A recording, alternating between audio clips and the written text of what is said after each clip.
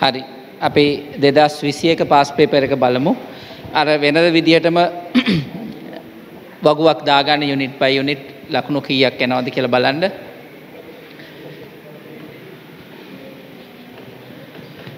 Unit එක MCQ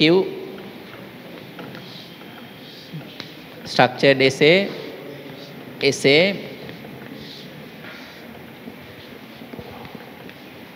Total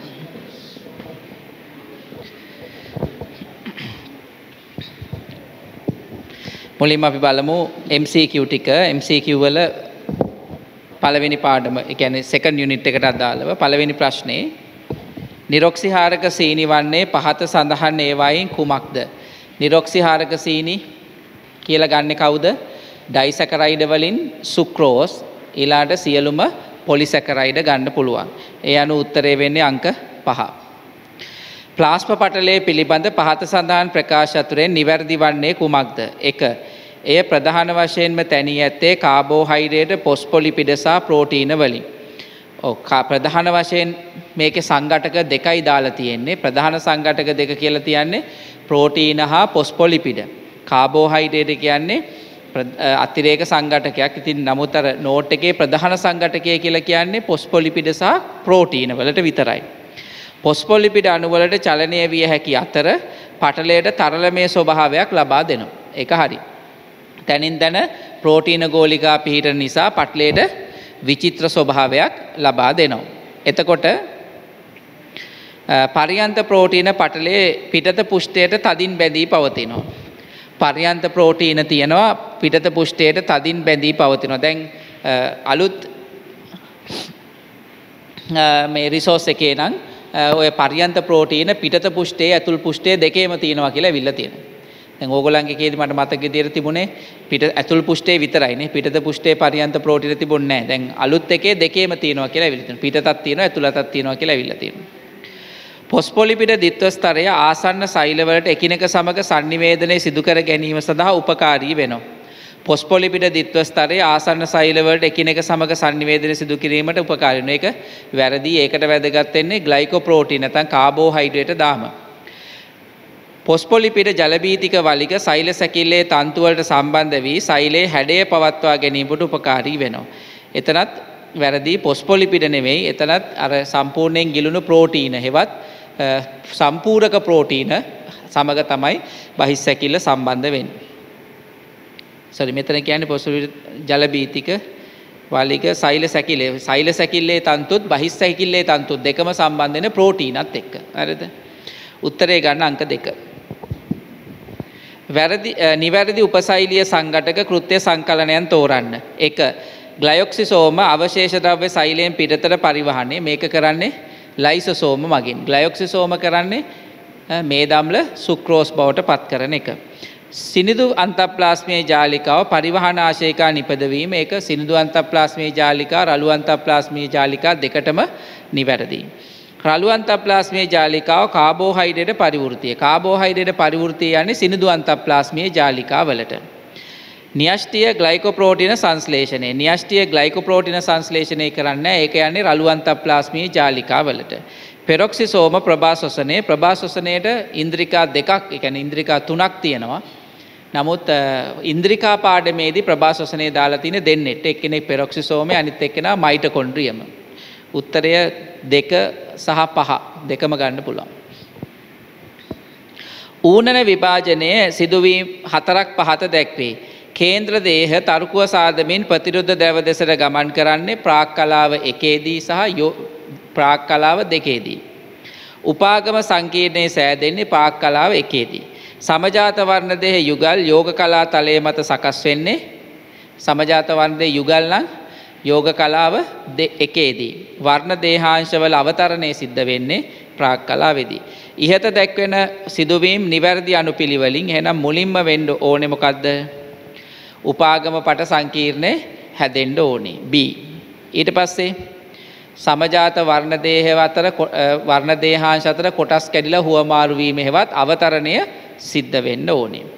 ඊට පස්සේ තමයි ඒ ප්‍රාක්කලාව අවසන් වෙනකොට තමයි තරුකුව මොකක්න්න ද්‍රව වෙසට කේන්ද්‍රිකා ගමන් කලා තර්කුව සෑදීම සිද්ධ වෙන්නේ. ඒතර තැර්කුව සෑදීම් පටන්ගන්න නමුත් ඒකව ඒකෙන් දැව වෙතට ගමන් කිරීම සිද්ධ වෙන්නේ ප්‍රාක් කලාව අවසන් වන විට. නිසා ඒන් ඕන ඊට පස්සේ. සී කියන්නේ ප්‍රාක් කලාව එකක් නෙවෙයි ඒක යෝග කලාවේ. එතොට උත්තරය හතර. BDAC e, ප්‍රභා සංස්ලේෂී වර්ණක පිළිබඳ පහත සඳහන් ප්‍රකාශතුරෙන් නිවැරදි වන්නේ කුමක්ද එක ක්ලෝරෆිල් කහ සහ නිල් ආලෝකය අවශෝෂණය කර කොළ ආලෝකය පරාවර්තනය කරයි. එතන ප්‍රශ්න තියෙන්නේ කහ කියන එක කහ නෙමේ රතු සහ නිල් තමයි අවශෝෂණය කරයි. කොළ ප්‍රධාන කටගෙන පරාවර්තනය කරනවා. ක්ලෝරෆිල් B ප්‍රතික්‍රියාකාරී ඔක්සිකාරකණු නිපදවීම වලක්වයි. කලෝරෆිල් බීවලට වඩා ඔය වැඩේ කරන්නේ කැරටිනොයිඩ් වර්ණක වලින්. කැරටිනොයිඩ් වර්ණක තමයි ප්‍රභා ආරක්ෂණය සිද්ධ කරන්නේ. ප්‍රභා ආරක්ෂණය ගැන තමයි මේ කියන්නේ. කලෝරෆිල් සහ කැරටිනොයිඩ් තයිලකොයිඩ පටලවල පද්ධති මත පිහිටනවා. ඒක හරි. කැරටිනොයිඩ් සහ කලෝරෆිල් ඒ එකම තරංගායාමයට අදාළ ආලෝකය අවශෝෂණය කරයි. ඒක වැරදි ඕගලන්ට දීලා තිබුණ අවශෝෂණ වර්ණාවලි මතක ඇතින ඒක තරංග තුනක් දීලා තියෙනවා. ක්ලෝරොෆිල් A වලට තරංගයක් තියෙනවා, ක්ලෝරොෆිල් B වලට තරංගයක් තියෙනවා සහ කැරටිනොයිඩ් වලට තරංගයක් තියෙනවා. ඒ තරංග තුන බැලුවාම සුළු සුළු වශයෙන් ප්‍රධාන කරගෙන මේගොල්ලෝ හැමෝම අවශෝෂණය කරන රතු හා නිල් ප්‍රධාන කරගත්ත වර්ණක තමයි. හැබැයි ඒවැ පොඩි පොඩි වෙනස්කම් තියෙනවා. එකම නෙවෙයි 100ට 100ක්ම අවශෝෂණය කරන්නේ. පැහැදිලිද? ක්‍රියාවර්ණාවලියට අනුව ක්ලෝරෆිල් B නිල් හා රතු ආලෝකයේ වඩාත් ඵලදායී වේ. ක්‍රියාවර්ණාවලිය පොදුවේ ප්‍රභා සංශ්ලේෂණයට අදාළවයි එන්නේ. ඒ නිසා ක්‍රියාවර්ණාවලියට ක්ලෝරෆිල් B කියලා වෙනම ගන්න බෑ. පොදුවේ ප්‍රභා සංශ්ලේෂණ ක්‍රියාකාරීත්වය තමයි බලන්නේ. ඒ නිසා වඩා නිවැරදි උත්තරේ විදිහට ගන්න වෙන්නේ අංක 3.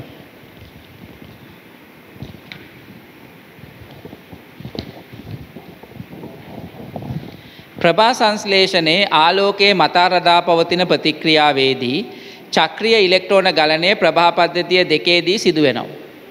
කතාව වැරදි චක්‍රිය ඉලෙක්ට්‍රෝන ගලනය සිද්ධෙන ප්‍රභා පද්ධතිය එකේදී දෙකේදී නෙවෙයි.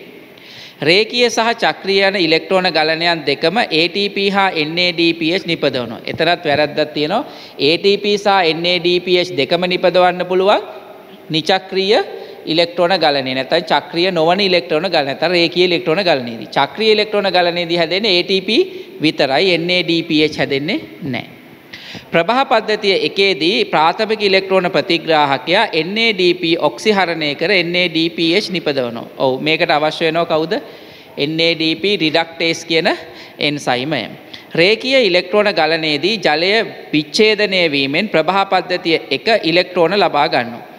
රේකිය ඉලෙක්ට්‍රෝන ගලනයේදී ප්‍රභා පද්ධතිය එක නෙවෙයි ජල විච්ඡේදනයෙන් ලැබෙන ඉලෙක්ට්‍රෝන ලබා ගන්නේ ප්‍රභා පද්ධතිය දෙක. හරිද? ප්‍රභා පද්ධතිය එකේදී ප්‍රාථමික ඉලෙක්ට්‍රෝන ප්‍රතිග්‍රාහකයාගේ ඇති උද්දීපනයේ වූ ඉලෙක්ට්‍රෝන ඉලෙක්ට්‍රෝන ප්‍රතිග්‍රාහක ශ්‍රේණියක් කරහා ප්‍රභා පද්ධතිය දෙකට ගමන් කරනවා. ප්‍රභා පද්ධතිය එකෙන් ප්‍රභා පද්ධතිය දෙකට යනව නෙමෙයි ප්‍රභා පද්ධතිය දෙකෙන් ප්‍රභා පද්ධතිය එකට යන එකයි සිද්ධ වෙන්නේ. පැහැදිලිද? උත්තරේ වෙන්න ඕනේ අංක 3. එතන ප්‍රශ්න හයක් තියෙනවා. ABCD ප්‍රශ්න තියෙනවද?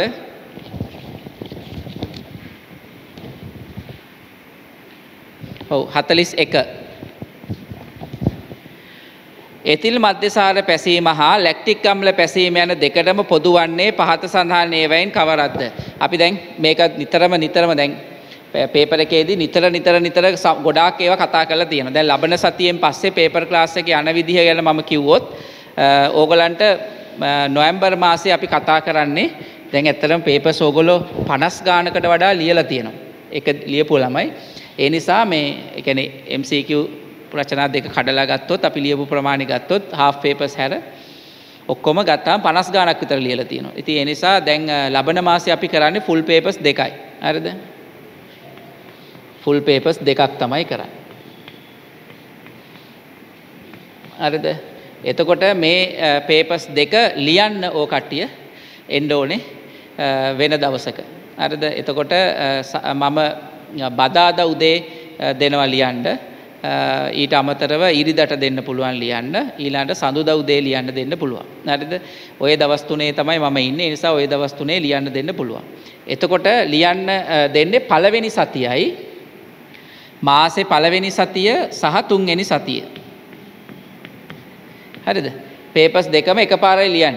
ඒ කියන්නේ පේපර් එක කඩලා ලියන්නේ නැහැ. සාකච්ඡා කරන්නේ කඩලා. හරිද? එතකොට පළවෙනි ෆුල් පේපර් එක පළවෙනි ෆුල් පේපර් එක පැය පහක් යනවා ලියන්න. ඒ පැය පහ ලියවන්නේ නොවැම්බර් මාසේ පළවෙනි සතියේ.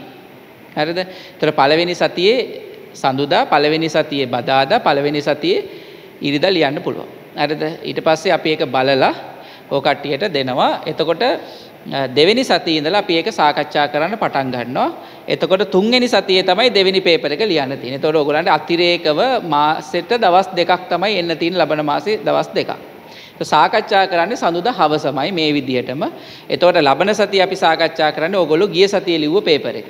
ගිය සතියේ ලිව්වන්නේ 2019 මොඩල් පේපර් එක. එතකොට මේ මොඩල් පේපර් එකේ MCQ පේපර් එක ලබන සතිය අපි 50 සාකච්ඡා කරනවා. ඊළඟ සතියේ රචනාව සාකච්ඡා කරනවා. ඊට පස්සේ මේ පුල් පේපස් දෙකේ MCQ එක සාකච්ඡා කරනවා රචනා එක සාකච්ඡා කරන ඒ විදිහට යන්නේ. හරිද?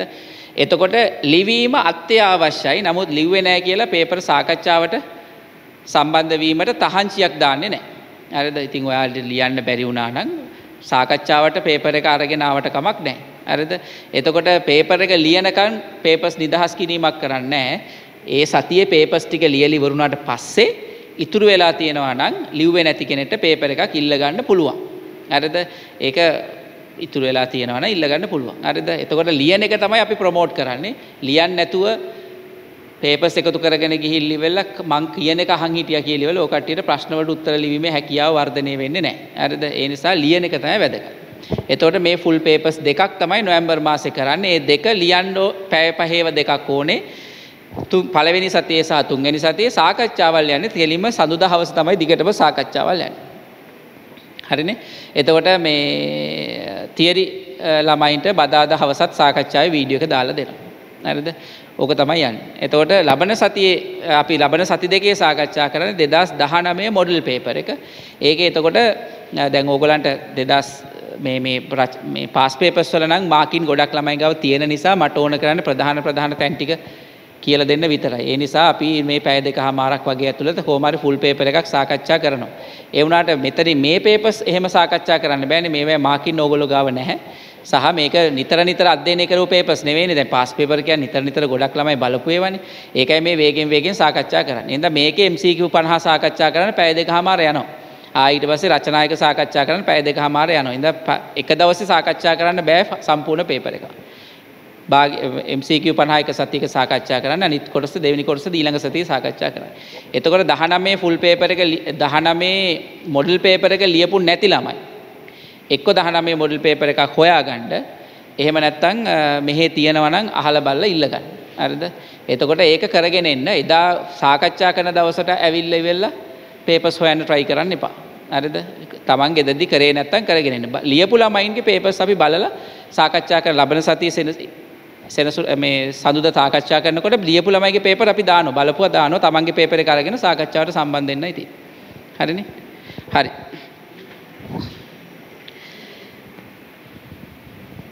එතකොට මේ මේ පේපර්ස් ඔක්කොම අපි බලලා දෙනවා ලියන අයගේ. ඉතින් ලියන්න නැතුව අයගේ ඉතින් පේපර්ස් අපිට බලන්න බෑනේ ලියන අයගේ පේපර්ස් අපි බලලා දෙනවා. බලලා දීලායි සාකච්ඡා කරන්නේ ඒ නිසා ලියන්න එක තමයි වැදගත්. නොවැම්බර් පළවෙනි සතියේ පළවෙනි ෆුල් පේපර් එකට ලෑස්ති වෙන්න. සම්පූර්ණ යුනිට් 10 මාල අඩංගු අන්තිම පේපර්ස් යන්නේ. හරිද? එතකොට ස්කෝල එක පේපර් එකක් වෙන්න පුළුවන්. පළාත් පේපර් එකක් වෙන්න පුළුවන්. නැත්තම් අමාත්‍යංශයෙන් ආපු පේපර්ස් දෙකක් තියෙනවා. ඒ දෙකෙන් එකක් වෙන්න පුළුවන්. ඒ වගේ පේපර් එකක් තමයි යන්නේ. හරිද? ඒක රෙඩි වෙන්න, ලෑස්ති වෙන්න. ඊළඟ අපි අන්තිම මාසේ පේපර්ස් විතරක්ම කරගෙන යනවා. අන්තිම දෙසැම්බර් අන්තිම සතියේ ඉඳලා ජනවාරි සති තුනක් හම්බෙනවනේ. ඒ සති තුනේ අපි හැම දවසකම පේපර් එකක් විතරයි කරන්නේ. එතකොට මේවා වැඩි ඉවරයිනේ තියරි සාකච්ඡා කරන එකක් නැහැ. සඳුදා උදේ ඉඳන්ම හවස වෙනකම් පේපර් එක කරලා ඉවර කරන එක තමයි කරන්නේ. හරිද?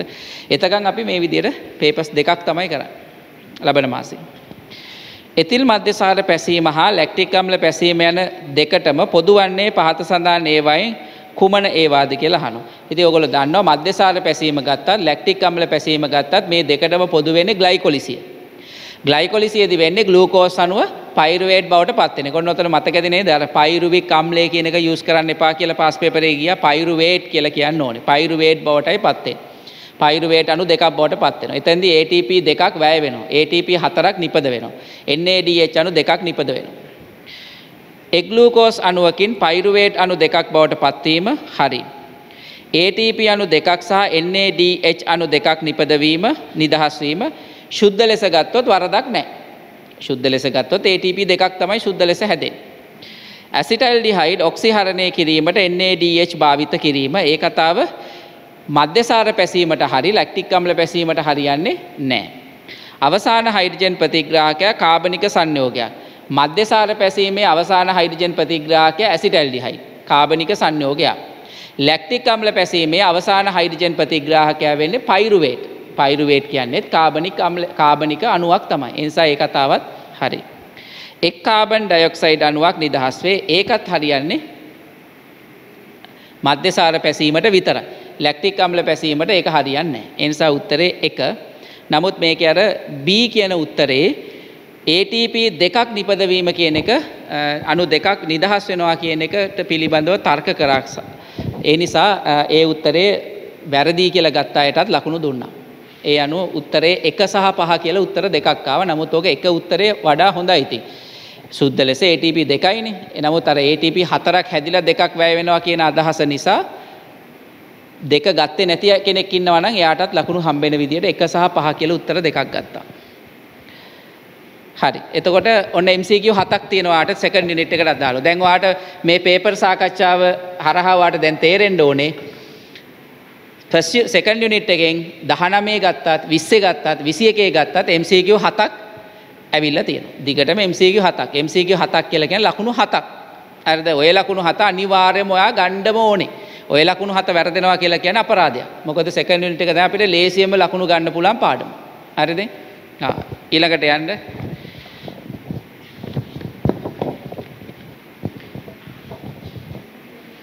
අටවෙනි හත්වෙනි ප්‍රශ්නේ ඩාවින් වොලස් වාදය පැහැදිලි කිරීමේදී වඩාත්ම වැදගත් වන්නේ පහත සඳහන් කුමන ප්‍රකාශයද. එක ජීවීහු තම ජීවිත කාලයේදී පරිසරයේ අවශ්‍යතාවයන්ට ගැලපෙන පරිදි උචිත අනුවර්තන ඇති කර ගනී. එහෙම එකක් ඩාවින් කිව්වේ නෑ. ඒක කිව්වේ වොලස් විසින්. වොලස් කිව්වා පරිචිත ලක්ෂණ ඇති කරගන්නවා කියලා. අරද ජීවිත කාලය තුළදී ඇතිකරගත් අනුවර්තන ඊළඟ පරම්පරාවට සම්ප්‍රේෂණය වෙනවා. ඒකත් කිව්වේ වොලස් තමයි වොලස් තමයි කිව්වේ පරිචිත ලක්ෂණ පරම්පරාවෙන් පරම්පර වොලස් නෙමෙයි. මේ ලැමක් ලැමක් තමයි කිව්වේ පරිචිත ලක්ෂණ පරම්පරාවෙන් පරම්පරාවට ගමන් කරනවා කියලා. පළවෙනි කාරණා දෙකම කිව්වේ ලැමාගේ පරිණාමවාදයේදී. ප්‍රවේණික සාධක හරහා හිතකර ලක්ෂණ ජනිතයන්ට සම්ප්‍රේෂණය වේ. ප්‍රවේණික සාධක හරහා හිතකර ලක්ෂණ ජනිතයන්ට සම්ප්‍රේෂණය වෙනවා ඔව ඒක මේ කතාව ඇතුළෙන් ගන්න පුළුවන්. සෑම විශේෂයකම පරිසරයට දරාගත හැකි ප්‍රමාණයට වඩා වැඩි ජනිතයෙන් සංඛ්‍යාවක් නිපදනු. ඒ ගැන අධිජනනය. නේද? අනුවර්තනය නිසා ප්‍රවේණික ද්‍රව්‍යවල වෙනස්වීම් සිදුවෙනවා. අනුවර්තනය නිසා නම් ප්‍රවේණික ද්‍රව්‍යවල වෙනස්වීම් වෙන්නේ විකෘති නිසා නම් ප්‍රවේණික ද්‍රව්‍යවල වෙනස්වීම් සිද්ධ වෙනවා. ප්‍රවේණික සාධක හරහා හිතකර ලක්ෂණ ජනිතයන්ට සම්ප්‍රේෂණ. එතන පොඩි ප්‍රශ්නයක් තියෙනවා. මේ හිතකර සාධකම විතරක් නෙවෙයිනේ යන්නේ. හිතකර හිතකර සාධක දෙකම යන්න පුළුවන්. නේද? ඒ නිසා වඩා හොඳ උත්තරේ අංක 4. මොකද වොලස්ගේ සහ ඩාවින්ගේ පරිණාමවාදයේදී අධිජනනය ගැන පැහැදිලිවම කියනවා. උත්තරේ ගන්න අංක 4. චක්‍රාකාර DNA DNA සමග බැඳුණු හිස්ටෝන සහ ආකාර කීපයක RNA පොලිමරේස්. දැන් චක්‍රාකාර DNA කිව්වහම සූනිියස්ටිකයන්ට චක්‍රාකාර DNA තියෙනවා. ඒ තියෙන්නේ කොහෙද මයිටකොන්ඩ්‍රියාව සහ හරිතලාවේ ඇතුළේ. එතකොට ප්‍රාග්නිියස්ටිකයන්ට කොහොමත් චක්‍රාකාර DNA තියෙනවා. අරිද ඊළඟට DNA සමඟ බැඳුණු හිස්ටෝන ගත්තොත් නම් බැක්ටීරිය අධිරාජධානය ඇතුළේ හිස්ටෝන වලට බැඳිච්ච DNA කියන කොටස හම්බෙන්නේ නෑ. එහෙනම් අපිට මෙතනින් වාට පුළුවන් ඊට පස්සේ ආකාර කීපය කාරන්නේ පොලිමරේස් කිව්වාමත් එහෙමයි බැක්ටීරියාවන්ට ආකාර කීපයක පොලිමරේස් නැහැ. ඒ නිසා ඔයගලන්ට හොඳම උත්තරේ තමයි ඔයගොල්ලෝ මෙතනින් තෝරන්න මුලින්ම බැක්ටීරියාව කවුද ඉන්නේ කියලා. ඒ අනුව බැක්ටීරියා ඉන්න වර්ණ අයින් කරලා දාන්න. දැන් පළවෙනි වර්ණයේ තියෙන තර්මොකොකස් ආකි බැක්ටීරියාවක්, ඇමීබා ප්‍රොටිස්ටාවෙක්, මෙතනකොකස් ආකි බැක්ටීරියාවක්. දෙවැනි එකේ මෙතනකොකස් ආකි බැක්ටීරියාවක්, හැලෝ බැක්ටීරියම් ආකි බැක්ටීරියාවක්, නයිට්‍රෝසෝමෝනස්. නයිට්‍රෝසෝමෝනස් ඔන්න බැක්ටීරියාව. ඔන්න යාව අයින් කරත හැකියි. ඇනබීනා සයිනෝ බැක්ටීරියාවක් සැල්මොනෙල්ලා බැක්ටීරියාවක් ඔබේලි කියන්නේ සූනිියෂ්ටිකෙක් එනම් තුනත් අයින් කරන්න පුළ ඇනබීනත් මෙතැට ගන්න බෑ සැල්මොනෙල්ල ගන්නත් බෑ. හැලෝ බැක්ටීරියම් සයිකස් නොස්ටොක් නොස්ටොක් කියන්නේ සයිනෝ බැක්ටීරියාව නොස්ටොක් මේකට ගන්න බෑ. සිවඩමොනස් ඇනබීනා සයිකස් එතනත් ඇනබීනා සිවඩමොනස් දෙන්නම අයිතිවෙන්නේ බැක්ටීරයා රාජදා අධිරාජධානයට එනිසා දෙන්නව ගන්න බෑ. උත්තරේ ගන්න වෙන්නේ එක. පහත සඳහන් ඒ සහ බී ප්‍රකාශ සලකන්න ඒ බීජ රහිත සනාල ශාක බීජ රහිත සනාල ශාක කියන්නේ කවුද? බීජ රහිත සනාල ශාක කියන්නේ නෙප්‍රොලෙපිස් ඒ කියන්නේ ටෙරෝෆයිටා ඊළාට සෙලජිනෙල්ලා ඒ කියන්නේ ලයිකෝෆයිටා. ওই දෙන්න තමයි බීජ රහිත සනාල ශාක. පාසිවලට වඩා අංශාකවලට පරිනාමිකව වඩාත් සමීපයි. පාසිවලට පාසි කියලා කියන්නේ පෝගනාටුම්ලා. එතකොට අංශාක කියලා කියන්නේ ඇන්තොසෙරස්ලා. හරිද? එතකොට මේ අංශාකවලට වඩාත් පරිනාමික බන්ධුතාව පෙන්වනවා. මතක ඇති නෝකට්ටියට පරිනාමික වෘක්ෂයේදී මාකැන්ටියා සහ පෝගනාටුම් තමයි එකට හටගන්නේ. හරිද? එතකොට ඒ දෙන්නගේ මේ පරිණා ඒ දෙන්නගේ පූර්වජයෙක් සමග තමයි ඇන්තොසෙරස් හටගන්නේ. ඒගොල්ලන්ගේ පූර්වජයෙක් එක තමයි බීජ රහිත සනාල ශාක හටගන්න. ওই විදිහට තමයි මේක පරිණාමික වෘක්ෂය යන්නේ. හරිද? එතකොට බීජ රහිත සනාල බීජ රහිත සනාල ශාක බීජාණු දරයි. බීජ රහිත සනාල ශාක බීජාණු දරයි. ඉහත සඳහන් ප්‍රකාශ පිළිබඳ නිවැරදි වන්නේ පහත සඳහන් ඒවයින් කුමක්ද. බීජ රහිත සනාල ශාක පාසිවලට වඩා අංශාකවලට පරිනාමිකව වඩාත් සමීපයි ඒ කතාව හරි. බීජ රහිත සනාල ශාක බීජාණු දරන බීජාණු දරනවානේ ශුද්‍ර බීජාණු මහා බීජාණු බීජාණු දරනවා. එන දෙකම හරි. දෙකේ දෙකම හරි. ඒ නිවැරදි අතර බී වැරදි ඒ වැරදි අතර බී නිවැරදි ඒ බී යන දෙකම වැරදි ඒ හා බී යන දෙකම නිවැරදි අතර ඒ මගින් බී තහවුරු වේ. ඒ මගින් බී තහවුරු වෙනවද? නෑනේ දැන් පරිණාමයේ කතාවයි බීජාණු කතාවයි සම්බන්ධයක් නෑනේ. මොකද මෝසස්ලා ඒ කියන්නේ පෝගනාටුම්ලත් බීජාණු හදනවනේ. මාකැන්ටියත් බීජාණු හදනවා. හරිද? එතකොට බීජාණු සෑදීමයි කියන එකත් එක්ක මේ ඉතින් බීජාණු හදන එක බීජ ශාකත් කරනවනේ. ඇන්තොෆයිටා ශාකත් බීජාණු හදනවනේ. හරිද? ඒ නිසා එතන සම්බන්ධයක් නැහැ. ඒ නිසා උත්තරේ පහ ගමු. ඒ සහ බී දෙකම නිවැරදි. ඒ දෙක අතර සම්බන්ධයක් නැහැ. ප්‍රොටිස්ටාවන්ගේ දක්නට ලැබෙන පහත ව්‍යුහ හතරක් පහත දැක්වේ. බහුසෛලික තලස බහුසෛලික තලසවල් තියෙන අය ගොඩක් ඉන්නවා. උල්වා ඉන්නවා. සාගසම් ඉන්නවා. ජෙලිඩියම් ඉන්නවා. සංකෝචක රික්තක කාට තියෙනවා? පැරමීසියම්ට තියෙනවා. යුග්ලෙනාට තියෙනවා. ඇමීබට තියෙනවා. ජවිකාව ජවිකාව කියන්නේ ප්‍රෝටීන සැකිල්ල. කාටද? පැරමීසියම්ට තියෙනවා. යුග්ලෙනාට තියෙනවා. සෛල බිත්තිය සෛල බිත්තිය ඇල්ගී වර්ග හතරටම තියෙනවා. ඇල්ගී වර්ග හතර කවුද? ක්ලෝරොෆයිටා, උල්වා, ඊළාට රොඩෝෆයිටා, රතු ඇල්ගී කියලා කිව්වේ කාටද? ජෙලිඩියම්ට. ඊළාට දුඹුරු ඇල්ගී. දුඹුරු ඇල්ගී කිව්වේ සාගසම්ට. ඊළාට රන්වන් දුඹුරු ඇල්ගී ඒ තමයි ඩයටම්. ABC සහ D සහිත ජීවීන් පිළිවෙලින් ජීවීන් වන්නේ පිළිවෙලින්. ඒ කියන්නේ බහුසෛලික තලස. බහුසෛලික තලසට සාගසම් ගන්න පුළුවන්. උල්ව ගන්න. දැන් මේ වගේ ප්‍රශ්නයක් තෝරනකොට කොහොමද ගන්නෙ? පළවෙනි වර්ණේ ලක්ෂණය අරගෙන ඒකට අදාළව තෝරගෙන යන්න මුලින්. හරිද? උල්ව ගන්න පුළුවන්, ජෙලිඩියම් ගන්න පුළුවන්, සාගසම් ගන්න පුළුවන්, උල්ව ගන්න පුළුවන්. එහෙනම් පළවෙනි එකෙන් තෝරන්න බෑ. දෙවැනි එක බහු සංකෝචක රික්තක. ඩයටම් වලට සංකෝචක රික්තක නැහැ. යුග්ලනාට තියෙනවා. ඇමීබට තියෙනවා. පැරමීසියම්ට තියෙනවා. සාගසම්ට නැහැ. එහෙනම් ඒ සහ එක සහ පහ අයින් කරත හැකි දැන්. හරිද? ඊට පස්සේ චවිකාව චවිකාව ගත්තහම දැන් දෙක පැරමීසියම්ට චවිකාවක් තියෙනවා. උල්වට චවිකාවක් නෑ ඇමීබට චවිකාවක් නෑ ඇමීබගේ දේහේ හැඩේ වෙනස් වෙනවනේ. තොර සෛල බිත්තිය කියන එක ජෙලිඩියම් කොහොමද ගන්න පුළුවන් දෙක තමයි උත්තරේ. අංක දෙක. එතන උත්තරේ තෝරගන්න පුළුවන් උනේ වාට B සහ C කියන ලක්ෂණ දෙකේ. එකම වංශයකට අයත් ජීවීන්ගේ දක්නට ලැබෙන ලක්ෂණ දෙකක් පහත දැක්වේ පහත සඳහන් කුමන ඒවාද කියලා අහනවා. එකම වංශයකට අය ජීවීන්ගේ දක්නට ලැබෙන ලක්ෂණ දෙකක්. හෘදයක් නොමැත අන්තක් සැකිලි ඇත. හෘදයක් නොමැත අන්තක් සැකිලි ඇත. කවුද ගන්න පුළුවන්? කවුද ගන්න පුළුවන්? එකිනොඩෑමේටා. එකිනොඩෑමේටාවන්ට හෘදයක් නැහැ. හැබැයි අන්තක් සැකිල්ලක් තියෙනවා. අරද ඒගොල්ලන්ට තියෙනවා අස්ති පලක නැත්තම් කැල්සියම් කාබනේට් පලක වලින් හැදිච්ච අන්තක් සැකිල්ලක්. හරිද? ඊළඟට හෘද නොමැත සන්ධිපාද ඇත. හෘද නොමැත සන්ධිපාද ඇත. හෘදයක් නොමැත කියන එකයි සන්ධිපාද ඇත කියන එකයි නම් දෙක 100ට 100ක් ගැලපෙන්නේ නැහැ නේද? හෘදයක් දැන් සන්ධිපාද තියෙන ආත්‍රපෝඩාවන්ටනේ ආත්‍රපෝඩාවන්ට හෘදයක් තියෙනවනේ. හෘදයක් නැත්තේ නෑනේ. හරිද?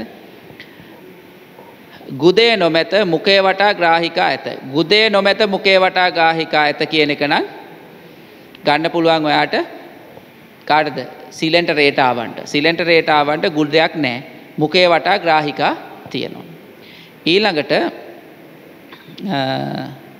ගුදය නොමැත අලිංගික ප්‍රජනනය පෙන්වයි. ගුදය නොමැත අලිංගික ප්‍රජනනය පෙන්වයි. ඒකත් ඉතින් ගන්න පුළුවන්.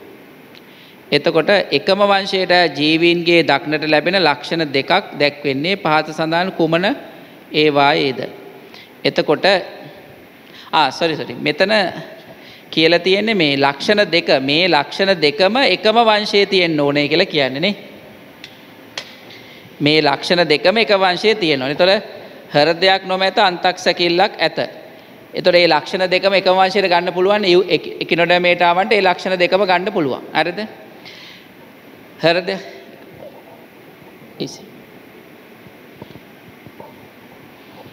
හෘද හෘදය නොමැත සන්ධිපාද ඇත.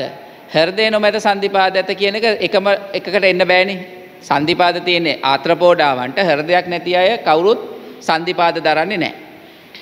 ගුදයක් නොමැත මුකේ වටා ග්‍රාහිකක් ඇත කියන එක සිලෙන්ටරේටාවන්ට ඒ ලක්ෂණ දෙකම ගන්න පුළුවන්නේ. ඊළඟ ගුදයක් නොමැත අලිංගික ප්‍රජනනය පෙන්වයි. ඒකත් ඉතින් සිලෙන්ටරේටාවන්ට ඒ දෙකම ගන්න පුළුවන්නේ. ඉතින් එතකොට ලක්ෂණ දෙකම එකම වංශයක් තුල තියෙන්න ඕන. එහෙනම් A C D ගන්න බැරි B විතරයි. B විතරයි ගන්න බැරි.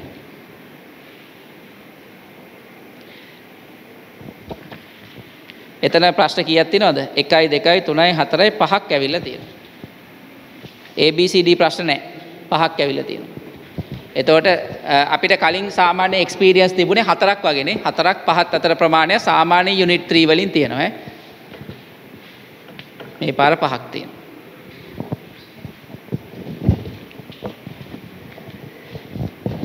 ශාක පත්‍ර පිළිබඳ නිවැරදි ප්‍රකාශය තෝරන්න. සොරි 12. සහචර සෛලය පිළිබඳ පහත සඳහන් ප්‍රකාශ අතරේ නිවැරදි වන්නේ කුමක්ද? සහචර සෛලය කියන්නේ මොකක්ද? ආවෘත බීජක ෆ්ලෝයමේ නේද? ආවෘත බීජක ෆ්ලෝයමේ විතරයි සහචර සෛල හම්බෙන්නේ. සහචර සෛලය තමයි පෙනේර් නල ඒකකයේ ජීව ක්‍රියාව පාලනය කරන්නේ. එතකොට මෙයාට තියෙනවා කැපී පෙනෙන න්‍යෂ්ටියක්. ඒ වගේ මෙයා සහචර සෛලය සහ පෙනේර් නල ඒකකය අතර ප්ලාස්ම බන්ධ මගින් ඉතා හොඳ සම්බන්ධතාවයක් ඇති කරගෙන තියෙනවා. සමහර සහචර සෛල විකරණය වෙලා ෆ්ලෝයම හරබැර කිරීම සඳහා දායක වෙනවා. පරිණත අවස්ථාවේදී ඒවා අජීවී වැරදි ජීවී. ෆ්ලෝයම හරකිරීමේදී ඒවා උපකාරී වෙනවා. ඔවු. ඒවා ඩෙස්මසෝම මගින් යාබද සෛල සමඟ සම්බන්ධන ඩෙස්මසෝම තියෙන සත්ව සෛලවල ශාක සෛලවල ඩෙස්මසෝම සන්ධි හම්බෙන්නේ නෑ. ප්ලාස්ම බන්ධ තමයි සත්ව ශාක සෛලවල හම්බෙන්. විවෘත බීජක හා අවෘත බීජක ශාකවල එක් එක් පෙනේරනල ඒකකයට යාබදෝ පිහිටනවා.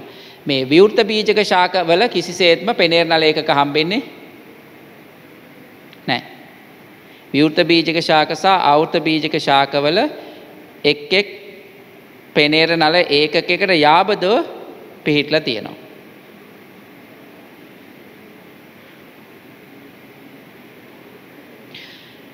එක් එක් පෙනේර නල ඒකකයකට යාබදව පිහිටලා තියෙනවා. ඊළඟට ඒවායේ සෛල ප්ලාස්මිය ශීන වී සෛල බිත්තියට ආසන්නව තුනීස්තරයි ඒක වැරදිනි සෛල ප්ලාස්මය ශීන වෙලා නෑ. එතකොට ආවෘත බීජක විවෘත බීජක දෙකෙන් ගත්තහම ආවෘත බීජකවල විතරයිනේ පෙනේරනල එකක හම්බෙන්නේ. විවෘත බීජකවල හම්බෙන්නේ නෑනේ. හරිද? ඒ නිසා ඒ කතාවත් වැරදි. ගන්න වෙන්නේ අංක දෙක. දැන් ඕක පැටලෙන්නේ ඔය කට්ටියට අර මේ සෛලම වාහිනිත් එක්ක. හරිද? සෛලම වාහිනී තියෙනවා සමහර විවෘත බීජක ශාකවල කාගෙද නීටම් වල තියෙනවා අරද එතකොට හැම විවෘත බීජකම ශාකයක නෙවෙයි නමුත් අර නීටම් වල විතරක් ආවෘත බීජක මේ වල වගේ හම්බෙනවා මොනවද සෛලම වාහිනී ඒකක හැබැයි ෆ්ලෝයමේට ඒක අදාළ නැහැ ෆ්ලෝයමේ පෙනේන ලේඛක සහ සහචර සෛල කියන දෙකම හම්බෙන්නේ ආවෘත බීජකවල විතරයි විවෘත බීජකවල හම්බෙන්නේ නැහැ. විවෘත බීජකවල තියෙන ඒකට සමාන පෙනේර එකක කියලා වෙනම නල වර්ගයක්. හරිද? උත්තරේ දෙක ගන්න. ශාක පත්‍ර පිළිබඳ නිවැරදි ප්‍රකාශය තෝරන්න. 1. අඩු ආලෝක තත්ත්ව යටතේ කාර්යක්ෂමව ආලෝකයේ ග්‍රහණය කර ගැනීම සඳහා සමහර ශාකවල පත්‍ර සිරස්ව සැකසී ඇත. ඔයිට ගිය සතියේත් මම හිතන්නේ ওই ප්‍රශ්නේ සාකච්ඡා කරන්නේ. සිරස්ව තියනවා කියලා කියන්නේ අනිවාර්යෙන් ලැබෙන ආලෝක ප්‍රමාණය අඩු වෙනවා. හේතුව ආලෝකයේ ලැබෙන අක්ෂයට සමාන්තරව තියෙනවනම් ආලෝකයේ ලැබෙන ප්‍රමාණය අඩුයි. ආලෝකයේ ලැබෙන අක්ෂයට ලම්බගව තිබුණොත් තමයි වැඩි ආලෝක ප්‍රමාණයක් ලබා ගන්න පුළුවන්. එහෙනම් පත්‍ර තිරස් වෙන තරමට තමයි ආලෝකය වැඩිපුර ලැබෙන්නේ. සිරස් වෙන තරමට ආලෝකය ලැබෙන ප්‍රමාණය අඩු වෙනවා. ඒක බීජ පත්‍රයේ ශාක පත්‍රවල ඉනි මෘදුස්තර සෛල සවිවර මෘදුස්තර සෛලවලට වඩා වැඩි හරිත ලව ප්‍රමාණයක් දරනවා. එක බීජ පත්‍රයේ ශාකව පත්‍රවල ඉනි මෘදුස්තර සහ සෛල. ඊතර තියෙන ප්‍රශ්නේ තමයි මේ ඒක බීජ පත්‍රයේ වල පත්‍ර මධ්‍ය සෛල ඉනිම සහ සවිවර කියලා විභේදනය වෙන්නේ නැහැ. මතක ඇතිනේ. ඉනි සහ සවිවර කියලා විභේදනය වෙන්නේ දිබීජ පත්‍රී වල විතරයි. ඒකෙන් දිබීජ පත්‍රී වල ගත්තොත් ඉනි මුදුස්තරවල තියෙන හරිතලාව ප්‍රමාණය වැඩි සවිවර මුත්සර බුදුස්තරවල තියෙන හරිතලාව ප්‍රමාණයට වඩා. මේකේ වැරද්ද තියෙන්නේ මොකද්ද? ඒක බීජ පත්‍රී කියන එක. පත්‍රවල ජාලාභ නාට්‍ය වින්‍යාසය නිසා ආවෘත බීජක ශාක හඳුනාගත හැකිය. පත්‍රවල ජාලාභ නාර්ටි වින්‍යාසය තියෙන්නේ ආවෘත බීජක ශාකවලින් කාටද ආවෘත බීජක ශාකවලට ජාලාභ නාරටිත් තියෙනවා සමාන්තර නාරටිත් තියෙනවා. එතන බෙදෙන්නේ ක්ලාසස් දෙකනේ. මොකද ක්ලාසස් දෙක? එක බීජ පත්‍රී දිබීජ පත්‍රී. එක බීජ පත්‍රී වලට තියෙන සමාන්තර නාට්‍ය වින්‍යාසයක් දිබීජ පත්‍රී වලට තියෙන ජාලාභ නාට්‍ය වින්‍යාසයක් ඒ නිසා ඒ කතාව වැරදි. එතන එන්න ඕනේ දිබීජ පත්‍රී ශාක අඳුර ගැනීමට භාවිතා කරන්න පුළුවන් කියලා. ඊළඟ කඳ මත පත්‍ර සැකසී ඇති ආකාරය පත්‍ර දිශානතිය ලෙස හැඳින්වෙනවා. කඳ මත පත්‍ර සැකසී ඇති ආකාරය පත්‍ර දිශානතිය නැත්. කඳ මත පත්‍ර සැකසී ඇති ආකාරයට අපි කියන්නේ පත්‍ර විඤ්ඤාසය කියලා. කඳ මත පත්‍ර හයි වෙලා තියෙන විදිහට කියන්නේ පත්‍ර විඤ්ඤාසය කියලා. හරිද? තද ශීත පරිසරවල වැඩෙන ශාකවල කුඩාම පත්‍ර ඇත. ඔව් තද ශීත පරිසරවල හැදෙන ශාක ගොඩක් වෙලාවට පත්‍ර පතනය කරන්නේ නැති ශාක ඉතාම කුඩා පත්‍ර තමයි දරන්න ඉදිකටු වගේ කුඩා පත්‍ර තමයි දරන්න. එහෙම අනුවර්තනය වෙලා තියෙන ඒගොල්ලෝ හිම පතනය වීම නිසා ශාකයට හානි වෙන එක වළක්ව ගන්න. හරිද? උත්තරේ අංක පහ ගන්න. නිවැරදි ප්‍රකාශය පහ. පීඩන ප්‍රවාහ කල්පිතයට අනුව ආවෘත බීජක ශාකවල ෆ්ලෝයම පරිසංක්‍රමණයේදී ප්‍රභවයේ ඇතිවන් ඇතිවන සිදුවීම් කිහිපයක් පහත දැකෙන ප්‍රභවේදී. ප්‍රභවය කියන්නේ ප්ලෝයමය බැර කරන ස්ථානය නැත්තම් පරිසංක්‍රමණය පටන් ගන්න තැන. සෛලමයේ සිට පෙනේරනල තුළට ජලය ගලායේම. සෛලමේ ඉඳලා පෙනේරනල තුළට ජලය ගලායන එක සිද්ධ වෙනවා. ඒක හරි. පෙනේර නල තුළ ධනපීඩනයක් ඇතිවීම. ඒකත් ගන්න පුළුවන්. පෙනේර නල තුළ ජලවිභාවය අඩුවීම. ජලවිභාවය අඩුවීම නිසා තමයි ජලය ගලාගෙන එන්නේ. ඒකත් ගන්න පුළුවන්. මේ සිදුවීම් නිවැරදි අනුපිළිවෙලින් මුලින්ම එන්න ඕනේ මොකද්ද? මුලින්ම එන්න ඕනේ මේකට එකතු වෙන්න ඕනේ සුක්‍රෝස්. ඒ කියන්නේ ෆ්ලෝයම බැර කරන්න ඕනේ. සුක්‍රෝස් එකතු වුණාම මෙතන මොකක් වෙන්න ඕනේ? ජල විභවය. ජල විභවය අඩු වෙන්න ඕනේ. ජල විභවය අඩු වුණාම තමයි අවට සෛලම වාහිනී වල ඉඳලා ජලය ඇතුල් වෙන්න ඕන. ජලය ඇතුල් වෙනකොට තමයි මෙතන ද්‍රවස්ථිතික පීඩනය වැඩි වෙන්න ඕන. එන උත්තර පිළිවලට ගත්තොත් C A B C A B උත්තරේ පහ. වායුගෝලීය වාතය වාතය එකම ප්‍රභවය වන්නේ ශාකය වලට අවශ්‍ය පහත සඳහන් කුමන මූලද්‍රව්‍ය සඳහාද. සාමාන්‍යයෙන් පාංශු ජලයෙන් පාංශු ජලය හරහා ගන්න බැරි එකම කෙනා තමයි කවුද කාබන්. කාබන් වායුගෝලයේ කාබන් ඩයොක්සයිඩ් විදියට පමණයි ශාකයකට ලබා ගන්න පුළුවන්. අනිත් ඒවා නම් වායු ගත්තාම ඔක්සිජන් ගත්තත් නයිට්‍රජන් ගත්තත් හයිඩ්‍රජන් ගත්තත් ඒව ඔක්කොම මොනෝක විදියට ගන්න පුළුවන්ද? පාංශු ද්‍රාවණයෙන් ගන්න පුළුවන්. හරිද? උත්තරේ අංක 5. ශාක විශේෂ දෙකක ලක්ෂණ කීපයක් පහත දැක්වෙනවා. ඒ විශේෂය බීජානුශාකය ප්‍රමුඛයි. එහෙනම් පෝගනාටුම් වෙන්න බෑ. ජන්මානුශාකයේ ශීනයි. ඉතින් හැමෝගෙම ජන්මානුශාක ශීනයිනේ. බීජානුශාකයේ සහ ජන්මානුශාකයේ ප්‍රභාසංස්ලේෂක සහ ස්වාධීනයි. එහෙනම් ගන්න වෙන්නේ අනිවාර්යයෙන්ම නෙප්‍රොලෙපිස්. මොකද නෙප්‍රොලෙපිස්ට තමයි ජන්මානුශාකයයි බීජානුශාකයයි දෙකම ප්‍රභාසංස්ලේෂණය කරන්නේ සහ බීජානුශාකය ප්‍රමුඛ වෙන්නේ. හරිද? පී විශේෂය බීජානුශාකයේ ප්‍රමුඛයි ප්‍රභා සංශ්ලේෂකයි ජන්මානුශාකයේ ශීනයි එය බීජානුශාකයේ මත අර්ධව යැපේ.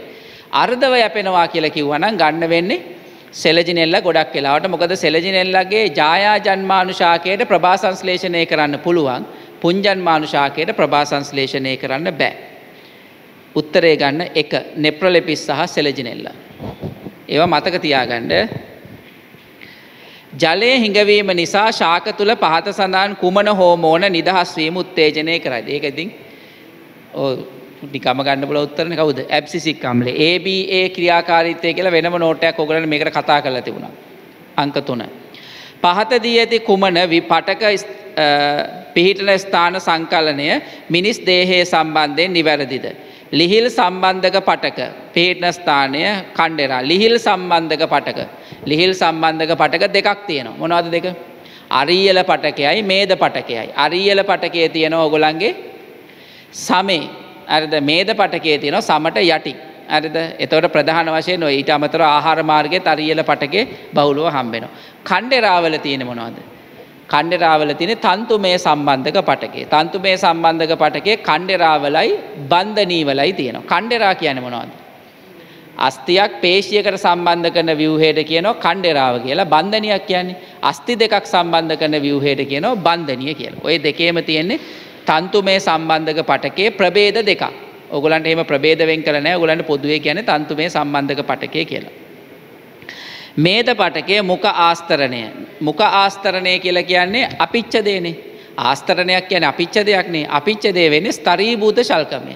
මුඛයේ තියෙන ස්තරීභූත ශල්කමය අපිච්ච දේ. ස්තරීභූත ශල්කමේ අපිච්ච දේ ගුදය. ඒක හරි. ස්තරීභූත ශල්කමේ අපිච්ච දේ තියෙනවා මුඛයේ, සමේ, ගුදයේ, යෝනි මාර්ගයේ.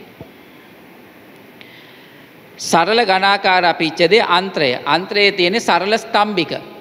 සරල ගනාකාර අපිච්චදේ හම්බෙන වුක්කානුවේ වුක්කානුවේ විදුර අවිදුර සම්වලිත නාලිකාවල තමයි සරල ගනාකාර තියෙන්නේ. ව්‍යාජ ස්තරී භූත අපිච්චදේ වුක්ක නාලිකා. වුක්ක නාලිකාවල තියෙන සරල ගනාකාර අපිච්චදේ. ව්‍යාජ ස්තරී භූත අපිච්චදේ තියෙන ශ්වසන මාර්ගයේ. ශ්වසන මාර්ගයේ තියෙන උත්තරේ තුන. එතන ප්‍රශ්න තියෙනවා එකයි දෙකයි තුනයි හතරයි පහයි හයයි හතක් ෑන හයයි. සත්‍යය ප්‍රශ්නයන ද අන්තිවර මන්ස කතා කර. තොර එකයි දෙකයි තුනයි හතරයි පහයි හයයි.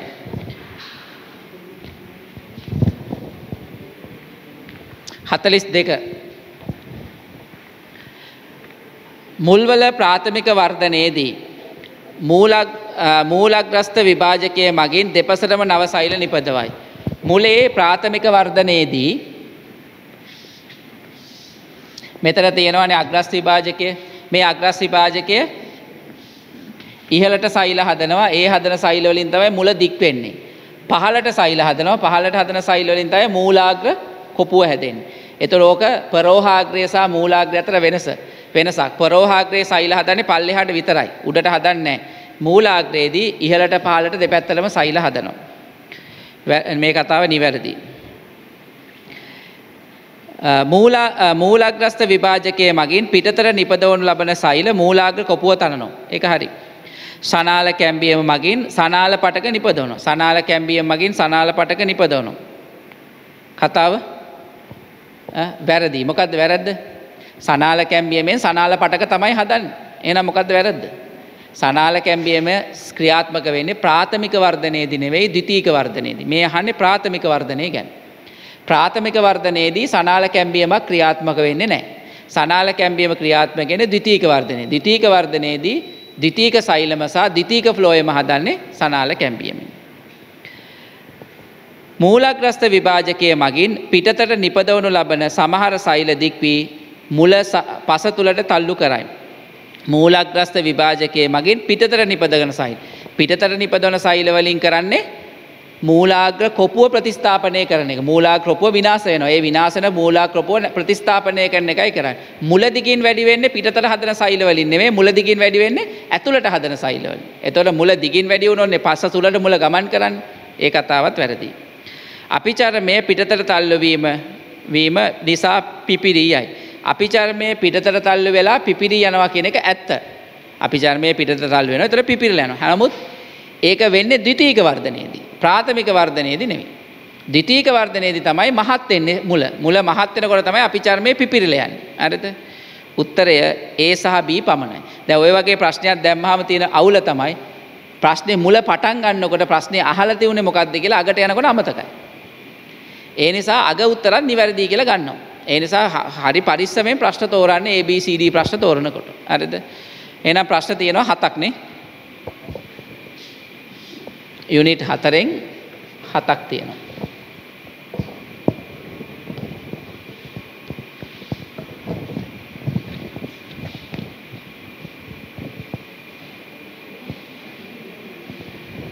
ඊළඟ නිදහස්වීම නිසා උත්තේජනය වන්නේ පහත සඳහන් කුමනේවාද නිදහස් වුනා උත්තේජනව. ගැස්ට්‍රීන් ගැස්ට්‍රීන් නිදහස් වුනහම ආමාශික යුෂය නිපදවීම ශ්‍රාවයවීම උත්තේජනය කරන්න පුළුවන්. ඊළඟට කොලිසිස්ටොකයිනීන්. කොලිසිස්ටොකයිනීන්ට පුළුවන් අග්නියාශයෙන් අග්නියාශික යුෂය ශ්‍රාවය කරවන් සික්‍රටීන්. සික්‍රටීන්ට පුළුවන් අග්නියාශයෙන් බයිකාබනයට අයින නිදහස් කරවන් එතකොට කොලිසිස්ටොකයිනීන්ට උත්තරයක් මෙතන නෑනේ කොලිසිස්ටොකයිනීන් කරන වැඩ දෙක කියන්නේ කොලිසිස්ටෝකයිනීන් කරන්නේ අග්නියාශයෙන් අග්නියාශික යුෂේ ශ්‍රාවය කිරීමයි පිත්තාශයෙන් පිත ගලායම උත්තේජනය. එතර කොලිසිස්ටෝකයිනීන්ට නෑ අනිත් දෙන්නට හරි. ඒ සහසි හතර.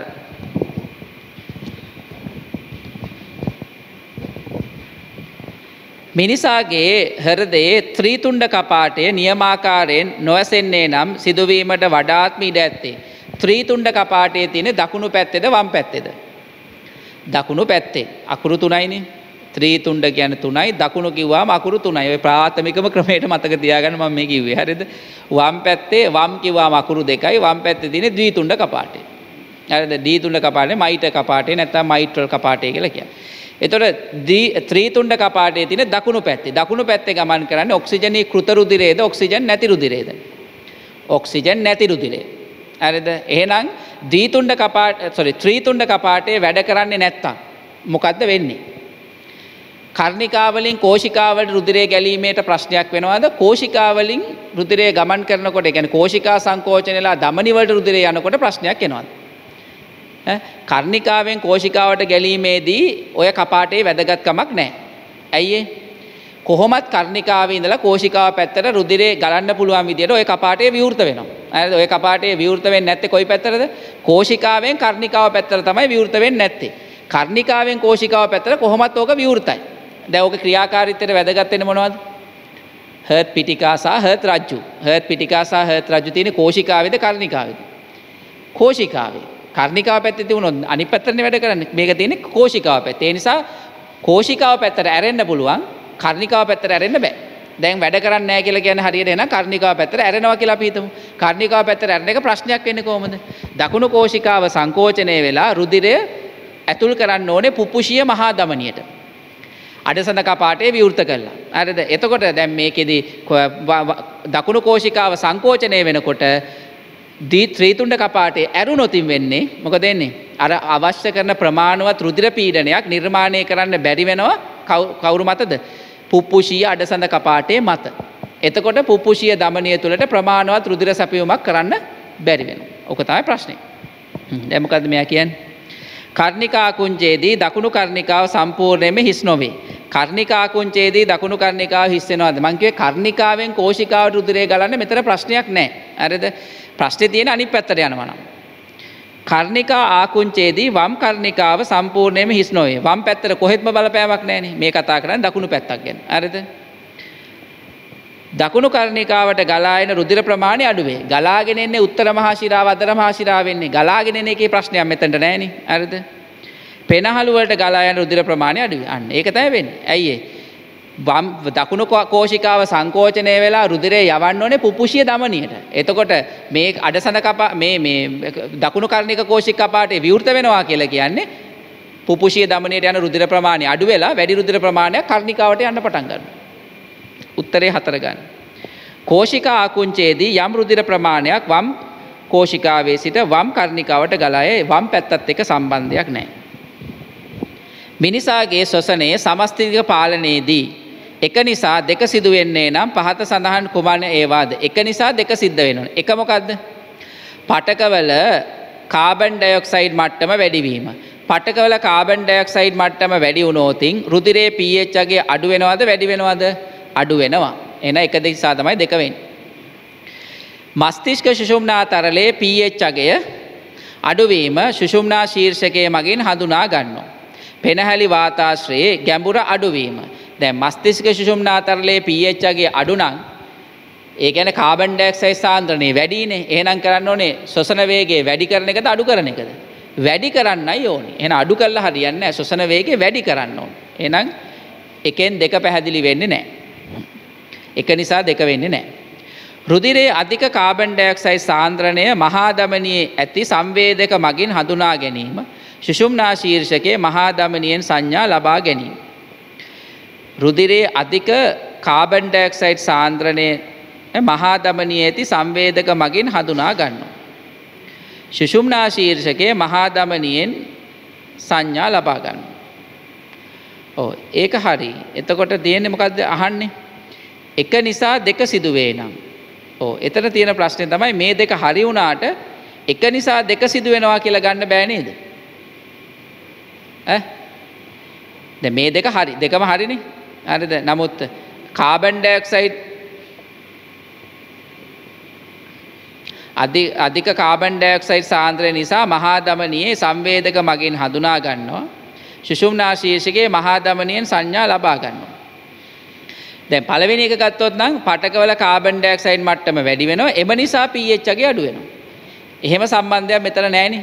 ඒ නිසා දැන් මේක අහන්නේ එක නිසා දෙක සිදුවන්නේ නා. ඒ නිසා උත්තරේ වෙන්න ඕනේ ඒ පමණයි. ඒ පමණයි. ඊළඟ මිනිසාගේ බීවසා සෛල මොනවද මේ බීවසා සෛල කියන්නේ? බීවසා සෛල කියල කියන්නේ ඇටමිදුළුවලදී නිපද වෙලා ඇටමිදුළුවලදීම පරිණත වන වසාසයිල්. ඔගොලො දන්නවා වසාසයිල හැදෙන්නේ ඇටමිදුළුවලදී පරිණත වෙනකොට වසාසයිල කොටසක් ගමන් කරනවා තයිමසේට. කොටසක් ඇටමිදුළුවලදීම පරිණත වෙනවා. ඇටමිදුළුවලදීම පරිණත වෙන වසාසයිලවලට කියනවා බීවසා සයිල කියලා තයිමසේදී පරිණත වෙන වසා සයිලවලට කියනවා ටීවසා සයිල කියලා. බීවසා සෛල සහ ටීවසා සෛල කාරක සෛල බවට විකරණය වෙනවන්නේ මේ ආගන්තුක ද්‍රව්‍යයක් හමුවේදී.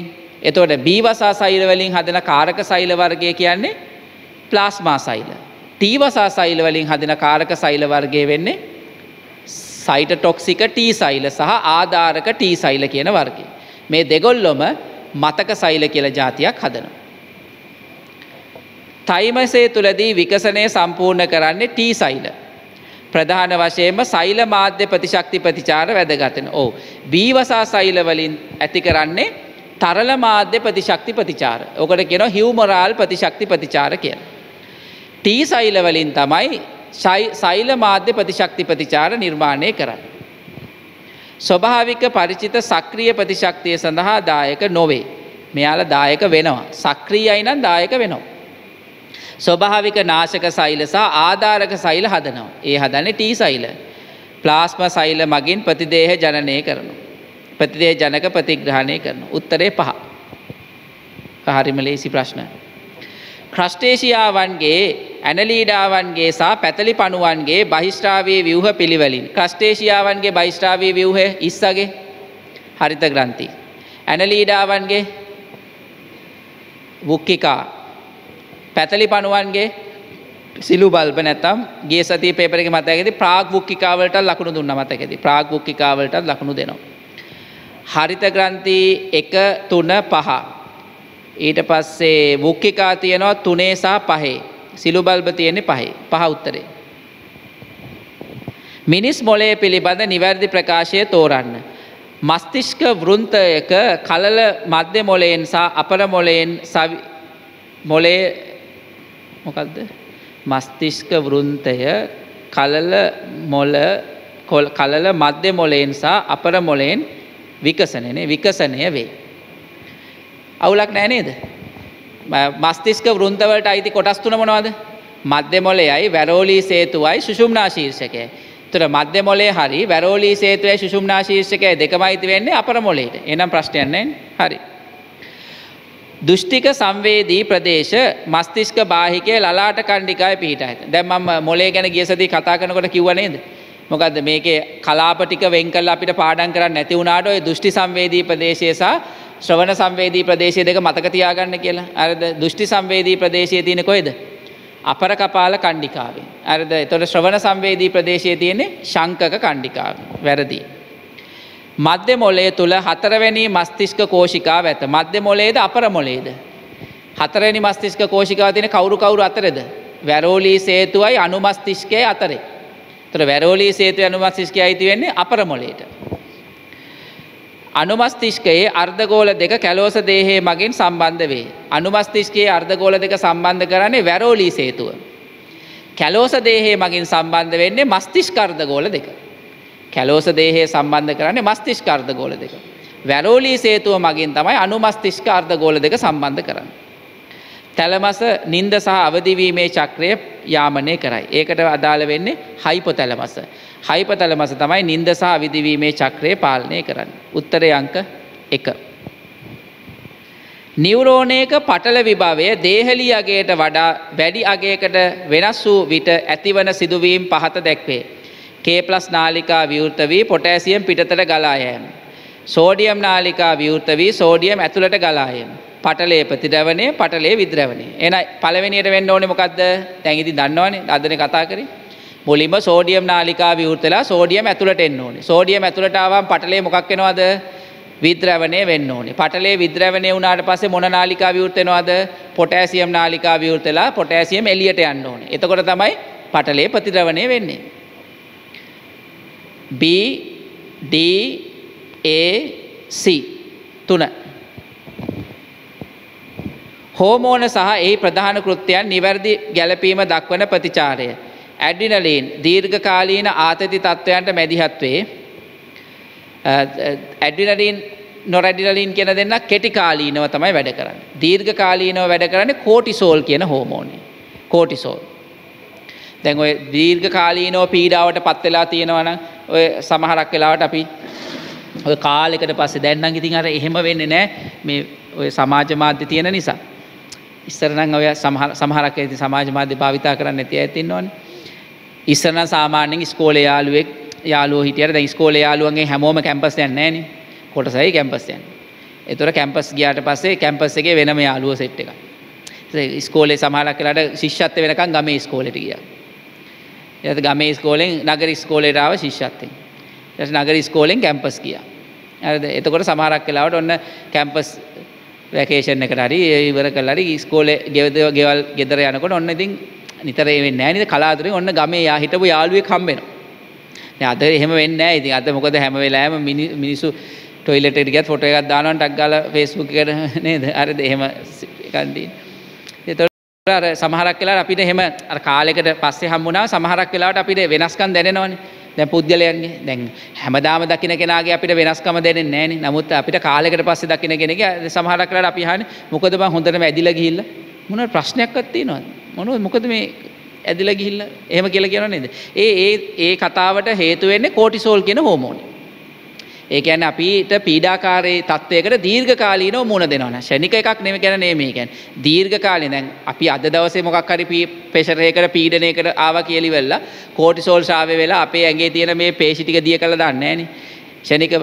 ඒක වෙන්නේ දීර්ඝකාලීනව ප්‍රශ්නකට මැදිහත් වෙලා ඉන්න කෙනෙක්ගේ මේ ඒගොල්ලෝ ඒතර එයා හරියට කෑමක් කන්නේ නැහැ. එතකොට ඇඟේ ග්ලූකෝස් මට්ටම අඩුයි. එතකොට එයාගේ අර ඇඟේ තියෙන මේදේ ටික දිය කරලා ගන්නවා. මේදේ ඉවරුණාට පස්සේ පේශි දිය කරනවා. හරිද? එතකොට මොකද වෙන්නේ? අර ඇට ටික විතරයි වගේ.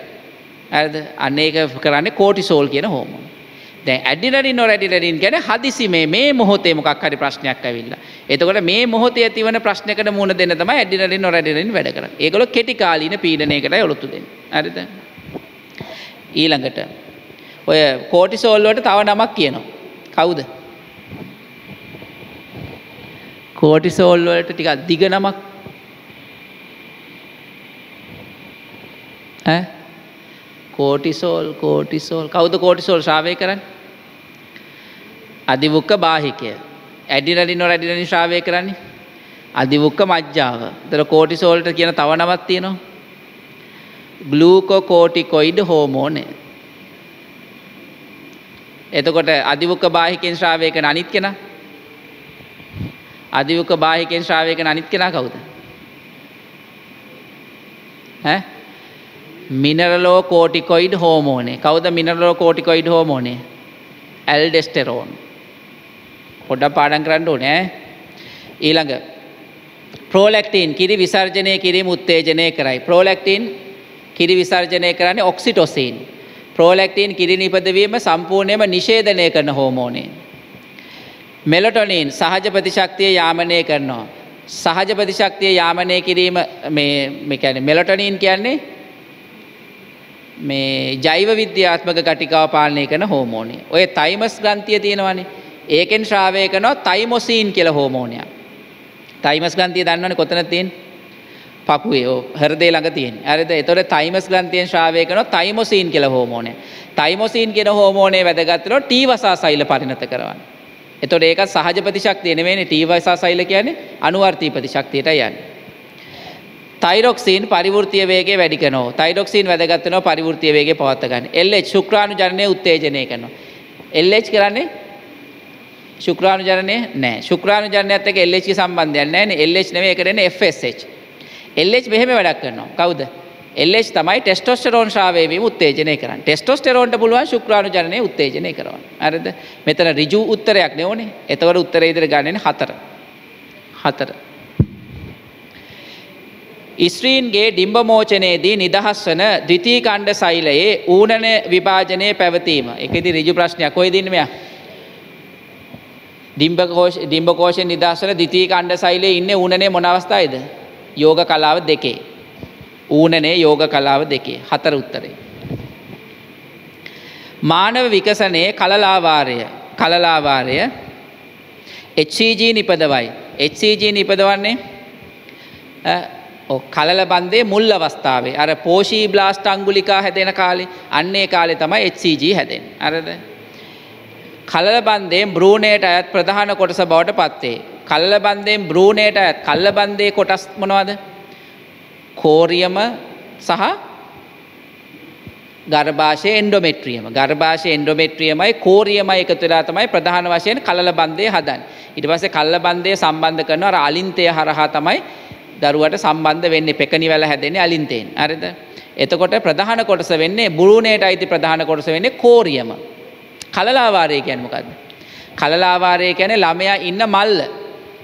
බ්‍රූණේ හැදෙන්නේ මල්ලක් ඇතුළේනේ. ඒ මල්ල තමයි කලලාවාරය කියන්නේ. ඒක ඇතුලේ තියෙනවා කලලාවාරික තරලය. ඒ කලලාවාරික තරලය ඇතුලේ තමයි දරුවා ඉන්නේ. බ්‍රූණේ ඉන්නේ. හරිද? මවගේ ප්‍රතිශක්ති ප්‍රතිචාරවලින් බ්‍රූණය ආරක්ෂා කරනවා. මවගේ ප්‍රතිශක්ති ප්‍රතිචාරවලින් බ්‍රූණය ආරක්ෂා කරන්නේ කලල බන්දය. කල්ල බන්දේ කොටසක් කලලාවාරයට අයිති නෑ. කියන්නේ කල්ලාවාරයේ කල්ල බන්දයට අයිති නෑ. හරිද? කලලය සම්පූර්ණයෙන් වට කරනවා. ඒක හරි. බ්‍රූණයේ විකසනය වන ගොනැඩවල මූලික ජන්මානු සෛලවල ප්‍රභවය ලෙස ක්‍රියා කරනවා. ඒක වැරදි ඒක යන්නේ අලින්තයට. අලින්තයට බීජාන මඩියට. බීජාන මඩියට ඒ කියන්නේ. කලලේ සම්පූර්ණයෙන් වටකරන එක තමයි උත්තරේ. ඔයගොල්ලෝ සාමාන්‍ය විහාරය කියන වෝටර් බෑග් එක කියලා. සාමාන්‍ය විහාරය කියන වෝටර් බෑග් එක කියලා වෝටර් බෑග් එක කියන ඔය කලලා වාරයට. හරිද? උත්තරේ 4. උපතින් පසු මිනිස් කශේරුවේ පූර්ව උත්තල වක්‍රය විකසනය වන්නේ. පූර්ව උත්තල වක්‍රය. ඒ කියන්නේ මොකද්ද? ග්‍රයිවී වක්‍රය. ග්‍රයිවී වක්‍රය හැදෙන්නේ මාස 2යි 3යි 4. මිනිස් උපතින් පසු මිනිස් කශේරුවේ පූර්ව උත්තල වක්‍රය විකසනය වන්නේ.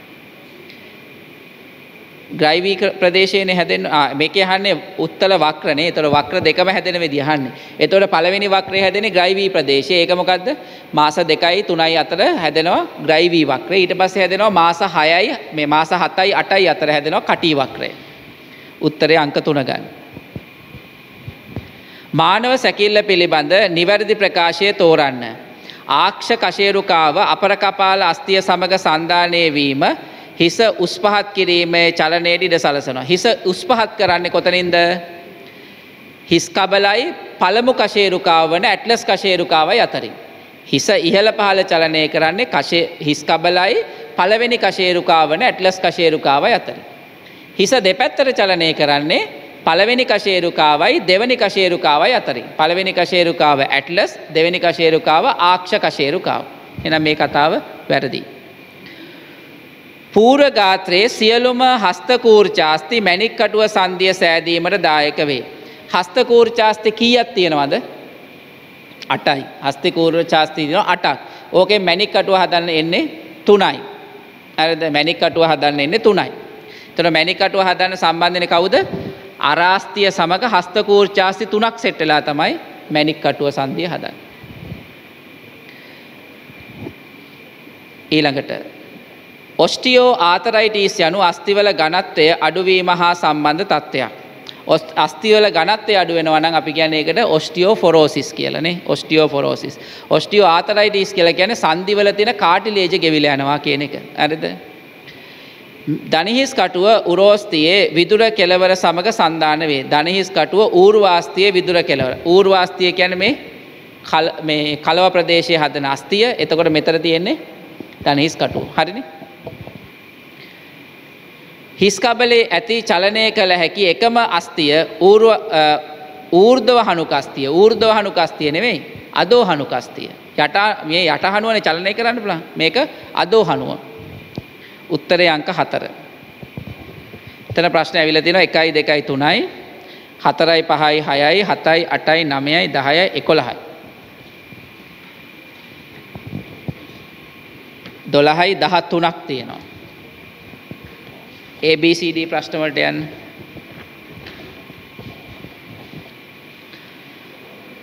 හතලිස් තුන.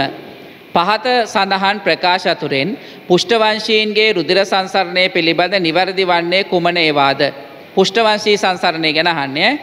ඒක සංසරණය සහිත සතුන්ට පෙනහැලි නොමැත ඒක සංසරණය තියෙන මාලුන්ට. ඔස්ටික් තේස් ලටයි කොන්ඩික් තේස් ලටයි. එතොට ඒගොලන්ට මොලාද තියෙන ජලක් ලෝම තමයි තියෙන අභ්‍යන්තර ජලක් ලෝම හෙවත් කරමල්නේ තියෙන්නේ එහෙනම් කතාව හරි. එතකොට තල්මසාට තියෙන ඒක සංසරණයේද ditth සංසරණයේද? තල්මසාට තියෙන ඒක සංසරණයේද ditth සංසරණයේද? ඈ ditth සංසරණය ශීරපාය එයාට පූර්ණ ditth සංසරණයක් තියෙනවා. හරිද? එයාට කුටීර හතරක හෘදයක් තියෙනවා. පැහැදිලිද? එතකොට එයාට තියෙන කරමල්ද පෙනහල්ද? තල්මසාට තියෙන අභ්‍යන්තර ජලක් ලෝමද පෙනහලුද? පේනහලු මොන ජලක් ලෝමයක්ද ජලක් ලෝම නෑ පේනහලු තියෙන්නේ හරිද එතකොට එයා ශොසනය කරන්නේ කොහමද වායුගෝලීය වාතය ගන්නෙ පෙනහලු වලින් ජලයෙන් ශොසනය කරන්න බෑනේ එයා කරන්නේ වායුගෝලීය වාතය ගන්න. එතකොට ඒ නිසා තල්මස්සු හැම වෙලාවෙම මොකද වෙන්නේ? අර මතු පිටේ ස්තරයේ තමයි ගොඩක් වෙලාවට ඉන්නේ. මතු පිටේ ස්තරය හැබැයි ඒගොල්ලන්ට ගැඹුරට පීනන්න පුළුවන්. මොකද ඒගොල්ලන්ගේ පෙනහලු ඇතුලේ වාතය මොකක් කරගන්න පුළුවන්ද? රඳව ගන්න පුළුවන් ලොකු ධාරිතාවයක් අපිට වගේ නේ ලොකු ධාරිතාවයක් රඳව ගන්න පුළුවන්. හරිද? ඊළඟ ඒක සංසරණයේදී ශ්වසන අවයවවල සිට අනෙක් අවයවවලට රුධිරය ගලා යන්නේ අඩු පීඩනයක් යටතේ. ඔව්. දිත්ත සංසරණය විකසනය ඒකටනේ දිත්ත සංසරණය විකසනයේ මොකක් නිසාද? ඒක සංසරණයේදී රුධිරය පොම්ප කරන්නේ හෘදයෙන් කොහෙටද? ජලක්ලෝම වලට. ඊට පස්සේ ජලක්ලෝම වලින් දේහ අවයව වලට යන්න ඕනේ. එතකොට රුධිර පීඩනය හොඳටම අඩු වෙනවා. හැබැයි දිත්ත සංසරණයේදී මොකද වෙන්නේ? පෙනහළුවලට රුදිරේ යවල නැවත හරදයට ගෙනල්ල හරදයෙන් තමයි නැවත යවන්න. එතකොට රුධිර පීඩනය වැඩි. හරිද? ඒක සංසරණයේ සහිත සතුන්ගේ හෘදයේ කුටීර දෙකක් හෝ තුනක් ඇත. ඒක සංසරණයයි නම් කුටීර දෙකයි. තුනක් නැහැ. තුනක් තියෙනවා නම් ditth සංසරණය. ditth සංසරණයේදී දේහය හරහා එක් සම්පූර්ණ සංසරණයකදී රුධිරය පෙනහැලි හරහා දෙවරක් ගමන් කරයි. ditth සංසරණයකදී දේහය හරහා එක් සම්පූර්ණ සංසරණයකදී රුදිරය පෙනහැලි හරහා දෙවරක් ගමන් දැන් ඕක වෙලා තිනවක දර කලබලේ කියවන ළමයි ඉන්නවනේ. හරිද? ඒගොල්ලන්ටත් උත්තරයක් තියෙන්න ඕන. කලබලේ කියවලා අතින් වචන දාගන්නවනේ. හරිද? තියෙන වචන හිතෙන් ඩිලීට් කරලා අතින් වචන දාගන්න ළමයිට තමයි ඕක දීලා තියෙන්නේ. හරිද? පෙනහලු හරහා නෙවෙයිනේ හෘදය හරහා නෙන්න ඕනේ. සමහර අය දැන් තමයි දැක්කේ. හා ඒත් පෙනහලු. පෙනහලු හරහා දෙපාරක් යනවා නෙවෙයිනේ හෘදය හරහායි දෙපාරක් යන්න ඕනේ. හරිද? කතාව වැරදි. ඒක සංසරණය සහිත සතුන්ගේ පේශිවල මයොග්ලොබින් නොමැත. පුෂ්ඨවංශී සියල්ලෝගේම කංකාල පේශිවල මයොග්ලොබින් තියෙනවා. ඒ කියන්නේ මාළුන්ගෙත් තියෙනවා. ඔය දැන් සාමාන්‍ය කෙලවල්ල මාළු වගේ ගත්තාම මේගොල්ලන්ගේ පේශි කංකාල පේශිනේ අපි කන්නේ. ඒතොර කංකාල පේශි ගොඩක් රතු පාටයිනේ. හේතුව ඒගොල්ලන්ගේ හොඳට මයොග්ලොබින් තියෙනවා. සමහර මාළු වර්ග තියෙනවා මාංශය ගොඩක් සුදු පාටයි. සුදු පාටයි කියන්නේ මයොග්ලොබින් ප්‍රමාණය ගොඩක් අඩුයි. හරිද? ඒ සහ B. ඒ සහ B. සංවේදක ප්‍රතිග්‍රාහක ස්නායු පද්ධතිය සමග සම්බන්ධයිද අනිවාර්යයෙන්ම සම්බන්ධ වෙන්න ඕන. සංවේදක ප්‍රතිග්‍රාහකයක් නම් එයා ස්නායු පද්ධතියත් එක්ක සම්බන්ධ වෙලා තියෙන්න ඕනි. ඊළඟට එයාට යම් නිශ්චිත උත්තේජයක් ප්‍රතිග්‍රහණය කරගන්න පුළුවන් විශේෂිත සෛල තියෙන්න ඕනි. ඊට පස්සේ ප්‍රතිග්‍රා ඒ උත්තේජය මෙයාට පුළුවන් වෙන්න ඕනේ පටල විභවයක් බවට පරිවර්තනය කරන්න පුළුවන් වෙන්න ඕනේ. ඇරද ඊට පස්සේ මෙයාට දිගින් දිගටම එක මුත්තේජය ලැබෙනකොට ඒකට අනුවර්තනය වෙන්න පුළුවන් වෙන්න ඕන. ඔන්න ඔය මූලික ලක්ෂණ තියෙන්න ඕනේ ප්‍රතිග්‍රාහකයක. ස්නායු පද්ධතිය සමඟ සම්බන්ධයි ඔවු. විශිෂ්ට සංවේදන ලබා ගැනීම සඳහා සැකසුණු විශේෂ ග්‍රන්ථි ග්‍රන්ථිනවේ සෛල සෛල තියෙන්න ඕන්. සංවේදන අනුවර්තන දක්වයි. සංවේදන අනුවර්තන දක්ව නොව දැන් සමාරක් කලාට ඔය මේ නගර සභාවේ කුණුදාන ස්ථානයට ආසන්නව ගෙවල් තියෙන අය ඉන්න පුළුවන්. ඉතින් ඒගොල්ලන්ට ඒ ගඳ එච්චර අවුලක් නැහැ. හරිද? ඒක ඉතින් එතකොට අපිට දැන් අලුතෙන් මෙතනට ගිය කෙනෙකුට මේ එක පාට නෑ ඒ ඔය එක කතන්දරේ ඕනේ තම ඔයාගේ ගඳ ඔයාට දැනෙන්නේ නෑනේ. ආ ඒක තමයි හොඳම හරිද? ඔයාගේ ගඳ ඔයාට දැනෙන්නේ නැහැ. හැබැයි ඔයාට යාළුවාගේ ගඳ දැනෙනවා. යාළුවාට ඔයාගේ ගඳ දැනෙනවා. හරිද? ආ ඒක තමයි අනුවර්තනය කියලා කියන්නේ. ඒක තේරුම් ගත්තා හරි. ඊළඟට සංවේද සංවේදක සංඥාව ප්‍රවර්ධනය කිරීමේ හැකියාව තිබේ. ඔව් ප්‍රවර්ධනය කරන්න පුළුවන් වෙනවා. ඒක හරි.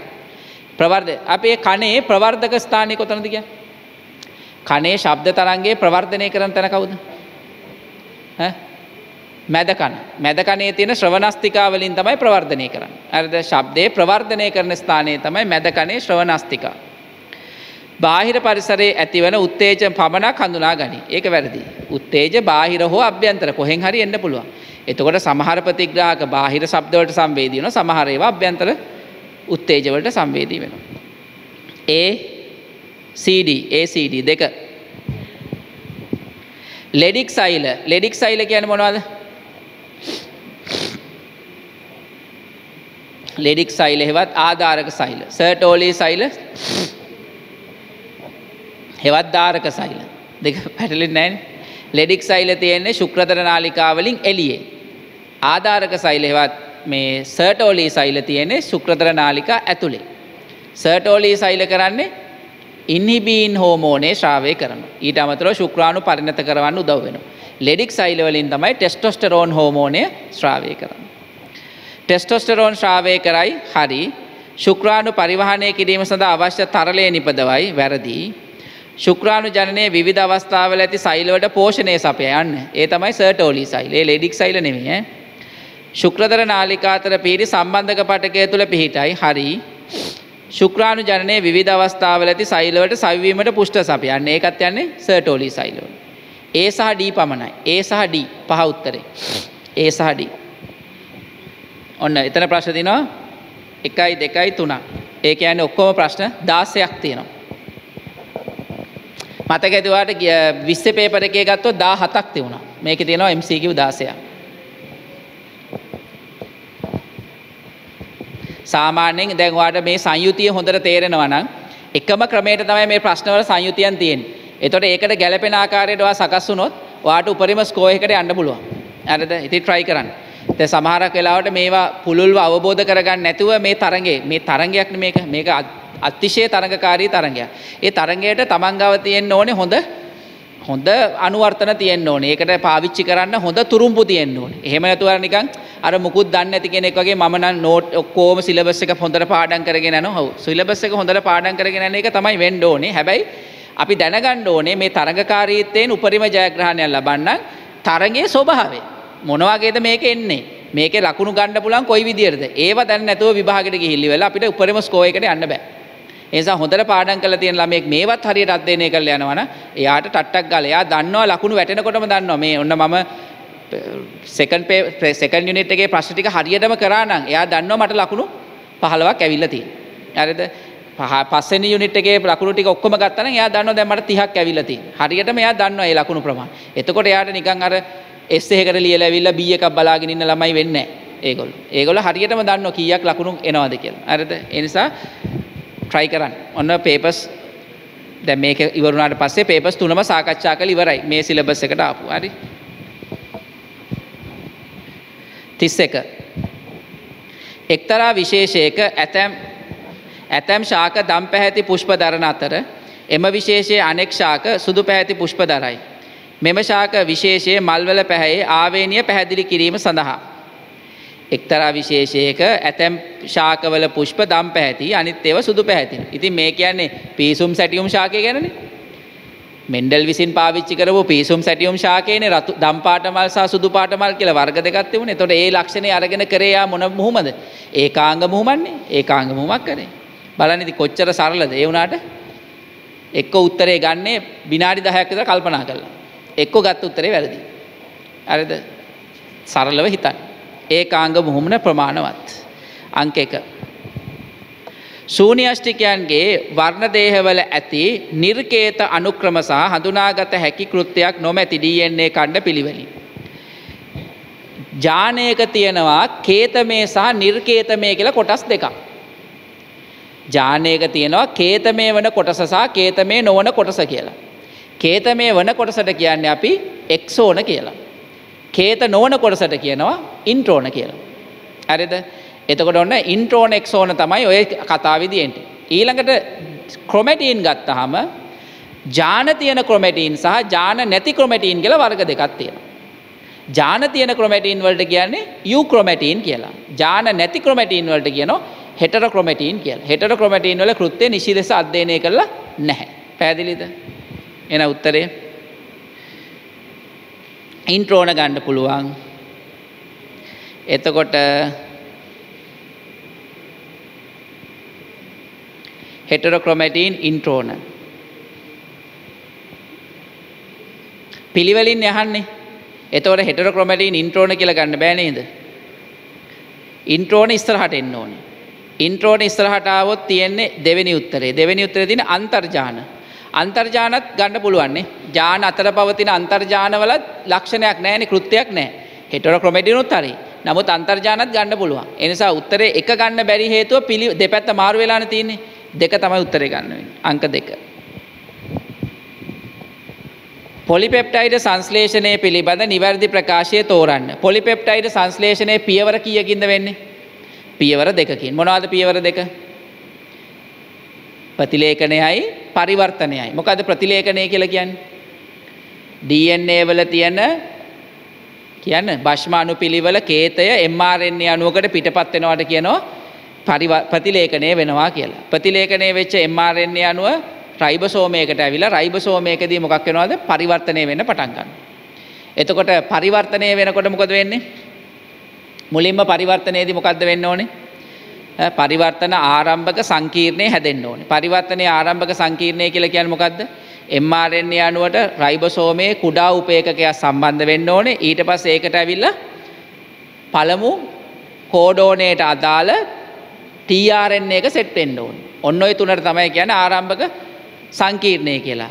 කුඩා උපේකකයයි mRNA අණුවයි පළමු AUG කියන බස් මේ කෝඩෝනේට අදාළ TRN එකයි ආවට පස්සේ තමයි කියන්නේ අපි මොකක් කියලා දාරම්භක මේ සංකීර්ණ. ඊට පස්සේ තමයි විශාල උපේකකයක් ඇවිල්ලා සෙට් වෙන්නේ. හරිද? ඊට පස්සේ මේක ක්‍රමයෙන් මොකක් වෙන්න ඕනද? අර හඳුනා ගැනීම ඊට පස්සේ චක්‍රයේ දිගුවීම ඊට පස්සේ ඉවත් වීම කියන පියවර තුන ක්‍රියාත්මක වෙන්න ඕනේ දිගින් දිගටම. DNA වල T වෙනුවට mRNA වල U තිබීම හැර DNA අච්චුදාමේ සහ එහි mRNA අණුවේ භෂ්මානු පිළිවෙල සමානය. පැරදීනේ. අච්චුදාමයට අනුපූරක එකක් mRNA වලට හැදෙන්න ඕනේ. අච්චුදාමයට අනුපූරක එකක් හැදෙන්න ඕනේ. එතකොට ඇඩිනින් ඉස්සරහින් තමයි යුරැසිල් එන්නේ. එතකොට ටයිමින් ඉස්සරහින් යුරැසිල් එන්නේ නැහැ නේ. ඇඩිනින් ඉස්සරහට තමයි යුරැසිල් එන්නේ. හරිද? වැරදි. ප්‍රාග්ඥෂ්ටිකයෙකුගේ mRNA අණුවකට ශූන්‍යෂ්ටිකයෙකු තුළ පොලිපෙප්ටයිඩයක් කේතනය කළ නොහැක. වැරදිනේ. ප්‍රවේණී කේතය සර්වත්‍රයි. මොකද ප්‍රවේණී කේතය සර්වත්‍රයි කියන එකේ තේරුම? ඒක ශාකද සතුන්ද බැක්ටීරියාද අදාළ නෑ සියලුම ජීවීන්ගේ ප්‍රවේණී කේතය පොදුයි. ඒ නිසා අපේ සූනියස්ටික ජානයක් දුන්නත් බැක්ටීරියාවකට බැක්ටීරයා ජානයක් සූනියස්ටිකයකට දුන්නත් දෙකේම වැඩේ එකම තමයි වෙන්නේ. වෙනසක් වෙන්නේ නැහැ. mRNA අණුවක ආරම්භක කෝඩෝනේ AUG වන අතර එය මෙතියොනීන් සඳහා කේතය සපයයි. ඒක හරි. කෝඩෝන හැට හතරක් ඇති අතර ඒවයින් හැට දෙකක් ඇමයිනෝම්ල සඳහා කේතේ සැබ හැට දෙකයිද හැට එකයිද. හැට එකයි නැවතුම් කෝඩෝන තුනක් තියෙනවා. TRNA අණුවක ප්‍රථම භෂ්මතෘත්වය AUG. TRNA වලට එහෙම එකක් නෑනේ. TRNA වල කොහොමත් භෂ්ම තුනයිනේ තියෙන්නේ. ප්‍රතිකෝඩෝනය කියලා කල සලකන්නේ භෂ්ම තුනයිනේ. එතකොට ඒ භෂ්ම තුන මොකක් හරි එකක්. දැන් මේක TRNA හැදෙනකොට කියලා ගමු. TRNA හැදෙනකොට ගත්තහම ජානයකනේ පළවෙනි යුගලේ AUG විදියට එන්නේ. එතකොට අර මතක ඇති අපි කිව්වා ජානයක end product එකක්. ජානයක අන්තඵලය විදියට ගත්තහම එක්ක පොලිපෙප්ටයිඩ් දාමයක් එහෙම නැත්නම් tRNA එකක් හෝ mRNA එක මේ මේ RRN එකක් වෙන්න ඕනි කියලා. ඒ නිසා සාමාන්‍යයෙන් AUG ආරම්භක කෝඩෝනය ලෙස තියෙන්නේ mRNA නිෂ්පාදනයේදී. ඒක tRNA වලට හෝ RRNA වලට අදාළ වෙන්නේ නැහැ. උත්තරේ ගන්න අංක 3. සීමා සිතියම් වඩාත්ම වැදගත් වන්නේ. මොකද්ද මේ සීමා සිතියමක් කියලා කියන්නේ? රෙස්ට්‍රික්ෂන් එන්ඩෝනියුක්ලියස් අපි භාවිතා කරනවා මේ DNA කෑලි වලට කපන්න. මෙන්න මේ රෙස්ට්‍රික්ෂන් එන්ඩෝනියුක්ලියස් වලින් කපන්න පුළුවන් ස්ථාන ලකුණු කරලා ඒ ස්ථාන අතර දුර ලකුණු කරපු සිතියම තමයි අපි කියන්නේ සීමා සිතියමක් කියලා. ජීනෝමයක් තුල ජානවල බහුපිටපත් හඳුනා ගැනීමට විවිධ විශේෂවල පරිනාමික බන්ධුතා නිර්ණය කිරීමට ක්ලෝන කරන වාහකින් ගොඩනැගීමට පිළිකා රෝග විනිශ්චේදයි ප්‍රීතෘත්වය පරීක්ෂා කිරීමේ. වඩා හොඳ උත්තරේ ක්ලෝන කරන වාහකෙක් හදන්නේ. ක්ලෝන කරන වාහකෙක් ප්ලාස්මිඩයකන අපි දකින්න මේ සීමා සිතියම් විදිහට ඇරිද එනිසා ක්ලෝන කරන වාහකෙක් හදන්තම ඕන්. අංක තුන. එක දෙක තුන හතරත් තියෙන මෙතන ප්‍රශ්න. හතලිස් හය. සිස්ටික් ෆයිබ්‍රෝසිස් සඳහා හේතු විය හැක්කේ පාත සඳහා නේවයින් කුමක්ද? සිස්ටික් ෆයිබ්‍රෝසිස් ඔයාට ඉගෙන ගන්න තියෙනවා. කොතනද ඉගෙන ගන්න තියෙන්නේ? මතකද? ඈ? සිස්ටික් ෆයිබ්‍රෝසිස් ඉගෙන ගන්න ගිය සතියේ පේපරේ මට 2020 පේපරේ කතා කරාද කොහෙද? හරිද? සිස්ටික් ෆයිබ්‍රෝසිස් අපිට හම්බෙන්නේ බහුකාර්යතාවයේදී. හරිද? මොකද්ද මේ බහුකාර්යතාවය කියලා කියන්නේ? එක්ජානයක ප්‍රකාශවීම නිසා එකිනෙකට වෙනස් ලක්ෂණ රාශියක් රූපානුදර්ශීව ප්‍රකාශ වෙනවට කියනවා බහුකාර්යතාවය කියලා. ඒතර බහුකාර්යතාවයට උදාහරණ දෙකක් ඕගලන්ට දීලා තියෙනවා. එකක් දෑක ඇති සෛල රක්තහීනතාවය අනික තමයි සිස්ටික් ෆයිබ්‍රෝසිස් කියලා කියන්නේ. සිස්ටික් ෆයිබ්‍රෝසිස් වල ප්‍රශ්න වෙලා තියෙන ක්ලෝරයිඩ් ගමන් කරන නාලවල විකෘතියක්. ක්ලෝරයිඩ් ගමන් කරන නාල තියෙනවනේ ප්ලාස්ම පටලයේ තියෙන්නේ ප්‍රෝටීන නාල ඒ නාලයක විකෘතියක් තමයි මේක ප්‍රශ්නේ වෙලා තියෙන්නේ. ඒ නිසා මොකද වෙන්නේ තැන තැන් වල ශ්ලේෂ ඒ හැදෙන ශ්ලේෂ්මල වල මොකක් වෙනවද? දුෂ්ශ්‍රාවිතාවය වැඩි. ශ්ලේෂ්මලේ උකු වැඩි. උකු වැඩි නිසා ශ්ලේෂ්මල හැදෙන හැම තැනකදීම මොකක් වෙනවද? ශ්ලේෂ්මල එම ස්ථාන වලට අවහිරයක් ලෙස ක්‍රියා කරනවා. ඕක තමයි ප්‍රශ්නේ. වයි ප්‍රතිපද ආවේනියක්. වයි නෙමෙයි මේක අලිංග ප්‍රතිබද්ධ ලක්ෂණයක්. මේක ලිංග වර්ණ දේවල තියෙන එකක් නෙවෙයි අලිංග වර්ණ දේවල තියෙන එකක්. එක්ස් ප්‍රතිබද්ධ නිලීන ආවේනිය බහුකාර්යතාවය දෛහික වර්ණ දේවල නිලීන ආවේනියක් දෛහික වර්ණ දේවල ප්‍රමුඛ ආවේනිය ඕගලන්ට අර අද උදේ මේ මං කිව්වේ අර ඕගලන්ට ප්‍රමුඛ මේ විකෘති දීලා නැහැ එකක්වත්. ප්‍රමුඛ විකෘති වලට මතක තියාගන්න හන්ටින්ඩන්ස් කියන රෝගය. ඊළඟ බහු අංගුලිකතාවය ඔය දෙක තමයි ප්‍රමුඛ විකෘති. ඔය දෙකෙන් එකක්වත් මේ පාර සිලබස් එකේ නෑ. පරණ එකේ නම් තිබුණා. ඔය සිස්ටික් ෆයිබ්‍රෝසිස් කියන්නේ නිලීන විකෘතිය. අපිට ඕගලගේ සිලබස් එකේ අහන ඔක්කොම නිලීන විකෘති තියෙනවා. තැලසීමියාව ගත්තත් සිස්ටික් ෆයිබ්‍රෝසිස් ගත්තත් දෑකති සයිල් රක්තිනතාවය ගත්තත් හිමෝෆීලියාව ගත්තත් ඒ ඔක්කොම නිලීන විකෘති. හරිද? සීසාඩි හතර උත්තරේ ගන්න. ඔන්න 6 සහ 7 හය හත පාඩම් වලින් MCQ පහක් තියෙනවා.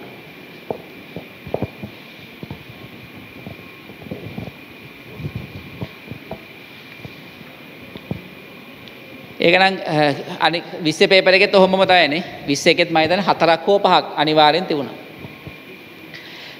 තුන්ද්‍රාවල ජීවත් වන සතුන් තිදෙනෙකු වන්නේ තුන්ද්‍රාවල ජීවත් වන සතුන් කවුද? ඔව් කැරිබු වෘකයා වලසා. කැරිබු වෘකයා සහ වලසා.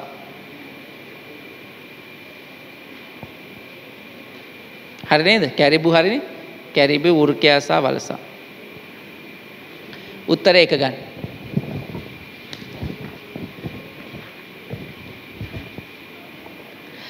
අවශිෂ්ට විශේෂයක් සහ ශ්‍රී ලංකාවට ඒකදේශික විශේෂයක් පිළිවෙලින් දක්වන ප්‍රතිචාරය. අවශිෂ්ට විශේෂ තුන් දෙනයි ඉන්නේ කවු තුන් දෙනා? ටුවටාර. ටුවටාර ඉන්නේ ඔය නවසීලන්ත දූපත්වල ඉන්න කටුසු වර්ගයක්. ලංකාවේ දෙන්නෙක් ඉන්නවා. එක්කෙනෙක් ලිංගියුල අනිත් එක්කෙනා ඉතියොපිස්. හරිද? ඊළඟ ඒකදේශික අය ගත්තාම සත්තු දෙන්නෙක් ඕගලන්ට දීලා දෙනවා ඒකදේශික. කවුද? බුලත් අපයා පුන්ටියස් නිග්‍රොපැසියට සනිත් එක්කෙනා තමයි ලෝරිස්. උනහ පුළුවන් ඊළඟට ශාක දෙකක් දීලා තිනවා ඒකදේශික. කවුද? ඩිප්ටරෝකාපස් සෙල්නිකස් හොර අනිත් එක්කෙනා ග්‍රාසීනියා කොසීටා. ගොරකා. හරිද? එතකොට අවශිෂ්ට විශේෂයෙන් තේරුවොත් ඔයාට ඉතුරු වෙන්නේ තුනයි පහයි. තුනයි පහයි ඉතුරු වෙනවා. හරිද? ඊට පස්සේ ඒකදේශික විශේෂයෙන් තේරුවොත් පහනේ ඉතුරු වෙන්නේ පහ පහ උත්තරේ පහ. කවුද ළමයි සැලසියා රෙටිකියුලාට සැලසියා රෙටිකියුලාට ඈ? ගිය සතිනේ කතා කරේ? සැලසියා රෙටිකියුලාට කවුද සැලසියා රෙටිකියුලාට කොතලහිඹටු තීරිපන්ති කතා කරා. කොතලහිඹටු සැලසියා රෙසිකියුටා රෙසි රෙටිකියුලාට ක්‍රූඩියා සෙලනිකා ක්‍රූඩියා සෙලනිකා ඈ? නෂ්ට වෙච්ච අය තුන් දෙනෙක් දීලා ඇති. කවුද නෂ්ට වෙච්ච අය තුන් දෙනා? නෂ්ට වෙච්ච අය තුන් දෙනෙක් දීලා ඇති සිලබස් එකේ. කවුද? එක්කෙනෙක් මැමත්, අනිත් එක්කෙනා ඩෝඩෝ පක්ෂියා, අනිත් එක්කෙනා තමයි ඔය ක්‍රූඩියා සෙලනිකා. ක්‍රූඩියා සෙලනිකා කියලා ලංකාවේ තිච්ච ශාකයක්. දැන් නෑ එහෙම එකක්. හරිද? ඊළඟ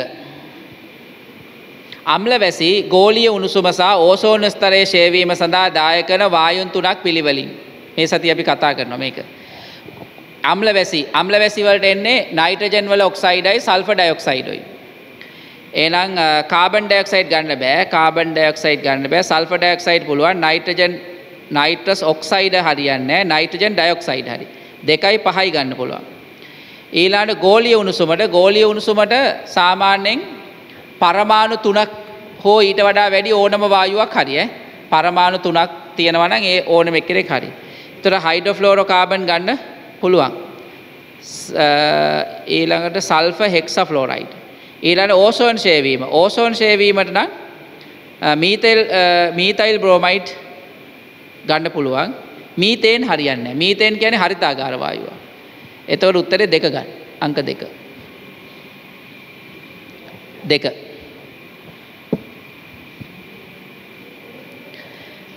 එතකොට එතන තියෙන ප්‍රශ්න 1යි 2යි තුනක්. හතලිස් හත. පහත සඳහන් පාරිසරික පිරමීඩ අතුරෙන් යටිකුරු විය හැක්කේ. දැන් මේක මේ පාර සිලබස් එකේ නම් අයින් කරලා තින්නේ දැන් ඕගලන්ට මම අලුත් අලුත් රිසෝස් එක තමයි කතා කරේ. අලුත් රිසෝස් එකේ මේ මං කියන තියරි අයට අලුත් රිසෝස් එකේ මේ උඩුකුරු යටිකුරු කියලා එකක් දාලා නැහැ දැන්. හරිද? නමුත් මතක තියාගන්න යටිකුරු පිරමීඩ එන්න පුළුවන් තැන් දෙකක් තියෙනවා. එකක් තමයි සාගරවල ජෛවස්කන්ධ පිරමීඩය. සාගරවල ජෛවස්කන්ධ පිරමීඩේ යටිකුරු වෙන්න පුළුවන්. ඒක අර ප්ලවාංග වලින් පටන් අරගෙන තල්මසාගෙන අවසන් වන ඔය මේ ඉන්නවනේ තල්මස් විශේෂයක් ඉන්නවනේ මේ ප්ලවාංග ආහාරයට ගන්න. ඒගොල්ලන්ගේ පිරමීඩේ යටිකුරු වෙනවා. අනිත් එක තමයි පරපෝෂී ආහාර ආහාර දාමයක සංඛ්‍යා පිරමීඩය. පරපෝෂී ආහාර දාමයක් කියන්නේ කවුද? බල්ලා, මැක්කා, මැක්කාගේ පරපෝෂිතයා. එතකොට සංඛ්‍යාව ගත්තොත් බල්ලෝ ගන්න අඩුයිනේ. ඊට වඩා මැක්කෝ ගන්න වැඩි. මැක්කෝ ගානට වඩා මැක්කෝගේ පරපෝෂිතය ගාන වැඩි. ඒ නිසා යටිකුරු පිරමීඩේන අවස්ථා දෙකක් තියෙනවා. එකක් තමයි ජෛවස්කන්ධ පිරමීඩයේ සාගරවල සමහර අවස්ථාවල අනිත් එක සංඛ්‍යා පිරමීඩයේ පරපෝෂී ආහාරදාමවල. හරිද? වනාන්තරයක ජෛවස්කන්ධ පිරමීඩය හරියන්නේ සාගරයේ සංඛ්‍යා පිරමීඩය හරියන්නේ සාගරයේ ජෛවස්කන්ධ පිරමීඩය හරි. පරපෝෂී පද්ධතියක සංඛ්‍යා පිරමීඩය හරි. පරපෝෂී පද්ධතියක ජෛවස්කන්ධ පිරමීඩය වැරදි. සීසහඩී ගන්න. සීසහඩී. අටට අදාළව ප්‍රශ්න හතරක් තියෙනවා. ඊළඟට නමය තිස් අටවෙනි ප්‍රශ්නය. බැක්ටීරයා තුළ DNA RNA සංස්ලේෂණය වීම නිෂේධනය කරන්නේ පාත සඳහන් කුමන ප්‍රතිජීවකයද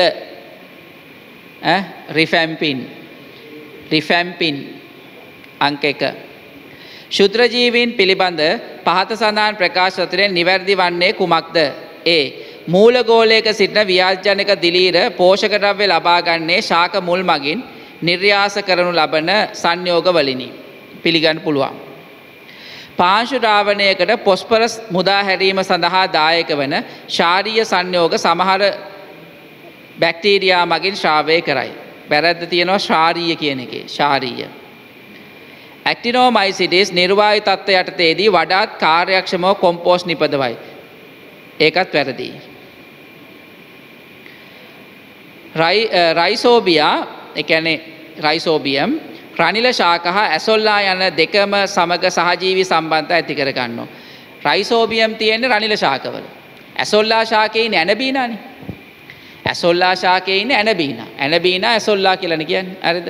එතකොට රනිල ශාකවල තමයි ඉන්න රයිසෝබිය දෙන්න දෙන්න රයිසෝබියම් ගැන බැක්ටීරියාව ඇනබීන ගැන සයන බැක්ටීරියාව. ඇසොට බැක්ට වලට විටමින් සී නිපද විය හැක වැරදි. ඇසොට බැක්ට මේ ඒ ඉසෙඩ්ඩෝ ඇසොට බැක්ට භාවිතා කරන්නේ විනාකිරි නිෂ්පාදනය කරන්න. ඒ ඉසෙඩ්ඩෝ ඇසොට බැක්ට භාවිතා කරන්න විනාකිරි හදන්න. උත්තරය එක. කාර්මික අපජලය පිරිසුදු කිරීමේ පිරිියතක පිරියම් කිරීමේ පියවරක් පහත සඳහන් ඒවයින් කුමක්ද. කාර්මික අපජල පිරිසුදු කිරීමේ පිරියමක ප්‍රාථමික ප්‍රාථමික පිරියමේ පියවරක්. පාශාන මෙය ද්‍රව තට්ටුවක් මත රිසීම ඒක දෘතීක පිරියමේ කාන්දු පෙරහන් ක්‍රමය. තෙල් හා ග්‍රීසිවත් කිරීම හරි. යාන්ත්‍රිකව වාතනය කිරීම දිතීක පිරියමේ සක්‍රිය කරන ලද බොර ක්‍රමය. නිර්වායු වියෝජනය ඊලාට විෂබීජ නාශනය විෂබීජ නාශනය ගැන් තුන්ගනි පියවර. උත්තරෙ දෙක තෙල් හා ග්‍රීසිවත් කිරීම. හතලිස් අට ශුද්‍රජීවී ලක්ෂණ සහ නිදසුන් නිවැරදිව ගලපා ඇති ප්‍රතිචාරය තෝරන්න. අයිකොස හේඩ්‍රල් සමමිතිය ඇඩිනෝ අනිවාර්ය සවායු සොසනය අනිවාර්ය සවායු සොසනය කලොස්ට්‍රීඩියම් ඒක වැරදින අනිවාර්ය සවායි නෑන් කලොස්ට්‍රීඩියම් කැන අනිවාර්ය නිර්වායුකයි. පත්‍ර කීඩෑවන් සහ ශාක තුළ ප්‍රජනනය කිරීම ෆයිටෝපලාස්මාවන් ෆයිටෝපලාස්මාවන් ඉතින් ශාක තුළ තමයි ප්‍රජනනය කරන්න. තන පත්‍ර කීඩෑවන් කියන එක අවුලක් නම් තියෙනවා. ගන්න බැරි කමන්න නෑ හැබැයි. අංකුරණය සහ දිකණ්ඩනය මගින් ප්‍රජනය කිරීම මයිකෝෆ්ලාස්මාවන්. ඊලාට ප්‍රභා විෂම පෝෂී පෝෂණය දම් සල්ප බැක්ටීරිය. දම් සල්ප බැක්ටීරිය ප්‍රභා විෂම් පෝෂීද නෑනේ ප්‍රභා විෂම් පෝෂී වෙන්නේ දම් සල්ෆ නොවන බැක්ටීරිය එක වැරදි. එතකොට ACD ගමු ACD ගත්තොත් දෙක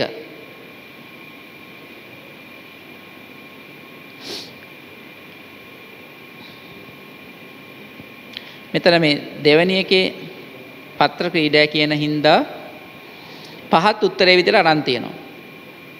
දෙක සහ පහ කියන දෙකම අරන් තියෙනවා. 49 මූලික සෛල එකම ආකාරයේ සෛල ඇති කිරීමේ හැකියාව දරනවා. මූලික සෛල කියන්නේ එකම වර්ගයේ සෛල හදනවා. සීමා රහිතව විභාජනය වීමේ හැකියාව දරනවා. ඔව්. ආකාර තුනක් ඇත. ආකාර තුනක් නැහැ දෙකයි. ආකාර දෙකයිනේ තියෙන්නේ. විභේදනය නොවූ සෛල ඔව් වේගෙන් විභාජනය වෙනවා. එතොට මූලික සෛල ගත්තාහම ABD ගන්න. එකම ආකාරයේ සෛල ඇති කිරීමේ හැකියාව තියෙනවා. සීමා රහිතව විභාජනය වීමේ හැකියාව තියෙනවා. ආකාර සොරි මේ විභේදනය නොවූ සෛල වෙනවා. ABD ඩෙංගු වාහකයා මෙන්ම බරවා වාහකයාද පාලනය කිරීමට භාවිතා කළ හැක්කේ? පහත සඳහන් ඒවයින් කුමක්ද? ඩෙංගු වාහකයයි බරව වාහකයයි. දෙන්නම ඉතින් මදුරුවෝ. වැයිපීලි රහිතව ගොඩනැගිලි ඉදිකිරීම හොඳ ක්‍රමයක්. වැහිපීලි රහිතව ගොඩනැගිලි ඉදි කරන්න ඕන. හරිද?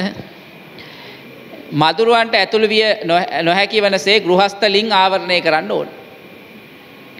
වාහකයන් බෝවෙන ස්ථාන නිර්මාණය වීම වළක්වන්න ඕනි.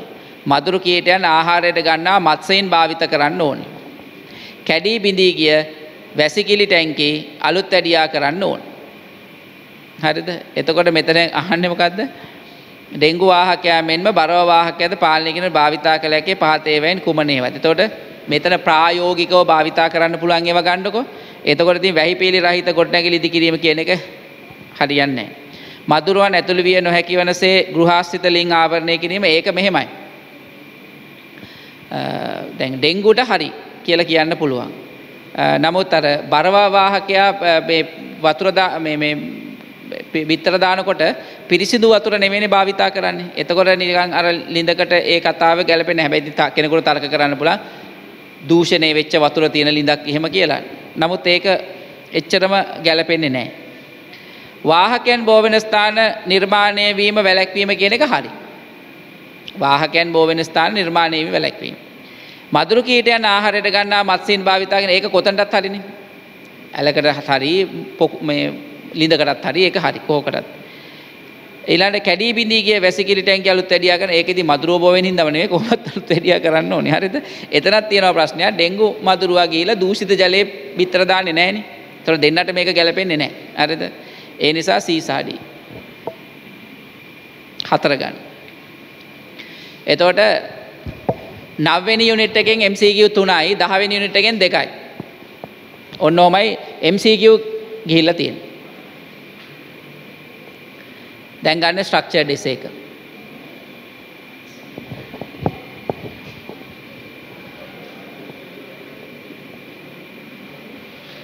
දැන් ඔය පේපස් තුන තියෙනව නේද 19 20 21.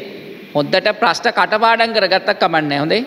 ඕක 3 4 පාර බලන්න මේ ප්‍රශ්නෙට මේකයි උත්තරේ. 19 මේ ප්‍රශ්නේ අහලා දුණා. උත්තරේ මේක. 20 මේ ප්‍රශ්නේ අහලා දුණා. උත්තරේ මේක.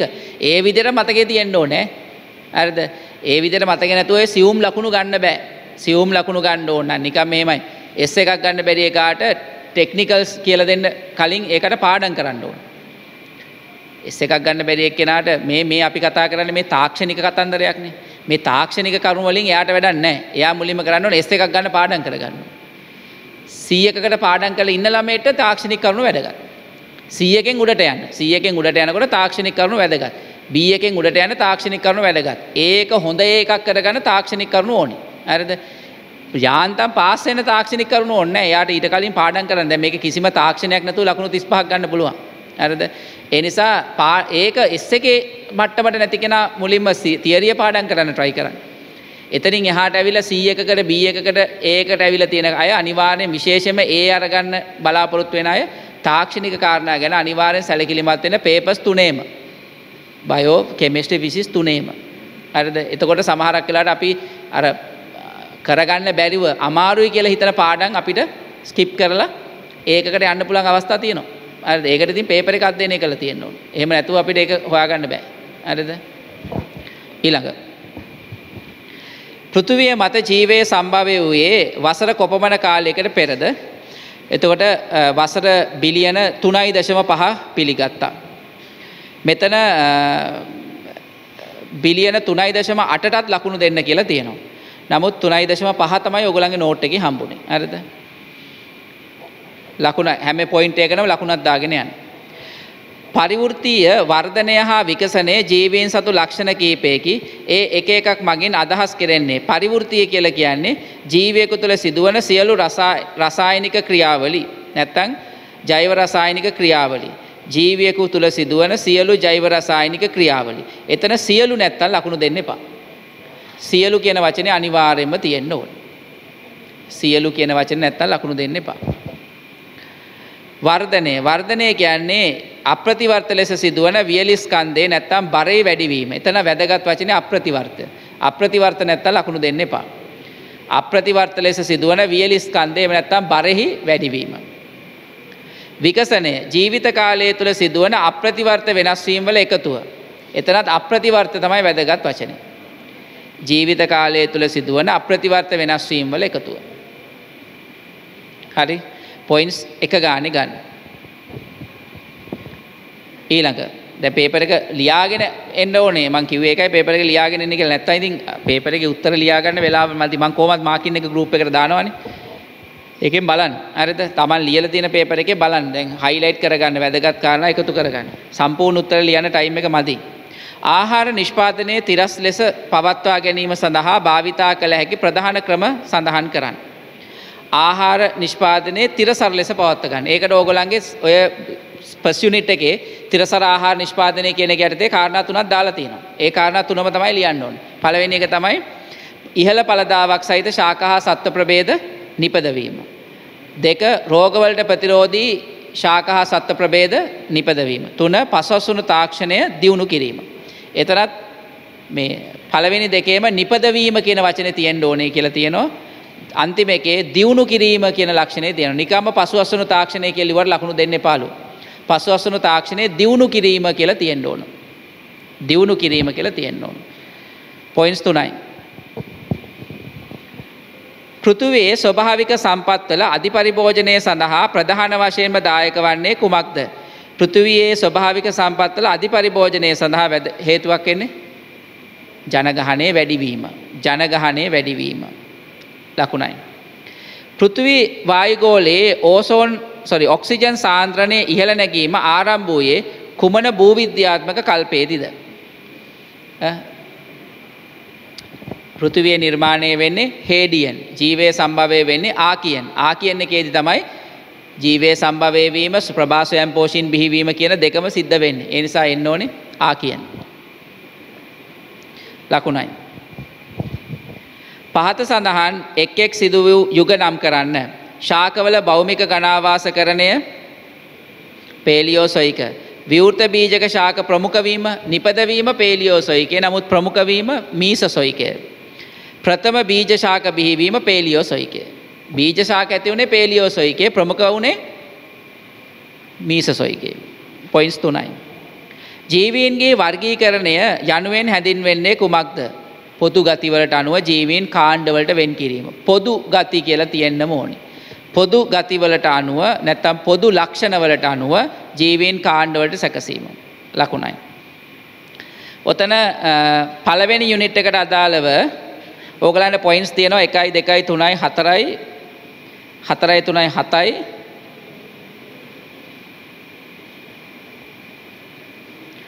හතයි එක අටක් පොයින්ස් අටක් තියෙනවා ෆස්ට් යුනිට් එකට අට දෙක හමාරයෙන් වැඩි කරලා 20ෙන් බෙදලා දාන්න ඕනේ. හරියටම දානවා අට දෙක හමාරයෙන් වැඩි කරලා 20ෙන් බෙදන්න ඕනේ. පළවෙනි යුනිට් එකට දෙකට නෙමෙයි පළවෙනි යුනිට් එකට තියෙනවා. ඊට පස්සේ පටන් ගන්න තියෙන තුන්වෙනි යුනිට් එකේ ප්‍රශ්නනේ.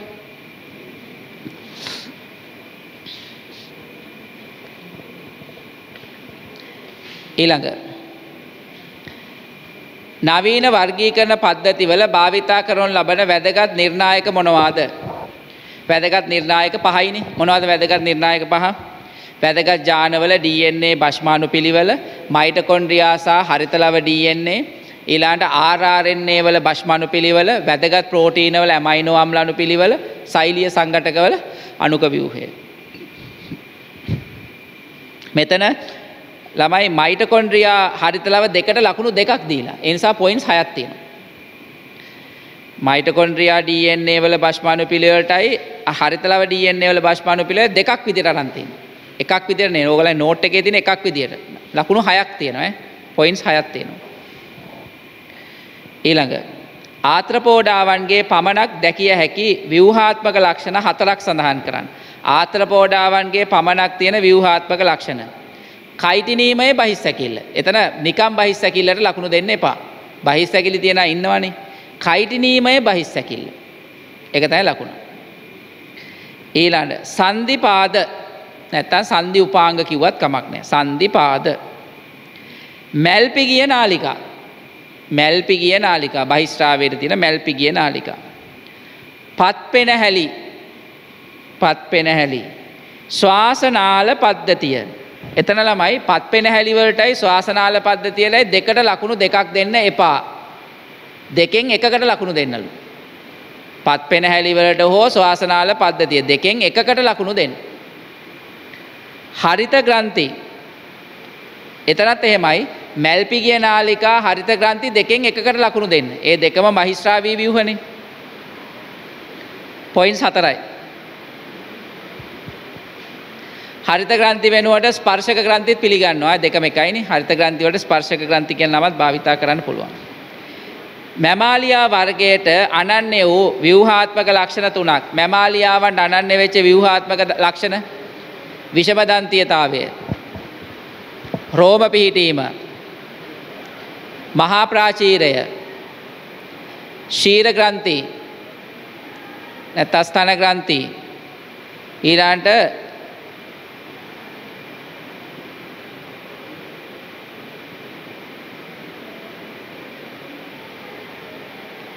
මේ හතරට විතරයි ළමයි ලකුණු දීලා තියෙන්නේ.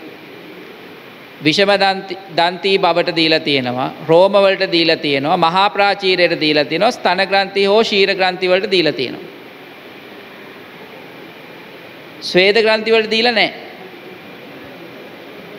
ස්වේද ග්‍රන්ථි වලට ලබා නොදේ කියලා තියෙනවා. සහ වෙනත් ලක්ෂණ වලට ලකුණු නැත මේ හතරට පමණයිලු. හරිද? එතකොට මේ හතරෙන් තමයි ලියන්න ඕනේ තුනක්. පක්ෂීන් හා ශීරපායින්ට පොදු ප්‍රධාන කායික විද්‍යාත්මක ලක්ෂණය කුමක්ද. අචලතාපී බව වෙන උත්තර නෑ අචලතාපී වීම. බීජශාක සමග වඩාත්ම මෑතකාලීන පොදු පූර්වජයෙක් ඇති බීජ රහිත ශාක වංශය සඳහන් කර එම වංශයට අයත් ශාක කාණ්ඩයක් නම් කරන්න. කවුද ටෙරෝෆයිට ටෙරෝෆයිටට උදාහරණය නෙප්‍රොලිපිස් නෙප්‍රොලිපිස්. මෙතැන්දි විද්‍යාත්මක නීති බැලිය යුතුයිලු. විද්‍යාත්මක නීති බලලා තමයි ලකුණු දෙන්නවා කියලා කියන්නේ. කියන්නේ විද්‍යාත්මක ක්‍රමයට ලියලා තියෙන්න ඕනේ හරියට. ඒ කියන්නේ යටින් ඉරක් ඇඳලා තියෙන්න ඕනේ. කැපිටල් ලකුණෙන් පටන් අරන් තියෙන්න ඕනේ. ඒක හරියට තියෙන්න ඕනේ. නැත්තම් ලකුණු දෙන්න එපාලු. ඊළඟට ටෙරෝෆයිටා සිංහලෙන් ලිව්වට කමක් නැහැ. ටෙරෝෆයිටා ඉංග්‍රීසියෙන් ලියලා තියෙන වෙලාවට අකුරු වැරදුනාට ප්‍රශ්නයක් නැහැ. ටෙරෝෆයිට ඉංග්‍රීසියෙන් ලියලා තිනකොට අකුරු ස්පෙලිං වැරදුනාට ප්‍රශ්නයක් නැල්ලු. ටෙරෝෆයිට සිංහලෙන් ලිව්වට ප්‍රශ්නකුත් නැල්ලු. හැබැයි නෙප්‍රොලිපිස් හරියට විද්‍යාත්මක නම ලියලා තියෙන්න ඕනේ අකුරු වරදින්න බෑ හරියට තියෙන්න ඕනේ. හරිද? ඊළඟට ශුද්‍ර පත්‍ර මහා පත්‍ර වලින් වෙන්කර හඳුනා ගැනීම සඳහා භාවිතා කළ හැකි ශුද්‍ර පත්‍රවල ලක්ෂණ දෙකක්. තනි නාරටියක් තිබීමයි කුඩා වීම නැත්තම් ප්‍රමාණයෙන් කුඩා පත්‍ර වීමයි. තනි නාරටියක් තිබීමයි ප්‍රමාණයෙන් කුඩා පත්‍ර වීමයි. පොයින්ස් දෙකයි. කලින් එකටත් පොයින්ස් දෙකයි. උපසෛලිය සංගටක සෛල කඳන් සහ පත්‍රවට අමතරව බ්‍රයෝෆයිටා වල බීජානු ශාකවල සහ ආවෘත බීජක ශාකවල පොදු ව්‍යුහයක් සඳහන් කරන්න. උපසෛලිය සංගටකයි සෛල කඳන් සහ පත්‍රවට අමතරව ප්‍රයෝෆයිටා සහ අවෘත බීජකවල පොදු ව්‍යුහයක් නම් කරන්න. ඒකට නිකන් උත්තරේ හොයාගන්න ප්‍රශ්නේ හදලා තියෙනවා. මොනවද? පුටිකා. පුටිකා තියෙනවා. කාටද බයෝෆයිටගේ කාටද පුටිකා තියෙන්නේ? බීජානුශාකයට. බීජානුශාකයේ පුටිකා තියෙනවා. ලකුණයි. ශාක කාණ්ඩ දෙකකට වෙන් කිරීම සඳහා භාවිතා කරනු ලබන ව්‍යුහාත්මක ලක්ෂණය කුමක්ද? ශාක ප්‍රධාන කාණ්ඩ දෙකට වෙන් කරන්න පුළුවන් මොනවද? සනාල පද්ධතියක් ඇත නැත. නේද? සනාල පටක ඇත නැත. සනාල පද්ධතියටත් ලකුණු දෙනවා. සනාල පටක ඇත නැත කියලා ලිව්වත් ලකුණු දෙනවා. ලකුණයි.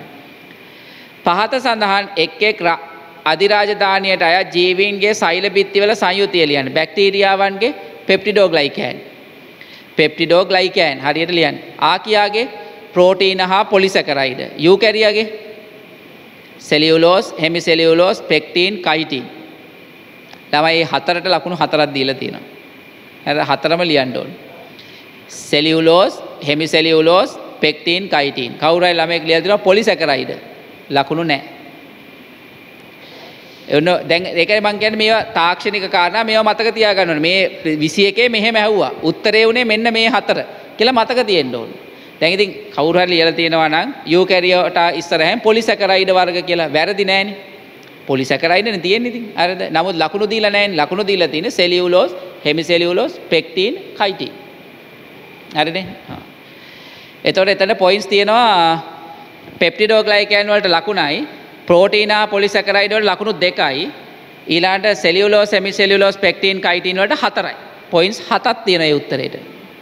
එතකොට ඔයාගේ මෙන්න මේ පොයින්ට්ස් අට හැර මේ අටහැර අනිත් තිස් දෙකම යන්නේ තර්ඩ් යුනිට් එකට. එතකොට තර්ඩ් යුනිට් එකේ මේ පාර වැඩිපුර ප්‍රශ්න ලකුණු දීලා තියෙනවා. සාමාන්‍ය මෙච්චර ලකුණු එන්නේ නැහැ තර්ඩ් එකට. තර්ඩ් එකට ඇවිල්ලා තියෙනවා 32 වැඩි කිරීම දෙකහමාර බෙදීම 20. තර්ඩ් යුනිට් එකට. ඒ කියන්නේ දල වශයෙන් ගත්තොත් ඉතින් මේක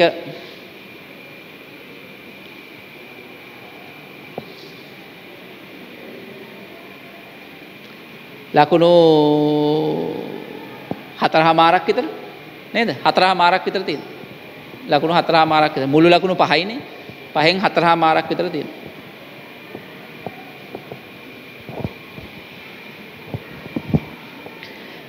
දෙවෙනි ප්‍රශ්නේ. ද්‍රාවණය වූ කනිජ ලවණ ශාකයක සනාල පටක ඔස්සේ පරිවහනය කිරීම සඳහා උපකාරී වන්නේ ජලය කුමන ගුණාංගයේද? ද්‍රාවණය වූ කනිජ ලවණ ශාකයක සනාල පටගොස්සේ පරිවාහනයට වැදගත්වෙන්නේ සංසක්ති හැසිරීමනේ. සංසක්ති හැසිරීම. ළමයි එතන සංසක්ති බල වලට ලකුණු දෙන්න එපා කියලා තියෙනවා. සංසක්ති බලවලට ලකුණු දීලා නෑ සංසක්ති හැසිරීම. කවුරු හරි ලියලා තියෙනවා නම් හයිඩ්‍රජන් බන්ධන නිසා ජලානු ජලානු අතර ඇතිවන ආකර්ෂණය නැත්තම් මේ හයිඩ්‍රජන් බන්ධන නිසා ජලානු ජලානු අතර තියෙන සංසක්තිය කියලා ඒකට ලකුණු දෙන්න කියලා දෙනවා. ඒකට ලකුණු දෙන්න කියනවා. සංසක්ති බල කියලා නිකන් ලියලා තිබුණාට ලකුණු දෙන්න එපා කියලා තියෙනවා. මිනිසා තුළ ආරක්ෂක කාර්යභාරයක් ඉටු කරන ප්‍රෝටීනයක් නම් කරන ආරක්ෂක වලට එක උදාහරණයක් ඇති වුණේ මතකද? ඉමියුනෝග්ලොබියුලින් නැත්තම් ප්‍රතිදේහ වලට ලකුණු දෙන්න. ඉමියුනෝග්ලොබියුලිනුත් හරි ප්‍රතිදේහත් හරි. හැබැයි මීට අමතරව ඕගලන්ට ප්‍රතිශක්තිය පාඩමේදී තව ප්‍රෝටීන දෙකක් එනවනේ. මතකද? අනුපූරක ප්‍රෝටීනයි අනිත් එක්කෙන ඉන්ටර්ෆෙරෝන්. ඒ දෙන්නට ලකුණු දෙන්න කියලා තියෙනවා. ඉන්ටර්ෆෙරෝන් සහ අනුපූරක ප්‍රෝටීනත් හරි. නමුත් ඕගලන්ගේ අර ප්‍රෝටීන වගුවේ තිබුණේ ඉමියුනෝග්ලොබියුලින් විතරයි. හරිද? දිලීරවල සෛල බිත්තියේ සංඝටකයක් වන පොලිසැකරයිඩේ තැනුම් ඒකකය ග්ලූකෝසැමීන් නයිට්‍රජන් ඇසිටයිල් ගලූකෝසැමීන් ලියලා දුනත් කමක් නැහැ. නැත්තම් ඕගොල්ලන්ගේ වගුවේ තිබුණේ ගලූකෝසැමීන් විතරයි. ඒ නිසා ගලූකෝසැමීන්ට ලකුණු තියෙනවා. ශූන්‍යෂ්ටික සෛල චක්‍රයේ අනූනන විභාජනයේදී සහ ඌනන විභාජනයේ දෙකේදී සිදුවන නමුත් ඌනන විභාජනයේ එකහිදී සිදු නොවන සිදුවීමක් වන්නේ කුමක්ද? ශූන්‍යෂ්ටික සෛල චක්‍රයේ අනූනන විභාජනය හා ඌනනය දෙකේදී සිදුවන නමුත් ඌනනය විභාජනය එකේදී සිදු නොවන සිදුවීම කුමක්ද? වර්ණ දේහාංශ වෙන්වීම වර්ණ සෙන්ට්‍රොමියරේ පැල්ල වර්ණ දේහාංශ වෙන් වෙන එක අනූනනයේදිත් වෙනවා ඌනනේ දෙකේදිත් වෙනවා හැබැයි ඌනන එකේදි වෙන්නේ නැහැ ඌනන එකේදි කැඩෙන්නේ මොනවද? මන්සල්. මන්සල් කැඩලා සම්පූර්ණ වර්ණ දේ තමයි වෙන් වෙන්නේ. එතන ළමයි හැබැයි ලකුණු දුන්නේ වර්ණ දේහාංශ වෙන්වීමට පමණයි ඈ. මන්සල් කැඩීමට ලකුණු දීලා මේ මේ සෙන්ට්‍රොමියර පැලීමට ලකුණු දුන්නේ නැහැ. අර ලකුණු දීලා තියෙන වර්ණ දේහාංශ වෙන්වීම. වර්ණ දේහාංශ වෙන්වීම C4 ශාකවල කාබන් ඩයොක්සයිඩ් ප්‍රථමයෙන් තිර කරන්නේ කොතනද? පත්‍ර මධ්‍ය සෛල ප්ලාස්මය. පත්‍ර මධ්‍ය සෛල ප්ලාස්මය ලකුණයි. මං කිව්වනේ දිගටම ප්‍රභා සංශ්ලේෂණයේ පාඩම පාඩම් කිරීම අපරාධයක් නෙමෙයි.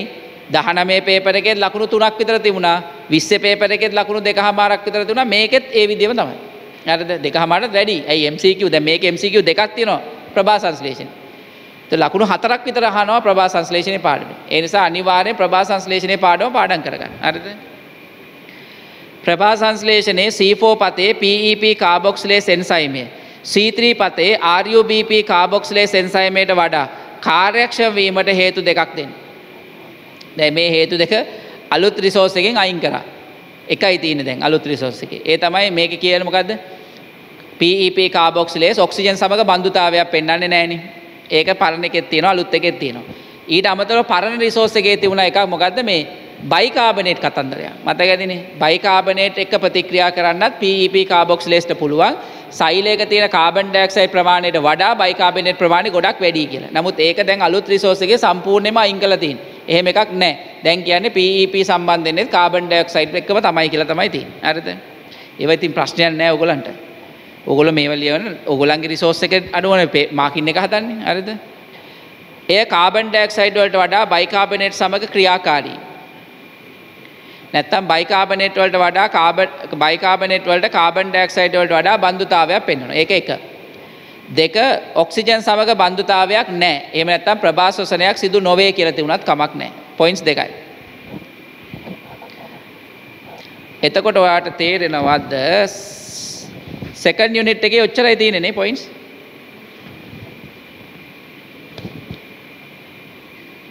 සෙකන්ඩ් එකේ ඔච්චරයි තියෙන්නේ. ඒ කියන්නේ 1යි 2යි 3යි 4යි 5යි 7යි නේ. 40න් 7යි යන ඇවිල්ලා තියෙන්නේ. සෙකන්ඩ් යුනිට් එකට ඇවිල්ලා තියෙන 7 වැඩි කිරීම 2හමාර බෙදීම 20. ශාකවල ද්විතීක වර්ධනය යනුවෙන් හැඳින්වෙන්නේ කුමක්ද? මොකද්ද ද්විතීක වර්ධනය කියන්නේ? පාර්ශවික විභාජක මගින් නිපදවන නවසෛල හේතුවෙන් කඳ හා මුල්වල විශ්කම්භය වැඩිවීම. එතැන්දි පාර්ශික විභාජක වෙනුවට ඔයා සනාල කැම්බියම සහ වල්ක කැම්බියම කියලා ලියලා තියෙනවා නම් ප්‍රශ්නයක් නැහැ ඒ පොයින්ට් එක තියෙනවා. එකයි. ඊළාට නිපදවන නවසෛල මගින් කඳන් හා මුල්වල විශ්කම්භය වැඩිවීම. කඳන් හා මුල්වල විශ්කම්භය වැඩිවීම වෙනකොට කඳන් හා මුල්වල පරිධිය වැඩිවීම. කඳන් මා මුල්වල වට ප්‍රමාණය වැඩිවීම. ඒ ඕන එකට ලකුණු දෙන්න. පොයින්ට්ස් දෙකයි. වැඩේ කියලා කියන්නේ ওই පොයින්ට්ස් දෙකම තියෙන්න ඕනේ නැත්නම් ලකුණු එකක්වත් හම්බෙන්නේ නැහැ. ලකුණු දීමට නම් කරුණු දෙකම තිබිය යුතුයි. මොකද කරුණු දෙක පාර්ශික කැම්බියම් මගින්. එහෙම නැත්නම් සනාල කැම්බියම සහ වල්ක කැම්බියම මගින්. කඳේ හා මුලේ වට ප්‍රමාණය වැඩිවීම. කඳේ හා මුලේ පරිධිය වැඩිවීම කියලා තියෙනවා. පොයින්ට්ස් දෙකයි.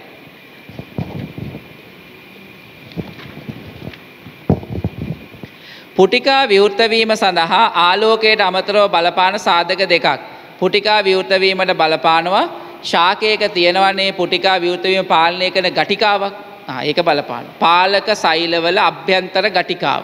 අනික අදක් පුටික කුටීරේ තියෙන කාබන් ඩයොක්සයිඩ් සාන්ද්‍රණය. ඒකත් ළමයි අලුත් සිලබස් එකේදී අයින් කරලා ඈ. අලුත් රිසෝස් එකේ අලුත් රිසෝස් එකේ පුටිකා විවෘත වීමට බලපාන සාධක හයෙන් ඔය කාබන් ඩයොක්සයිඩ් සාන්ද්‍රණය කියන එක අයින් කළා තියෙන්නේ. ඒක දැන් නැහැ. ඕගලන්ගේ පොතේ තියෙනවා. හයක් තියෙන ඕගලන්ගේ පොතේ හයෙන් එකක් තමයි කාබන් ඩයොක්සයිඩ් සාන්ද්‍රණය කියලා තියෙන්නේ. පාලක සෛලවල අභ්‍යන්තර ගටිකාව අදක් පුටික කුටීරේ CO2 සාන්ද්‍රණය අඩුවීම අන්න එතන CO2 සාන්ද්‍රණය අඩුවීම කියලා තියෙන්න ඕනලු. ඇයි මෙතන අහන්නේ පුටිකාව විවෘත වීමටනේ. එතකොට අඩුවීම කියන වචනේ නැත්තම් ලකුණු දෙන්න එපාලු.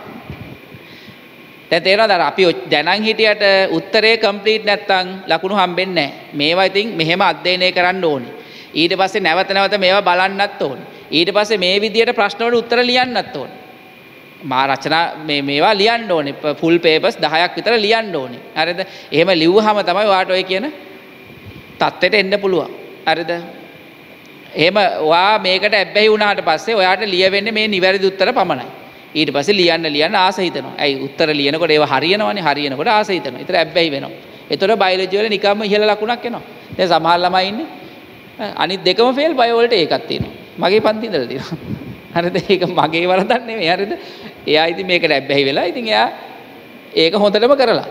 නමුත් අනිත් දෙක ෆේල්. හරි දෙක ළමයෙක් හිටියා පළවෙනි පාර C1යි S2 F2යි. ෆස්ට් එකේ C1යි F2යි. හරිද? දෙවෙනි පාර B1යි F2යි. හරිද?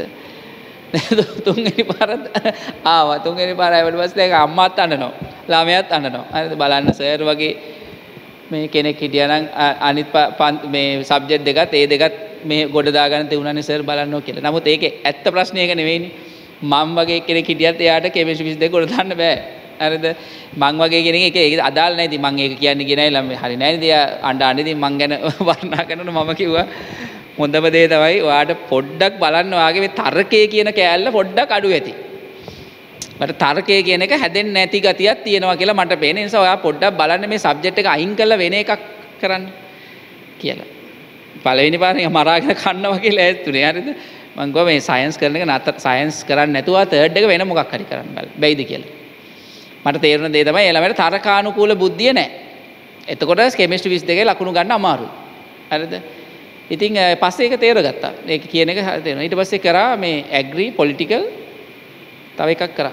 Media campus third shake third shake campus ගියා. ඇද කැම්පස් ගිහලා මම දැක්ක මේ ඊයේ පෙරේද ෆොටෝ දාලා තියෙනවා ඩිග්‍රී අරගෙන මේ දවස්වල කන්වර්සේෂන් එකක් තුනනේ. මෙන්න මේ දවස්වල මම දැක්ක දාලා දුන්නා Facebook එකේ. ඉතින් මේ ඉතින් එයා අර හැබැයි යාට අර පළවෙනි ෂයි දෙකක් දරුණු ලෙස සයන්ස් කිරීම නිසා ආපු ගැම්මෙන් තමයි එයා තර්ඩ් එක කරේ ආර්ට් එක. අද ආර්ට් එක කරේ මාස 6යි ඊළඟ හම්බුනේ මාස 6ෙම ඒ තුනයි ඒ තුනක් දාලා කැම්පස් ගියා. හරිද?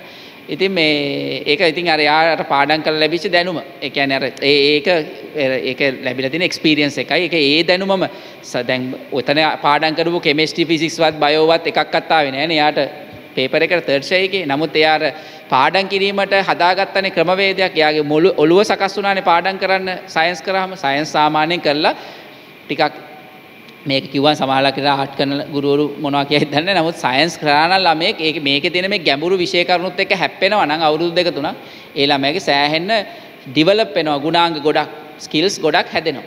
ඒ ස්කිල්ස් එක්ක අර ආර්ට් එක සටස් ගාලා කරලා දාතේ. ඒකයි සමහර ළමයි ඉතින් එහෙම කරනවා. සමහර අය S1යි S2යි ඇවිල්ලා තර්ඩ් එකන මම දන්න සර් කෙනෙක් ඉන්නවා. ඒ සර් දැන් පොලිටිකල් උගන්වනවා. හරිද? මේ මට වැඩි අවුරුද්දක් හෝ දෙකක් වැඩිමල් ඒ විදිහටම ප්‍රශ්යි කරා මේ තුනම ෆේල් සෙකන්ඩ් ෂයි කරා මම හිතන්නේ S එකක් හරි S දෙකක් හරි ඔය වගේ. ඊළඟ ෂයි එක කරේ මාරු කරා සයන්ස් මාරු මේ කරන්නේ නැතුව ආර්ට් කරා. හරිද? දිස්ත්‍රික්කේ පස්වෙනියා හරිද? දිස්ත්‍රික්කේ පස්වෙනියා ලෝ ලෝ යන්න බැරි වුණා. හරිද? මේ යකා මේ ඔය ඉංග්‍රීසි කරලා නැහැ. ඉංග්‍රීසි නැතුව ලෝ යන්න බෑනේ. ඕ ලෙවල් වලට 100 එකක් තියෙනවා. ඕ ලෙවල් වලට C එකක් තියෙන්න ඕනේ. එහෙම නැත්නම් A ලෙවල් වලට S එකක් තියෙන්න ඕනේ. නැත්නම් ලෝ ලෝ කොලෙජ් වලට යන්න බෑ. ලෝ කොලෙජ් කියන්නේ ලෝ ෆැකල්ටි ලෝ ෆැකල්ටි යන්න බෑ. දිස්ත්‍රික්කේ පළවෙනි ඒ රෑන්ක් වලට ආවත් යන්න බෑ. ඒක මොනම හේතුවක් නිසාවත් ඒ නීතිය කඩන්නේ නැහැ. අනිවාර්යෙන් තියෙන්න ඕනේ. ඉතින් ඒ දවස්වල මම හිතන්නේ ඇමති හිටියේ ඔය මේ මේ කවුද? මට හොඳට ඒ සීන් එක මතකයි මේ කවුද ඔය මේ නුවරඑළිය පැත්තේ අර පොරක් ඉන්නේ?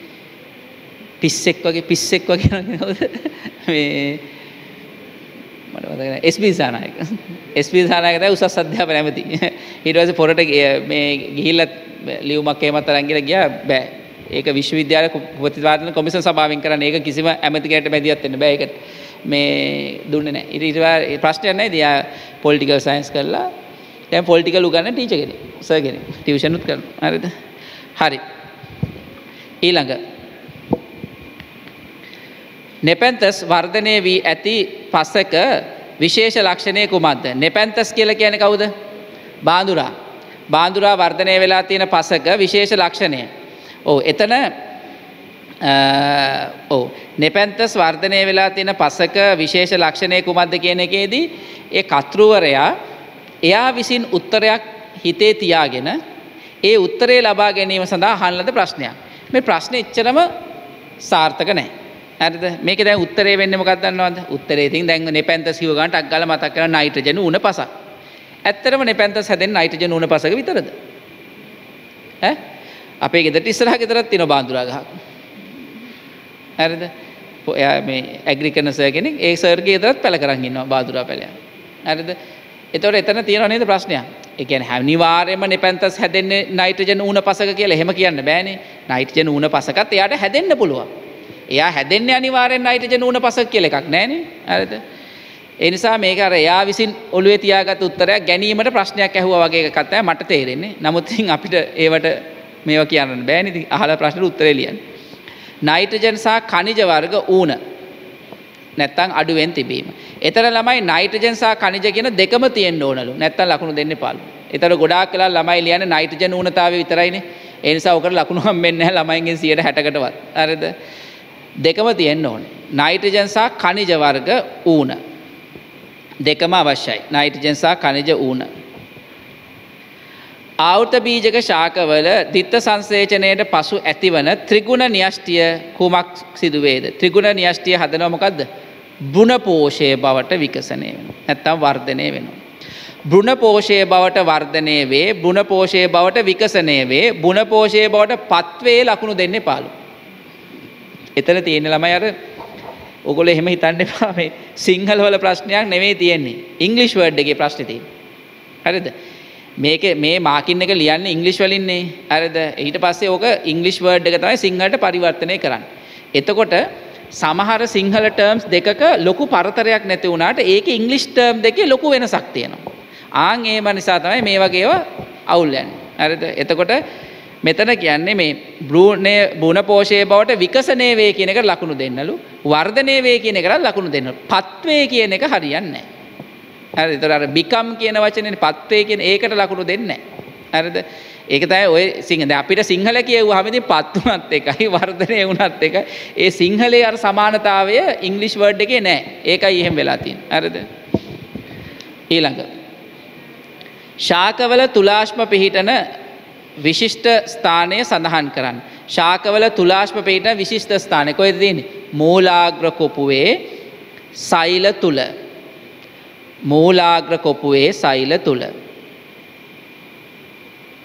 එතන මූලාග්‍ර කොපුවේ කියලා තියෙන්න ඕනේ සෛල තුල කියලා තියෙන්න ඕනේ. මූලාග්‍ර කොපුවේ සෛල තුල. දෙකම තියෙනවා නම් තමයි ලකුණක් දීලා තියෙන්නේ. එක ලකුණයි.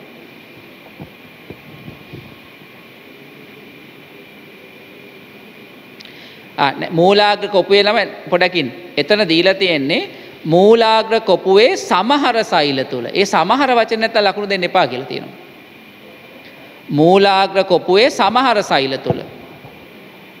එතන සමහර නැත්තම් ලකුණු දීලා නැහැ. මූලාග්‍රෝපයේ සමහර සෛල තුල. ඊළඟ කාටිලේජ පූරකේ. එතන ලකුණු පොයින්ට්ස් කීයද බලන්න. 1යි 2යි 3යි 5යි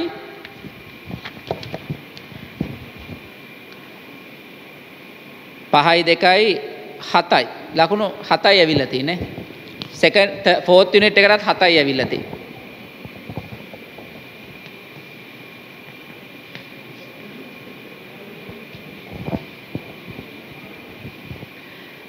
ඊළඟ.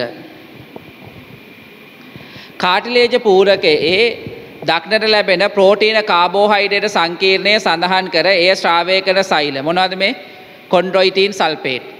සෛල වර්ගය කවුද? කොන්ඩොසයිට කොන්ඩොයිටන් සල්පේට කොන්ඩොසයිට එතර කොන්ඩොසයිට වෙනුවට කාටලේජ කාරක සයිල් ලියල්තුරට කමක් නෑ එක පරණ සිලබස්ස ගැබයි නම තිබුණේ. කාටලේජ කාරක සයිලට ලකුණු දීලතින ඕගලගේ නෝට්ගේ තියෙන කොන්ඩොසයිට කියලා. පොයින්ස් දෙකයි. සන්ධාරණය සැපීමට අමතරව කාටලේජ පටකය මගින් ඉටු කරනු ලබන ප්‍රධාන කෘත්‍යයන් සඳහන් කරන්න. කාටලේජ පටගේ මම පටගේ පැහැදිලි කරනකට මොගලන්ට කියල දෙනවා මතක ඇති නං. මොකද අපිට හැඩයක් පවත්වා ගන්නත් ඕනේ හැබැයි නම්ම ශීලීතාවේ තියෙන්න්නත් ඕන් ඔය දෙකට තමයි කාටලේජක් භාවිතා කරන්න එතොට එන්න ඕනේ සුනම්ම භාවය සුනම්්‍යතාවය ලකුණයි. පාත සඳහන් එක එකක් මගින් හැඳින් වෙන්නේ කුමක්ද. ප්‍රෝටීන ඉතුරු කිරීම. ප්‍රෝටීන ඉතුරු වෙන්න එක මතකද කොතන්ද දෙන්නේ.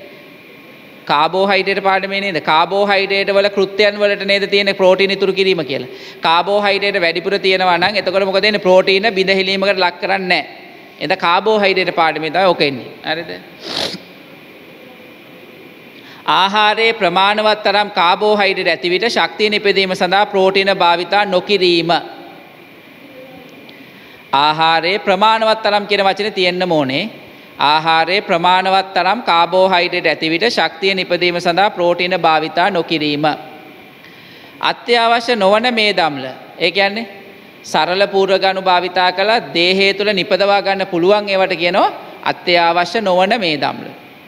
දේහය තුළ සංශ්ලේෂණය කරන මේ දම්ල. නැත්තම් දේහය තුළ නිෂ්පාදනය කරන මේ දම්ල.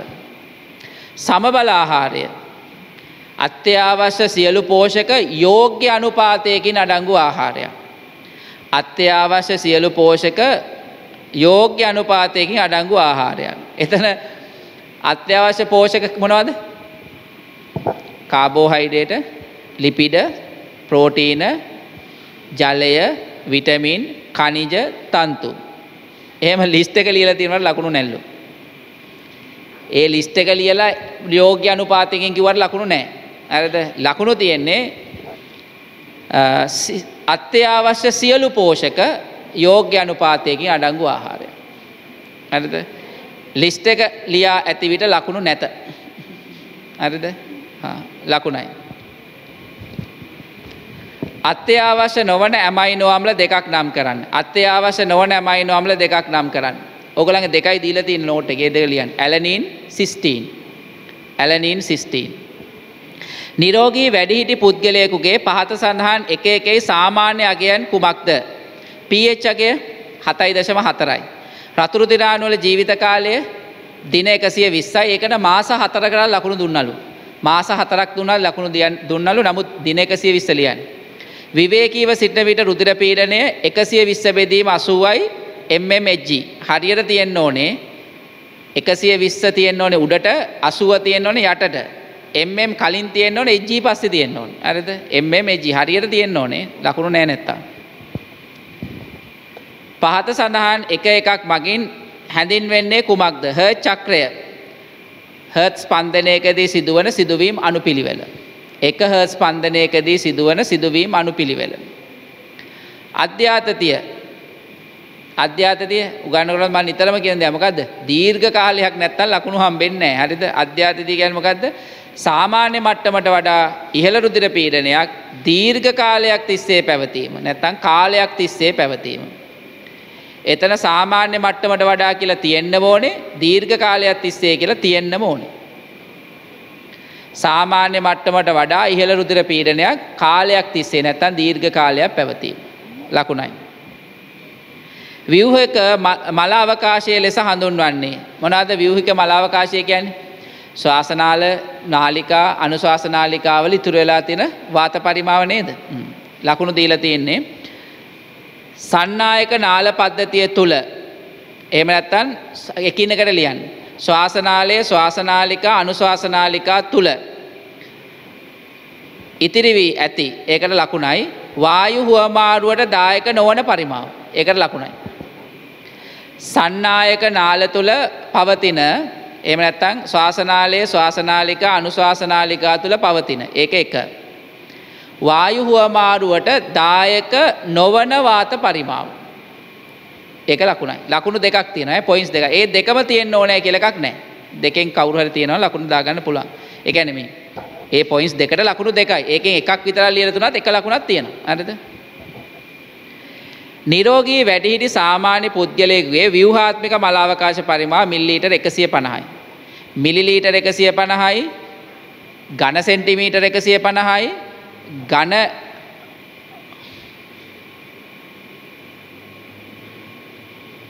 ඝන ඩෙසිමීටර් වලින් ලියන්න එපා. ඝන ඩෙසිමීටර් වලින් ආවොත් 0.15යින් ලියන්නේ. 0.15. මිලිලීටර් 150යි. ලකුණයි. එතන ඒකකේ නැත්තම් ලකුණු නෑ. ඒකකේ නැත්තම් ලකුණු නෑ. අන්තරාසර්ග පද්ධතිය මගින් සිදුවන සමායෝජනය හා සැසඳූ විට ස්නායු පද්ධතිය මගින් සිදුවන සමායෝජනය වඩා වේගවත් වන්නේ කෙසේදැයි සඳහන් කරන්න. ස්නායු පද්ධතියක ආවේගයේ ගමන් කරන්නේ නැත්තම් සම්ප්‍රේෂණය වෙන නිවුරෝන ඔස්සේ. විද්‍යුත් සංඥාවක් විදිහට. අන්තරාසර්ග පද්ධතියේදී ආවේගයේ ගමන් කරන්නේ හෝමෝන විදිහට රුධිරය ඔස්සේ. ඕක තමයි ලියන්න ඕන.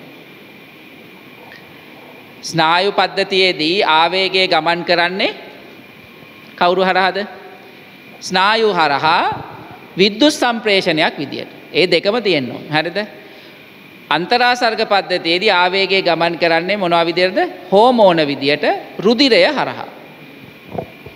දෙකම තියෙනවා නම් ලකුණු දෙකයි. එකක් තියුණා ලකුණු හම්බෙන්නේ නැහැ. දෙකම තියෙන්න ඕනේ. මිනිසාගේ මස්තිෂ්ක බාහිකයේ ඇති ප්‍රධාන ක්‍රියාකාරී ප්‍රදේශ තුන සංවේදක ප්‍රදේශය චාලක ප්‍රදේශය සංගාමී ප්‍රදේශය තුනයි.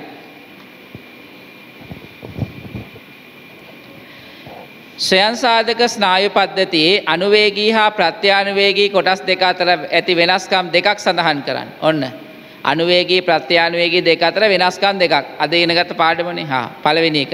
අනුවේගී කොටස ස්නායු නිකුත් කරන්නේ කොහෙන්ද? සුෂුම්නාවෙන් පමණයි. ප්‍රත්‍යානුවේගී නම් සුෂුම්නා ස්නායුත් අයිති, කපාල ස්නායුත් අයිති. ඔන්න ඒක එක. දෙක. කෘත්‍ය අනුවේගී පද්ධතිය වැදගත් වෙන්නේ මොකටද? පීඩාකාරී උද්වේගකාරී ශක්තිය උත්පාදනය කිරීමේ තත්ත්වයට මුහුණ දීම සඳහා දේහය සූදානම් කිරීම. කෙටියෙන් කියනවා නම් කෙටියෙන් කියනවා නම් සටන් කිරීම හෝ පලා යෑමේ ප්‍රතිචාර සඳහා. ප්‍රත්‍යානුවේගී පද්ධතිය වැදගත් වෙන්නේ සංසුන් වෙන්න. නැවත ස්වයන් පාලන ක්‍රියාකාරීත්වයකට පත් වෙන්න. නැවත සාමාන්‍ය තත්ත්වයට පත් වෙන්න. කෙටියෙන් කියනවා නම් මේ සංසුන් වීම සඳහා. හරිද? ඒ දෙකත් ගන්න පුළුවන්. ඊළඟට අනුවේගී පද්ධතිය රසායනික සම්ප්‍රේෂකය එෆිනෙෆ්‍රීන් ප්‍රත්‍යානුවේගී පද්ධතිය රසායනික සම්ප්‍රේෂකයේ ඇසිටයිල් කෝලින්. දැන් ওই තුනම අපි කතා කරන්නේ. ආ දැන් මං අර කිව්වේ සිලබස් එකේ නැති කාරණාවක් අද. තන්තුවේ ස්නායු තන්තුවේ දිග ඒකත් මේකේ උත්තරයක් විදිහට අරන් තියෙනවා. ඒ තමයි අනුවේගී පද්ධතියේ පූර්ව ගැන්ග්ලියම් තන්තුව කෙටි ප්‍රත්‍යානුවේගී පද්ධතියේ පූර්ව ගැන්ග්ලියම් තන්තුව දිගයි. ඒකත් මේකේ ඔන්න උත්තරයක් විදිහට අරන් තියෙනවා. හැබැයි ඒක රිසෝස් එකේ නෑ. ඒ නිසා ඒක මත ලොකු විශ්වාසයක් තියන්න එපා ඈ. මොකද රිසෝස් එක මේ මේ මාකින් එකේ ලියලා තියෙනවා මේ මාකින් එක අදාළ වන්නේ මේ අවුරුද්දට පමණි කියලා. හරිද? ඒ නිසා මේක නිශ්චිතවම ඊළඟ අවුරුද්දේදී ගන්නවා කියලා හිතන්න එපා. පළවෙනි තුන කොහොමත් නෝට් එකේ තියෙනවනේ. ඒ පළවෙනි තුනෙන් දෙකක් තමයි වැදගත්තේ. මොනවද පළවෙනි තුන? කපාල ස්නායු අනුවේගී පද්ධතියයි තියෙන කපාල ස්නායු මේ සුෂුම්නා ස්නායු විතරයි ප්‍රත්‍යානුවේගී පද්ධතියේ කපාල ස්නායු සුෂුම්නා ස්නායු දෙකමයි තියෙන්නේ. අනුවේගී පද්ධතිය වැදගත් වෙන්නේ පලායෑම හෝ සටන් පහර දීමේ සටන් කිරීමේ ප්‍රතිචාර ඇති කරන්න ප්‍රත්‍යානුවේගී පද්ධතිය සංසුන් වෙන්නේ. අනුවේගී පද්ධතිය රසායනික සම්ප්‍රේෂකය වෙන්නේ නෝයිෆිනෙෆ්‍රීන් ප්‍රත්‍යානුවේගී පද්ධතිය ඇසිටයිල් කෝල් දෙකක් ගන්න.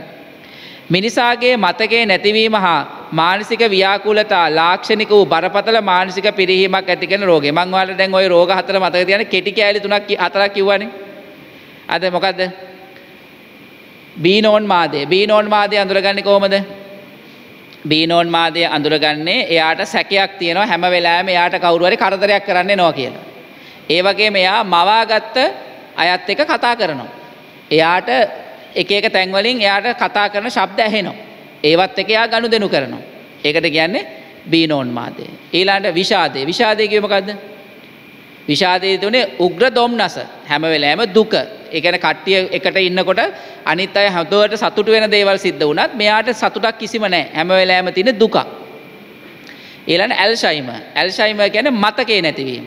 එයාට සාමාන්‍ය මතකයක්වත් නැහැ. එයාට හැම දෙයක්ම ඒ කියන්නේ යාගාව තියෙන එක්ස්පීරියන්ස් මතකය කියලා කියන අපේ එක්ස්පීරියන්ස් නේ. ඒ එක්ස්පීරියන්ස් ඔක්කොම ඩිලීට්. කිසිම එක්ස්පීරියන්ස් එකක් එයාට මතක නැහැ. ඒතර ඇඳුමක් අඳිනවා කියන්නේ මොකද්ද? ආහාරයක් කනවා කියන්නේ මොකද්ද? නානවා කියන්නේ මොකද්ද? ඒ මොකක්වත් දන්නේ නැහැ. ඒතර ඉතින් අම්මා තාත්තා අඳුරනවද නැද්ද කියලා අහන්න දෙයක් නැහැ. ඒ කොහොමත් අඳුරන්නේ නැහැ කවුටිය. හරිද? ඊළඟට තමයි පාකින්සන් රෝගය. පාකින්සන් රෝගයේදී එයාගේ චලනය යාට පාලනය කරන්න බෑ. ඉතින් අතපය චලනය වෙනවා, අත ගැස්සෙනවා, බෙල්ල ගැස්සෙනවා, ඔළුව ගැස්සෙනවා. එහෙම චලන දැකලා තිනෝ කට්ටිය. ඔය ෆිල් කතාවල පවා යන්නේ සමහර චරිතවල ඔළුව ගැස්සෙනවා. ඒවා පාලනය කරන්න බෑ. ඒ තමයි පාකින්සන් රෝගය. හැබැයි පාකින්සන් රෝගය සාමාන්‍යයෙන් හැදෙන්නේ වයසක අයට. තරුණ අයට හැදෙනවා අඩුයි. හරිද? ආ එතකොට මෙතන රෝගය මොකද්ද? මතකයේනේ මතකයේ කිව්වා මොකද්ද? ඇල්සයිමර්. ඇල්සයිමර්. ඊළඟට ද්විනේන්ත්‍රික දෘෂ්ටියේ වැදගත්කමක් සඳහන් කරන්නේ. ද්විනේන්ත්‍රික දෘෂ්ටිය වැදගත් වෙන්නේ මොකටද අපිට? ත්‍රිමාණේක්ෂ දෘෂ්ටියට. ඒ කියන්නේ ත්‍රිමාණව දකින්න. එහෙම නැතුව අර ත්‍රිමාණේක්ෂ දෘෂ්ටිය. හරිද? හරි. ඊළඟ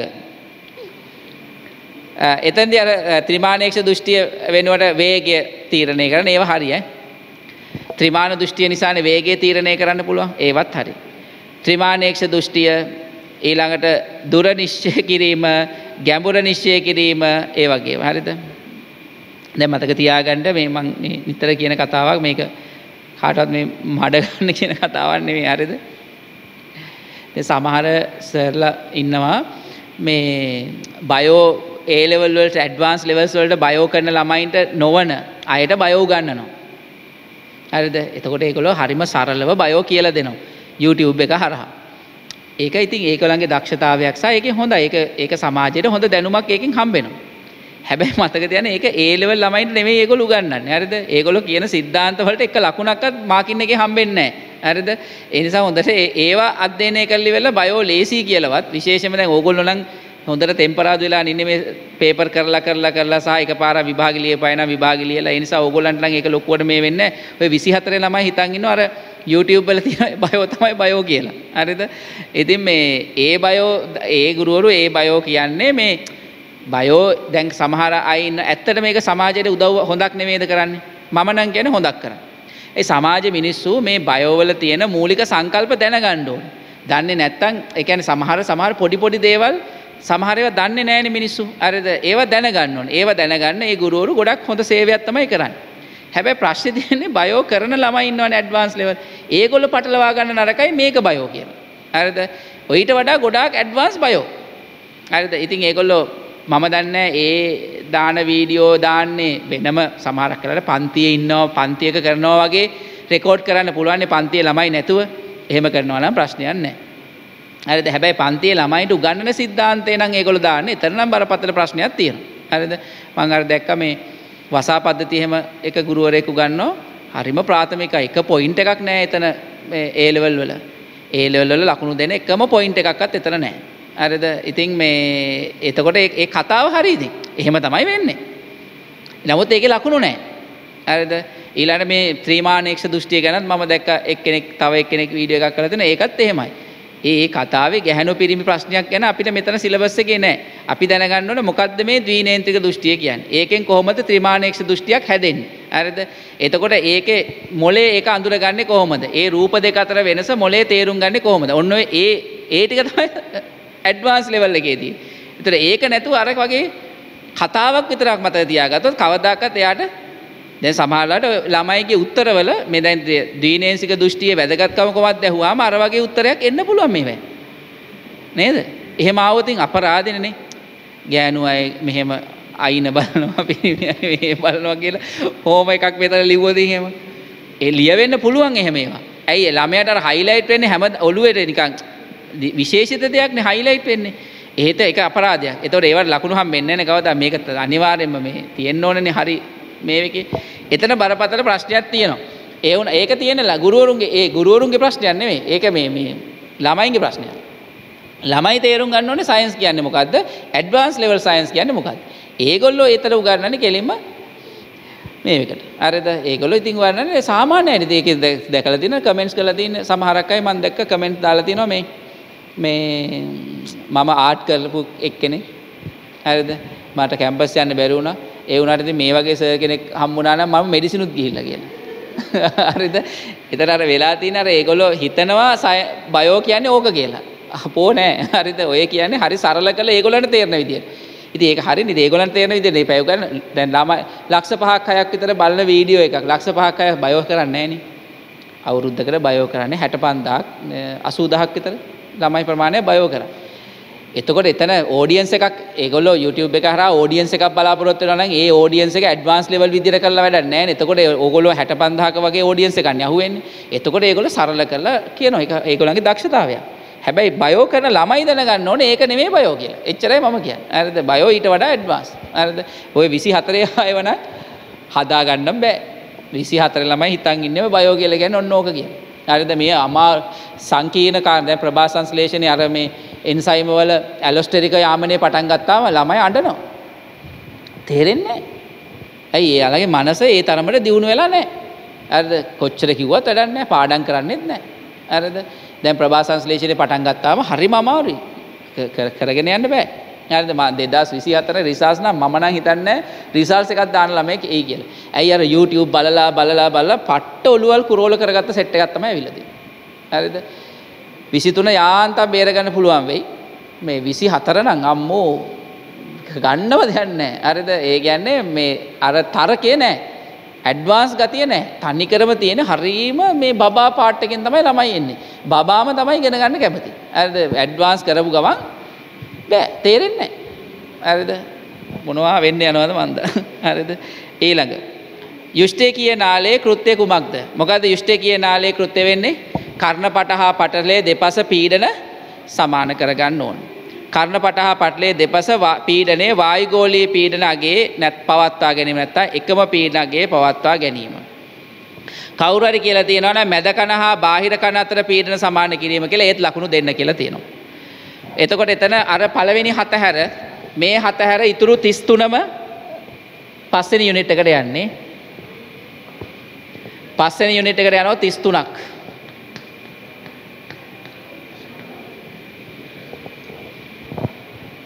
තවත් තියෙනවා. පස්වෙනි යුනිට් එකේ තව තියෙනවා. හා ඉක්මනට බලමු. ද්‍රවස්ථිතික සැකිල්ල සහිත සතුන් අඩංගු වංශයක් නම් කරන්න. ද්‍රවස්ථිතික සැකිලි තියෙනවා හොඳම උත්තරේ ඇනලීඩා නෙමටෝඩාවන්ටත් ලකුණු දීලා තියෙනවා. හරිද? සිලෙන්ඩරේටාවන් වැරදි හරිද මෙන්න මෙහෙම කියලා තියෙනවා සිලෙන්ඩරේටාවන් වැරදි නමුත් 2021 දී පමණක් ලකුණු ලබා දෙයි. සිලින්ඩරේට උත්තරේ වැරදි නමුත් මේ අවුරුද්දේදී පමණක් ලකුණු ලබා දෙයි කියලා තියෙනවා. හරිද? ඒ කියන්නේ ඕගොල්ලෝ සිලින්ඩරේට බලන්න මෙපා. ඒක මතක තියාගන්න කවුද? ඇනලීඩා මොල ඇනලීඩා නෙමටෝඩා. ඇනලීඩා තමයි හොඳම උත්තරේ ඈ. මිනිස් හිස් කබල පහත සඳහන් එක එකේ කෘත්‍යයන් බැගින් සඳහන් කරන. රන්ත්‍ර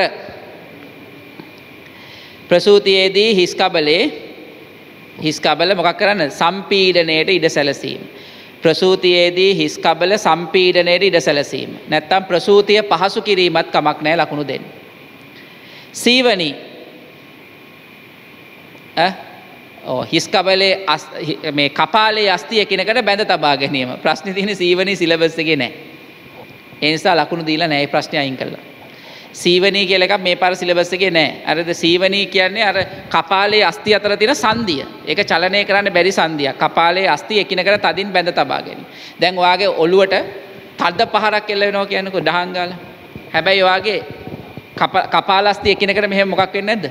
රූටන්නේ තැන් සාමානය කපාලස්ති මෙහම සෙට්ටලාන තියෙන තොර තද පාරක් ඇතුවත් කපාලස් දෙක මෙහම එකනකින් රූටල යන්නල එහෙම යන්න යන්න ඇති සීවනි නිසා. සීවනී වල තියෙන සුමට පුෂ්ටයක් නෙමේ දාර තියෙන පුෂ්ටයක් තියෙන.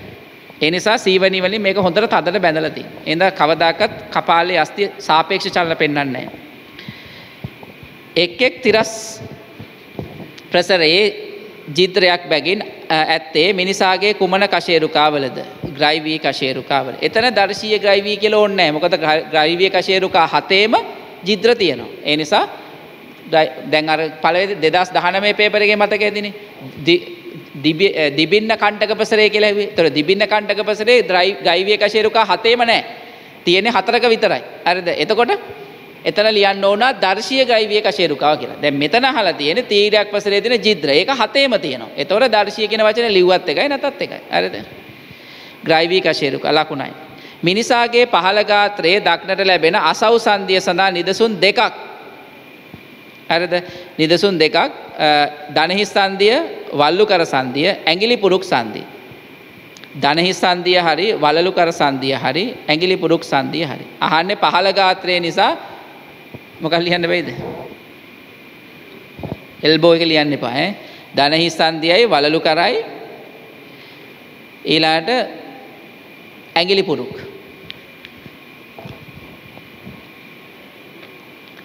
කැමති දෙකක් ලියන්න.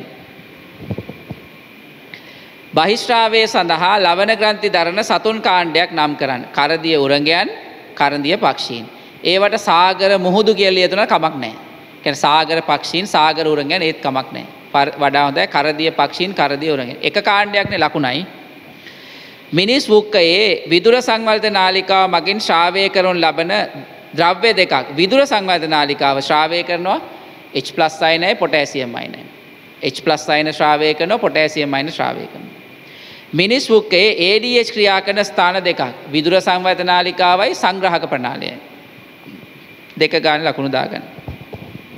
ප්‍රතිශක්තියේදී ආධාරක ටී සයිලවල කාර්ය ආධාරක ටී සයිලවල පළවෙනි කාර්ය තමයි අර සලකුණු කිරීම.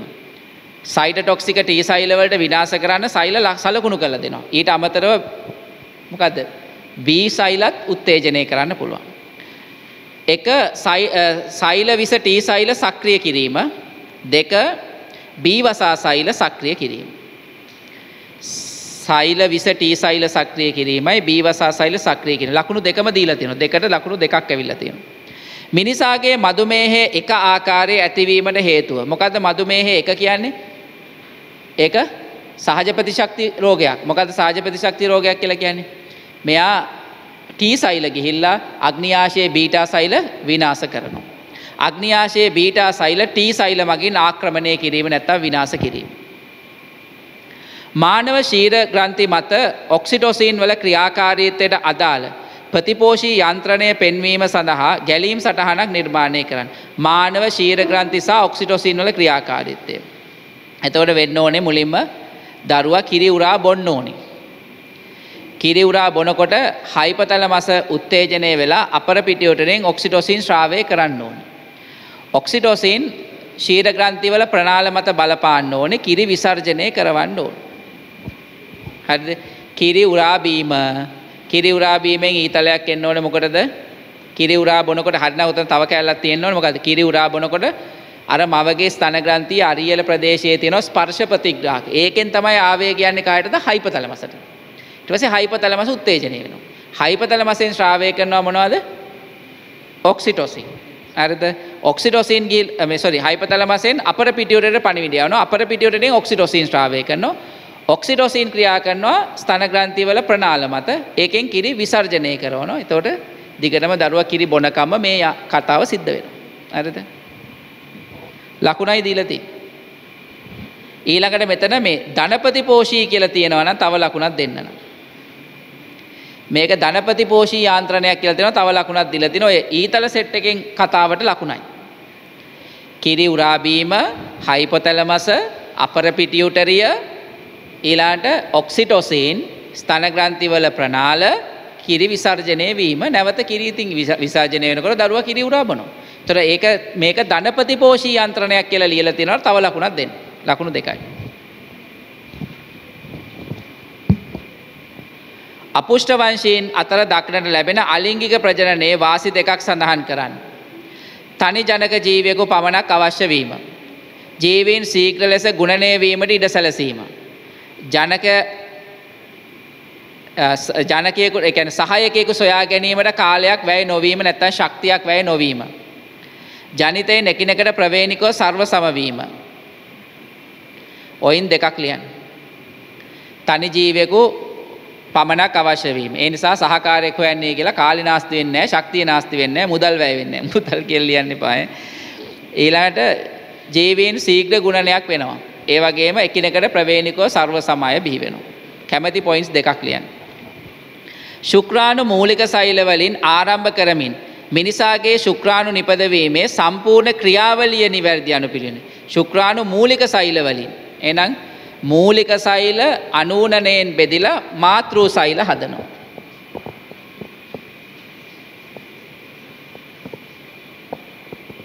මේවන යන්නේ මූලික සෛල. වලින් හැදෙන්නේ මාතෘ සෛල. මාතෘ සෛල වලින් හැදෙන්නේ ප්‍රාථමික ශුක්‍රාණු සෛල. ප්‍රාථමික ශුක්‍රාණු සෛල වලින් හැදෙන්නේ ද්විතීක ශුක්‍රාණු සෛල. ද්විතීක ශුක්‍රාණු සෛල වලින් හැදෙන්නේ ප්‍රාක් ශුක්‍ර ප්‍රාක් ශුක්‍ර වලින් තමයි හැදෙන්නේ ශුක්‍රාණු. විභාජනත් ලියන්න ඕනේ ඈ. මෙතන සිද්ධ වෙන්නේ අනූනණය.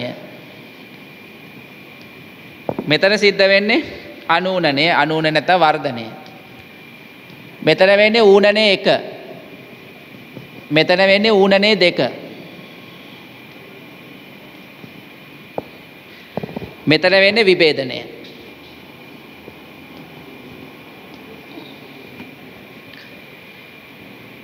එකයි දෙකයි තුනයි හතරයි පහයි හයයි සියලුම සහිල ලියා ඇති විට ලකුණු එකයි. සෑම පියවරක්ම ලියා ඇති විට ලකුණු එකයි. ලකුණු දෙකයි තියෙන. ඒ කියන්නේ මේ සුදු පාටින් ලියලා තියෙන සෛල 6ට ලකුණු එකයි. කහ පාටින් ලියලා තියෙන ක්‍රියාවලි පහට ලකුණු එක ගානේ ලකුණු එකයි. ඔක්කොම ලකුණු දෙකයි තියෙන්නේ. මානව කලල බන්ධයෙන් බ්‍රූණයේ දායක වන කොටස විකසනය වන්නේ බ්ලාස්ට කෝස්ටේ කුමන කොටසින්ද? ඒක ලකුණු දීලා නැහැ ඒක අයින් කළා තියෙන. නමුත් ඔයගොල්ලෝ දන්නවා. මානව කලල බන්ධයේ බ්‍රූණයේ කොටස මොකද්ද? මානව කල්ල බන්ධයේ බ්‍රූණයේ කොටස මොකද්ද? කෝරියම. කෝරියම හදන්නේ කවුද? පෝෂී බ්ලාස්ටේ කෝරියම හදන්නේ පෝෂී බ්ලාස්ටේ. පරිණත ස්ට්‍රියකගේ දර්ශය දින විසි අටක ප්‍රජනක චක්‍රයේදී රුදිරේ ඩිම්බකෝෂ හෝමෝන මට්ටම වෙනස්සනාකාරය පහත දක්කන් දැන් දෙදස් විස්සේ නේද? ඔසප් චක්‍රේ රචනාවට විස්සද දහනමේ දහනම හරි විස්සය හරි යවුවන් රචනාවරනේ එතොට ඒකෙත් මේ රූප මේ රූප සටට ලකුණු දුන්න. හෝමෝන වෙනස්වීමේ ප්‍රස්ථාරයට ලකුණු දුන්න. දැ මෙතන කෙලිම හෝමෝන වෙනස්වීම ප්‍රස්ථාරය අඳන්නලු. හරිද? එතැන්දි ඊස්ට්‍රජන් සහ ප්‍රජෙස්ටෝන් මට්ටන් තමයි අඳලා පෙන්න්න ඕනි. හරිද? එක මාකින්න එකේ බලන්න. ඔගොලු තේරි පොතෙත් තියෙනවාන දීලා. එතොට මෙතන ලකුණු දීලා තියෙනවා ඒ ප්‍රස්ථාර දෙක ඇඳලා තියෙනවන මෙතන මෙන්න මේ විශේෂ කාරණාව මේකයි. ප්‍රස්ථාර දෙකලා ඇඳලා තියෙනවා ලකුණු දෙකක් තියෙනවා. ඊස්ට්‍රජන් ප්‍රොජෙස්ටරෝන් වලට ඇඳලා තියෙනවා ලකුණු දෙකක් තියෙනවා. එතන FSH LH සමග ඇඳ ඇත්නම් ලකුණු නැත. ඔන්න බලන්නකෝ. ඇයි මේක කියනවානේ? ඩිම්බකෝෂ හෝමෝන වෙනස් වන මට්ටම විතරක් අඳින්න කියලා. එතකොට කවුරු හරි ළමේ වැඩි හොඳට දැන් සාමාන්‍යයෙන් ඕගොල්ලන්ගේ නෝට් එකේ තියෙන්නේ ඊස්ටඩියෝල් සහ ප්‍රොජෙස්ටෝන් කියන ප්‍රස්ථාර දෙක වෙනම විතරක් නෙවෙයිනේ ඒකටම LH ප්‍රස්ථාරයේ FSH ප්‍රස්ථාරය ඇඳලා තියෙන්නේ එහෙනම් කවුරු හරි අර ගිරා පාට් එකට කටපාඩම් කරගත්ත ළමයි ඔය හතරම ඇඳලා තියෙනවා. ඒතර අපරාධිතින් එයාගේ දැනුම තියෙනවා. නමුත් ලකුණු දෙන්නේ නැහැ. ලකුණු දෙන්නේ කෝකට විතරයිද? E ඊස්ටඩියෝල් සහ ප්‍රොජෙස්ටෝන් ප්‍රස්ථාර දෙක විතරක් ඇඳලා තියෙන අයට විතරයි. අනිත් අයට ලකුණු දුන්නේ නැහැ. එක ලකුණු දෙකයි. ස්ත්‍රීන් තුළ ඩීප ප්‍රවේරා එන්නතේ ක්‍රියාකාරීත්වය සඳහන් කරන්න. ඩීප ප්‍රවේරා එන්නත කියලා දෙන්න මොනවාද ප්‍රජෙස්ටරෝල් ප්‍රජෙස්ටෝන් තමයි එන්නතක් විදිර දෙන්න තොළ මොකද වෙන්නේ එක ගැබ්ගෙල ශ්ලේෂ්මලගේ ගණකම් වෙනවා. එම නිසා ශුක්‍රාණු ඇතුල්වීම වලක් වනවා. එන්ඩොමෙට්‍රියව තුනී කරනවා.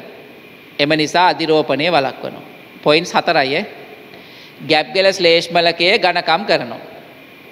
ගැප් කෙල ශ්ලේෂ්මලගේ ගණකම් වුණාම සුක්‍රාණු ප්‍රවේශනය වලක්වනවා. කොහොමරි කළ ශුක්‍රාණුවක් ඇතුළට ගියා කියමුකෝ. එතකොට එන්ඩොමෙට්‍රියම තුනී කරනවා. තුනී කරලා අධිරෝපණය වීම වලක්වන. පොයින්ස් හතරයි.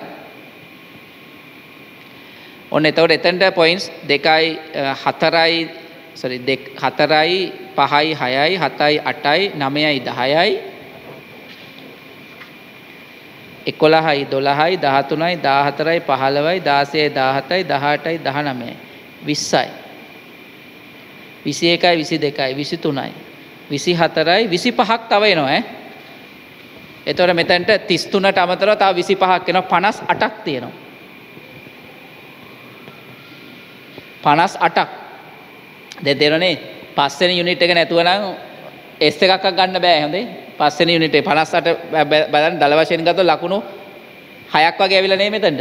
හය අමාරක් විතර ඇවිල තියෙන හයක් වගේ ඇවිල තොර ස්ට්‍රක්චර් ඩෙසේගෙන් ලකුණු හයක් විතර ඇවිල එතොර කෙලින්ම ලකුණු කියද? මෙතැන්ට විසි දෙකයි. අනිවාරයෙන් රචනාවත් තියෙනවන්. අරද එතකොට තිහ ඇවිල්ල කරයි ඊළඟ කොටස. ශුද්‍රවාතකාමී ජීවීන් යනුවෙන් හැඳින්වෙන්නේ මොනවාද? ශුද්‍රවාතකාමී කියන්නේ ඉතා අඩු. මෙහෙම තින් වාතයේ ඇති ඔක්සිජන් සාන්ද්‍රයට වඩා අඩු සාන්ද්‍රණයක ජීවත්වන ජීවීන්. වාතයේ ඇති ඔක්සිජන් සාන්ද්‍රයට වඩා අඩු සාන්ද්‍රණයක පමණක් ජීවත්වන ජීවින්. පමණක් කියල තියෙන්න ඕනේ. වාතයේ ඇති ඔක්සිජන් සාන්ද්‍රයට වඩා අඩු ඔක්සිජන් සාන්ද්‍රණයක පමණක් ජීවත්වන ජීවින්. පමණක් තියෙන්න ඕනේ. ශුද්‍රවාතකාමී බැක්ටීරයා විශේෂයක් නම් කරන්න කවුද? ලැක්ටෝ බැසිලස් එතන ළමයි හොඳට මතක දෙන්න මෙන්න මේක මතකද. විශේෂයක් ඇහුවෝත්. හරිද? දැම් මේ ලැක්ටෝ බැසිලස්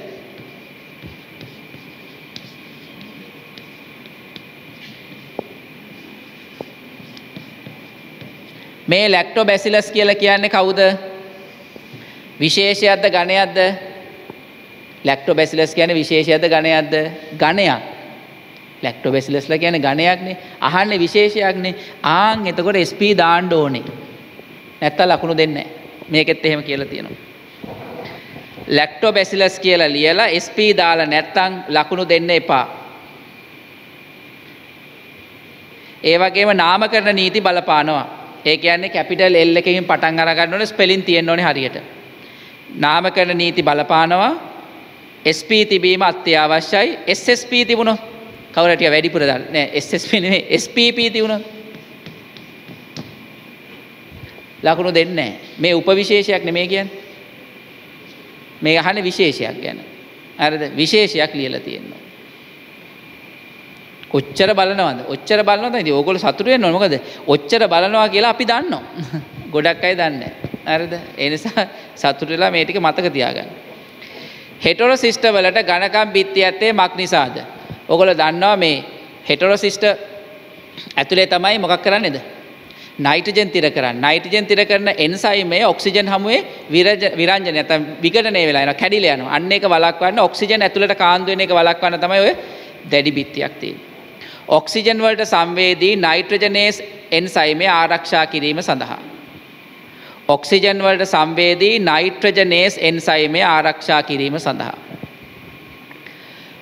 ශුද්‍ර ලකුණයි ශුද්‍රජීවී පරීක්ෂණාගාරයක් තුළ ද්‍රව්‍ය ජීවානුහරණය කිරීම සඳහා වියලිතාපය භාවිතා කරනු ලබන ක්‍රම දෙකක් වියලිතාපය ක්‍රම දෙකක් තියෙන එකක් තමයි විවෘත දැල්ලට අල්ලා රත් කිරීම අනෙක තමයි උෂ්ණ වායු උඳුනක් භාවිත කිරීම. උණුසුම් වායු ජීවාණු හරණයයි විවෘත දැල්ලට අල්ලා රත් කිරීමයි. ලකුණු දෙකයි. පානීය ජලය පිරියම් කිරීමේ භාවිතා කරනු ලබන විෂබීජ නාශන ක්‍රම දෙකක්. එකක් ක්ලෝරීන් එකතු කිරීම අනෙක ඕසෝන් භාවිත කිරීම. ක්ලෝරීන් කෘත කිරීමයි ඕසෝන් භාවිතා කිරීමයි. ලකුණු දෙකයි. ආහාර විසවීම සිදු කරන දිලීර විශේෂයක් සහ බැක්ටීරයා විශේෂයක් නම් කරන්න. දිලීර ඇස්පජිලස් ඇස්ප මෙතන විශේෂයක් කියලා හලා තින නිසා විශේෂයක් ලියන්න ඇස්පජිලස් ෆ්ලේවස් බැක්ටීරියාවක් නම් ස්ටැපයිල කොකස් ඕරස් ගන්න පුළන් ක්‍රොස්ටේඩියම් බොටුලිනම් ගන්න පුළුවන්. ක්‍රොස්ට්‍රීඩියම් බොටුලිනම් ස්ටැපයිල කොකස් ඕරස් පොයින්ස් දෙකයි. උපඒකක එන්නත් සහ අඩපන කරන ලද ජීවී එන්නත් අතර ඇති වෙනස්කම් දෙකක් සඳහන් කරන්න. උපේකක එන්නත් සහ අඩපන කරලද ජීවී එන්නත් අතර ඇති වෙනස්කම් දෙකක්. උපේකක එන්නතක් කියල කියන්නේ? ඔය ජාන තාක්ෂණය වගේ භාවිතා කළ. අර ප්‍රතිදේහ ජනකය නිෂ්පාදනය කරගන්න උදාහනගතොතර හෙපටයිටිස් බ එන්නත උපේකක එන්නතක්. ඔය අපි භාවිතා කරපු මේ කොවිඩ් එන්නත් ගත්තත් උපේකක එන්නත්. අරද අඩපන කරලා දෙන්නතක් කියලා කියන්න ඒක ඉන්න නියම සූත්‍රජීවිය. නියම ව්‍යාධි ජනකයා තමයි අඩපන කළ දෙන්න. තොර අඩපන කරපු ව්‍යාධි ජනකයා ලේසියෙන් මැරෙන්නේ නෑ ඒ නිසා බූෂ්ට එන්නතක් අවශ්‍ය නෑ. බූෂ්ට එකක් කියලා කියන්නේ අපේ ඇඟ ඇතුලේ ප්‍රතිශක්තිය නිර්මාණය කරන්න නිර්මාණය වෙන්න යම් කාලයක් ගත වෙනවානේ. ඒ කාලය ඇතුළත අර ප්‍රතිදේහ ජනකේ මැරෙනවා නම්. එතකොට ප්‍රතිශක්තිකරණ පද්ධතිය ප්‍රධා ඒ කියන්නේ නියමාකාරයට සක්‍රිය වෙන්නේ නැහැ. ඒ නිසා දෙවෙනි එන්නතක් දෙන්න ඕනේ. දැන් උපේකක එන්නත් වලදී අනිවාර්යෙන් බූස්ට් එකක් දෙන්න ඕනේ. දැන් මතක ඇදින්න කොරෝනා එකේ බූස්ට් තුන්වෙනි මාත්‍රාවකුත් දීලා තව බූස්ට් එකකුත් දීලා දැන් දැන් කැමති නම් තව බූස්ට් එකක් ගන්න පුළුවන් ඕන කෙනෙක්ට කියලා. ඒ වෙලාවේ වැඩිපුර එන්නත් තියෙනවා දැන් හෙට අනිද්දා කල්ලිකුත් වෙනවා. ඒ නිසා කැමති නම් ගිහිල්ලා බූස්ට් එකක් ගන්න පුළුවන්. එතකොට මේ අපි දෙන මේ අඩපණ කරලා දෙන්නතක් ගත්තොත් අඩපණ කරලා දෙන්නතකදී එහෙම බූස්ට් එකක් අවශ්‍ය නැහැ. එක පාරයි දෙන්න ඕන. හරිද? උපේකක එන්නත් වල අඩංගු වන්නේ ප්‍රතිදේහ ජනක කණ්ඩ. බූෂ්ට හෝ දිතීක මාත්‍රාවක් ලබා ගැනීම අවශ්‍යයි. අඩපන කරන ලද ජීවී එන්නත් වල අඩංගු වන්නේ ව්‍යාධි ජනකතාව පාලනය කරන ලද දුර්වල කරන ලද ව්‍යාධි ජනකයින්. එම නිසා බූෂ්ට හෝ දිතීක මාත්‍රාවක් අනවශ්‍යයි. ඔන්න ඔය පොයින්ස් දෙක තමයි තියෙනවා. පළතුරු යුෂ භාවිත කර විනාකිර නිපදවීමේ පියවර දෙක නිවැරදි අනුපිළිවලින් සඳහන් කර. ඒ එක එක පියවරේදී භාවිතා කරන ලබන සුද්ධ ජීවියා. ඉතින් පළතුරු යුෂවල තියෙන්නේ සුක්‍රෝස්නේ අපි මුලින්ම ඒකෙන් හදන්න ඕන මොනවද? රා. මධ්‍යසාර හදන්න ඕන. මධ්‍යසාර නිෂ්පාදනය තමයි පළවෙනි පියවර. මධ්‍යසාර හදන්නේ කවුද ඕනේ? සැකරොමයිසිස් සෙරිවිසියේ ඕනේ. ඊට පස්සේ මොකද කරන්නේ? රා තමයි මධ්‍යසාරයේ තමයි අපි පරිවර්තනය කරන්න ඕනේ කවුරු බවටද?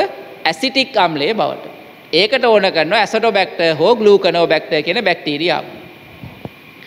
මේක මාකින්න එක මං ගරුප එකට දානිසා ලියන්න කාලිගන්නෑ මධ්‍යසාර පැසීම තමයි මුලින්ම වෙන්ඩෝනි. නැත්තං එතනෝල් නිපදවීම තය මුලින්ම වෙන්ඩෝනි. එතොට ඒකට සැකරමයිසි සෙරිවිසිය ඕනි. ඊට පස්සේ ඇසිටික් අම්ලේ බවට පත් කරන්න ඕන ඒකට ඇසටෝ බැක්ට හෝ ගලූකනෝ බැක්ට ඕන් පොයින්ස් හතරයි. තැන්දී හතරයි හයයි අටයි දහයයි එකොළහයි දොළහයි දහතුනයි. මෙතන නවෙන් යුනිට් එකට නවෙන් යුනිට් එක නෑ. නවෙන් යුනිට් එකට 13ක් තියෙනවා පොයින්ට්ස් 13 වැඩි කිරීම දෙකමාර බෙදීම 20 ඒ කියන්නේ ලකුණු 1.5ක් විතර තියෙනවා. හතරවෙනි ප්‍රශ්නේ අන්තිම ප්‍රශ්නේ බලන්න. අපි ප්‍රවේණිය සඳහා හේතු වන සංඥා වර්ග දෙක මොනවාද? අපි ප්‍රවේණිය ආවේනිගත වන සංඥා. පාරිසරික සාධක මගින් ඇති කරනු ලබන සංඥා. මොකක්ද ළමයි අපි ප්‍රවේණිය කියලා කියන්නේ? සාමාන්‍යයෙන් ලක්ෂණයක් තීරණය කරන්නේ ජානමය ලක්ෂණ වලින් විතරක් නෙවෙයි. ජානමය ලක්ෂණ වලට කවුරු බලපානවද? පරිසර සාධකත් බලපාන. එතකොට ජානමය ලක්ෂණයකට පරිසර සාධක බලපෑම නිසා එම ජානමය ලක්ෂණය ප්‍රකාශ වීම හෝ ප්‍රකාශ වීම යටපත් වීම තමයි අපි ප්‍රවේණිය කියලා කියන්නේ. ඔකට හොඳම උදාහරණය තමයි ඔය බීනෝන් මාදේ. සමහර සර්ව සම නිවුන්නු ඉන්නවා ඒගොල්ලන්ගෙන් එක්කෙනෙට බීනෝන් මාදේ තියෙනවා අනිත් කෙනාට නැහැ.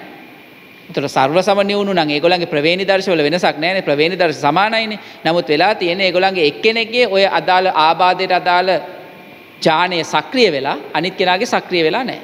ඒතර ඒ සක්‍රිය වීමට බලපාලා තියෙන මොකද්ද? පරිසර සාධකයක්. ඕක තමයි අපි ප්‍රවේණී කියලා කියන්නේ. හරිද? එහෙනම් එන්න ඕනේ ආවේනිගත සංඥා ඊළඟට පාරිසරික සාධක. පොයින්ට්ස් දෙකයි. ඇතැම් පොලිපෙප්ටයිඩවල ඇති සංඥා පෙප්ටයිඩවල ප්‍රධාන කෘත්‍යයන් සඳහන් කරන්න. ඇතැම් පොලිපෙප්ටයිඩවල ඇති සංඥා පෙප්ටයිඩවල ප්‍රධාන කෘත්‍යයන්. සෛල තුළ නිශ්චිත ස්ථානවලට පොලිපෙප්ටයිඩ යොමු කිරීම පොලිපෙප්ටයිඩ ශ්‍රාවය වීමට මඟ පෙන්වීම ප්‍රෝටීන ගමනාගමනය. ඕක තියෙන කොතන දන්නවද? ප්‍රෝටීන සංශ්ලේෂණයේ අන්තිම කෑල්ලේ තියෙනවා ප්‍රෝටීනය විකරණය වෙන්නේ කොහොමද කියලා. අන්න එතන තියෙනවා ඔය පොලිපෙප්ටයිඩ් දාමයක් හැදුනට ඔය පොලිපෙප්ටයිඩ් දාමේ තියෙන ඔක්කොම ප්‍රෝටීනයට යන්නේ නැහැ. සමහර ඒවා කෑලි අයින් කරනවා කියලා. අන්න එතන තමයි මේ කතාව ගැන කියන්නේ. හරිද? එතකොට සමහර ප්‍රෝටීන වල තියෙනවා පොලිපෙප්ටයිඩ් දාමේ ඒ ප්‍රෝටීනේ හැදිලා ඒ ප්‍රෝටීනේ කොතනටද යන්න ඕනේ කියලා සංඥාව තියෙනවා උතන. එතකොට එතනට ගියාට පස්සේ සංඥාවෙන් වැඩක් නැහැ නේ. ඒක ගලවලා අයින් කරනවා. ඒ වගේ. දැන් ওই සමහර ප්‍රෝටීන තියෙනවා ක්‍රියාකාරී වෙන්න මැද කෑල්ලක් අයින් කරන්න. එතකොට දිග පොලිපෙප්ටයිඩ් දාමේ හැදෙනවා. ඒ පොලිපෙප්ටයිඩ් දාමේ මැද තියෙනවා අක්‍රිය කෑල්ලක්. ඒක කපලා අයින් කරන්න ඕනේ. අයින් කරාට පස්සේ දෙක සෙට් වුණාට පස්සේ ක්‍රියාකාරී ප්‍රෝටීනේ හැදෙන්නේ. හරිද? ඕක ගැන තමයි ඔය කියන්නේ. ප්‍රෝටීන සංශ්ලේෂණයේ පාඩමේ අන්තිම කෑල්ල බලන්නකෝ. 7 වෙනි යුනිට් එකේ. සෛල තුළ නිශ්චිත ස්ථානවලට පොලිපෙප්ටයිඩ් යොමු කිරීම පොලිපෙප්ටයිඩ් ශ්‍රාවය වීමට මඟ පෙන්වීම ප්‍රෝටීන ගමනාගමන. එකයි ලියන්න ඕනේ. රූප සටහනේ දී ඇති අණුව හඳුනාගෙන P හා Q ලෙස ලකුණු කර ඇති කොටස් නම් කරන්න. මේ දීලා තියෙන්නේ tRNA අණුවක්. එතකොට මේකේ P කියලා කියන්නේ මොකද්ද? ඇමයිනෝ අම්ල සම්බන්ධ වන ස්ථානය. P කියන්නේ ඇමයිනෝ අම්ල සම්බන්ධ වන ස්ථානය. Q කියන්නේ Q කියන්නේ ප්‍රතිකෝඩෝණය. Q කියන්නේ ප්‍රතිකෝණය. පොයින්ට්ස් තුනයි. එක් ජීවියෙකුගෙන් ලබාගත් ඥානය වෙනත් ජීවියෙකුට ඇතුල් කළ විට එකම පොලිපෙප්ටයිඩය ප්‍රකාශ කිරීමට ඉඩ සලසන ප්‍රවේණීකේතයේ ගුණාංගය මොකක්ද? සර්වත්‍ර භාවය. සර්වත්‍ර භාවය. ශාක සෛලයක් තුළ වෙන වචන නෑ ඒක ඉතින් කෙලිම ලියන්න ඕන සර්වත්‍රයි. හරිද? ශාක සෛලයක් තුළට ආගන්තුක DNA අණුවක් ඇතුල් කිරීම සඳහා භාවිතා කරනු ලබන ක්‍රම දෙකක් සඳහන් කරන්න. එකක් තමයි ඕ ශාක වෛරස් වාහකයක් මගින් පරාසාධනය කරන්න පුළුවන්. ජාන තුවක්කුවක් භාවිතා කළ යවන්න පුළුවන්. ඇග්‍රෝබැක්ටීරියම් මාධ්‍ය ජාන හුවමාරුව භාවිතා කරන්න පුළුවන්. DNA පිටපත් රැසක් ධාරක සෛල සමග මිශ්‍ර කරලා පරිනාමනය කරන්න පුළුවන්. ඕකේ අර මේ ධාරක සෛලයක් තුළට බැක්ටීරයා ගමන් කිරීම කියලා ක්‍රම තුනක් තියෙනවානේ. මොකද්ද ක්‍රම තුන? පරාසාදනය, පරිණාමනය සහ ජානතුවක්ව ඒ තුනෙන් එකක් ලිව්වත් හරි. ඊට අමතරව ශාකවලට වෙනම තියෙනවනේ අර TI ප්ලාස්මිඩයක් කරා ඇග්‍රෝබැක්ටීරියම්ගේ තියෙනවනේ TI ප්ලාස්මිඩ කියලා එකක්. ඒක භාවිතා කරන්න පුළුවන්. ඒ තුන තමයි දීලා. හතර තමයි දීලා. හතරෙන් කැමති දෙකක්. එතකොට ලකුණු තියෙන්නේ 2යි 3යි 4යි 5යි 6යි 7යි 9යි. ඔන්න මේ දෙකටම 6යි 7යි කියන දෙකටම තියෙන ලකුණු 9යි. පොයින්ස් නම දැන් ඔයාලට දැන් මේක මං කියලා කියලා දැන් 2019 20 21 කළා ඔයාලට තේරෙනවනේ. 7 වෙනි යුනිට් එකෙන් ඇති ලකුණක් එන්නේ නැහැ. 7 වෙනි යුනිට් එක පාඩම් කරගන්න ඕනේ. 7 වෙනි යුනිට් එක මත නැහින්න එපා කරගන්න අමාරුයි කියලා හිතුනොත්. එතන ලකුණු එන්නේ බොහොම පොඩි ප්‍රමාණයක්. හරිද? මෙතන MCQ 5යි පහිනොත් 6 වෙනි යුනිට් එකෙන් දෙකක් තියෙනවා. එතකොට 3යි ඉතුරු වෙන්නේ. මෙතනත් මෙතන ලකුණු නමයයි කියලා කියන්නේ මේ එක ලකුණ එක ලකුණකුත් නැහැ මෙතන. ලකුණු නමයයි කියලා කියන්නේ එකක්වත් නැහැ නේ එකක් දශම ගානක් නෙන්නේ මෙතනට. එතකොට ওই ටික ලකුණු හතරයි නෙන්නේ. හරිද? එතකොට ඔයා පස්වෙනි යුනිට් එක පාඩම් කරන්නේ නැතුව හත මට නැහින්න එපා. පහ ඉවර කරගන්න. පහට ලකුණු 30ක් තියෙනවා. හතර තියෙන ලකුණු 3යි. ඕ හතරයි. පැහැදිලිද කියන එක? දැන් රචනාපේ ප්‍රශ්නේ අපිට අතාරින්න පුළුවන් නේ. රචනා ප්‍රශ්න කරන්න ඕනේ නැහැ. හරිද? ඒ නිසා අර හත්වෙනි යුනිට් එක අලුත් ප්‍රවණතාවයන් ඔයා දැනගන්න ඕන නිසා සිලබස් එකට දාලා තිබුණාට මේ තරගකාරී විභාගයකදී හත්වෙනි එක මට නතන්න එපා. ඒක ටිකක් පාඩම් කරන්න අමාරුයිනේ. හරිද? ඊට වඩා ලේසි මේවැන් ලකුණු ගන්න එක. දැන් මේක බලන්නේ නැති කෙනා මේ දැන් සමහරවිට මේ ටික ඔක්කොම හොඳට කරපගත්ත කෙනත් හත්වෙනි යුනිට් එක බැරි නම් හූල්ල හූල්ල ඇති. හරිද? අයියෝ හත බෑනේ. ඒතකොට එයාට හත බෑ කිය කියලා ටික දවසක් යනකොට ඔළුවට යන්නේ මුළු බයෝම බෑ කියලා. හරිද? එහෙම නෙවෙයි ඔයා බලන්න ඕනේ මෙන්න මේ පහ ඉවර කරන්න. ඊට පස්සේ හතර ඉවර කරන්න. ඊට පස්සේ දෙක ඉවර කරන්න. කෙලින්ම B එකකට ලකුණු තියෙනවා. හරිද? අනිවාර්යෙන් මේ තුනෙන් විතර B එකක් ගත හැකියි. හරිද? ඊට පස්සේ තුන මේ මේ වේ ලකුණු වෙනවා. 8 7 අනිවාර්යෙන් 8 9 10න් එක රචනාවක් ලියන්න එපේ. 8 9 10න් රචනා එකක් හෝ දෙකක් ලියන්න ඕන. පහේ රචනාව ලියන්න ඕන. හරිද? ඊළඟ දෙකේ රචනාව ලියන්න ඕන. හරිද? එතකොට ඉතින් මේකේ රචනාව ලියන්න ඕනේ හරිද? ඒ නිසා මේ ඒ විදිහට ලෑස්ති වෙන්න. හරිද? පේපර් එක හොඳට අධ්‍යයනය කළා Tamanට කරන්න පුළුවන් දේ බලලා ඒ දේ අනුව ලෑස්ති වෙන්න. එතකොට ඔයාට ඔළුවටත් නිදහසක් එනවා. පාඩම් කරන්නත් ආස හිතෙනවා. බැරි එකක් මත එල්ලෙන්න එපා. ඉතින් ඔයාට පුළුවන් වුණොත් ඉතින් ටිකක්. දැන් මේවා හත හත්වෙනි පාඩම මෙලෝ දෙයක් කරන්න නැතුව යන්නේ නැහනේ. බලනවනේ යම් ප්‍රමාණය. ඒකෙන් සමහරක් වෙලාවට MCQ එක ගොඩ දා ගන්න පුළුවන් වෙන්න උන. MCQ එක ගොඩ දැම්මොත් ඉතින් එතන ලකුණු ඒ ලකුණත් ඇවිල්ලානේ. හරි? ඊළඟ. නිරක්ෂයට වඩාත්ම සමීපව පිහිටා ඇති බියෝම තුන නම් කරන්න. නිරක්ෂයට ළඟම ඉන්නේ අපිනේ. අපිට තියෙනවා නිවර්තන වැසි වනාන්තර සවානා කාන්තාර. කාන්තාර අපිට නෑ ඉතින්. නිවර්තන වැසි වනාන්තර සවානා කාන්තාර. ඉතින් නිවර්තන නිරක්ෂයට සමීපව කියලා කියන්නේ නිවර්තන කලාපේ. නිවර්තන කලාපේ බියෝම තියෙන තුනයි. ওই තුන තමයි. ලකුණු තුනයි. විල්ලුව ප්‍රමුඛ වෘක්ෂලතාදිය ආකාර දෙක. විල්ලුවල තියෙන තෘණ සහ රළු තෘණ. තෘණ සහ රළු තෘණ. ලකුණු දෙකයි. ශ්‍රී ලංකාවේ විල්ලු බහුලෝ දැකිය හැකි ප්‍රධාන ස්ථාන දෙකක්.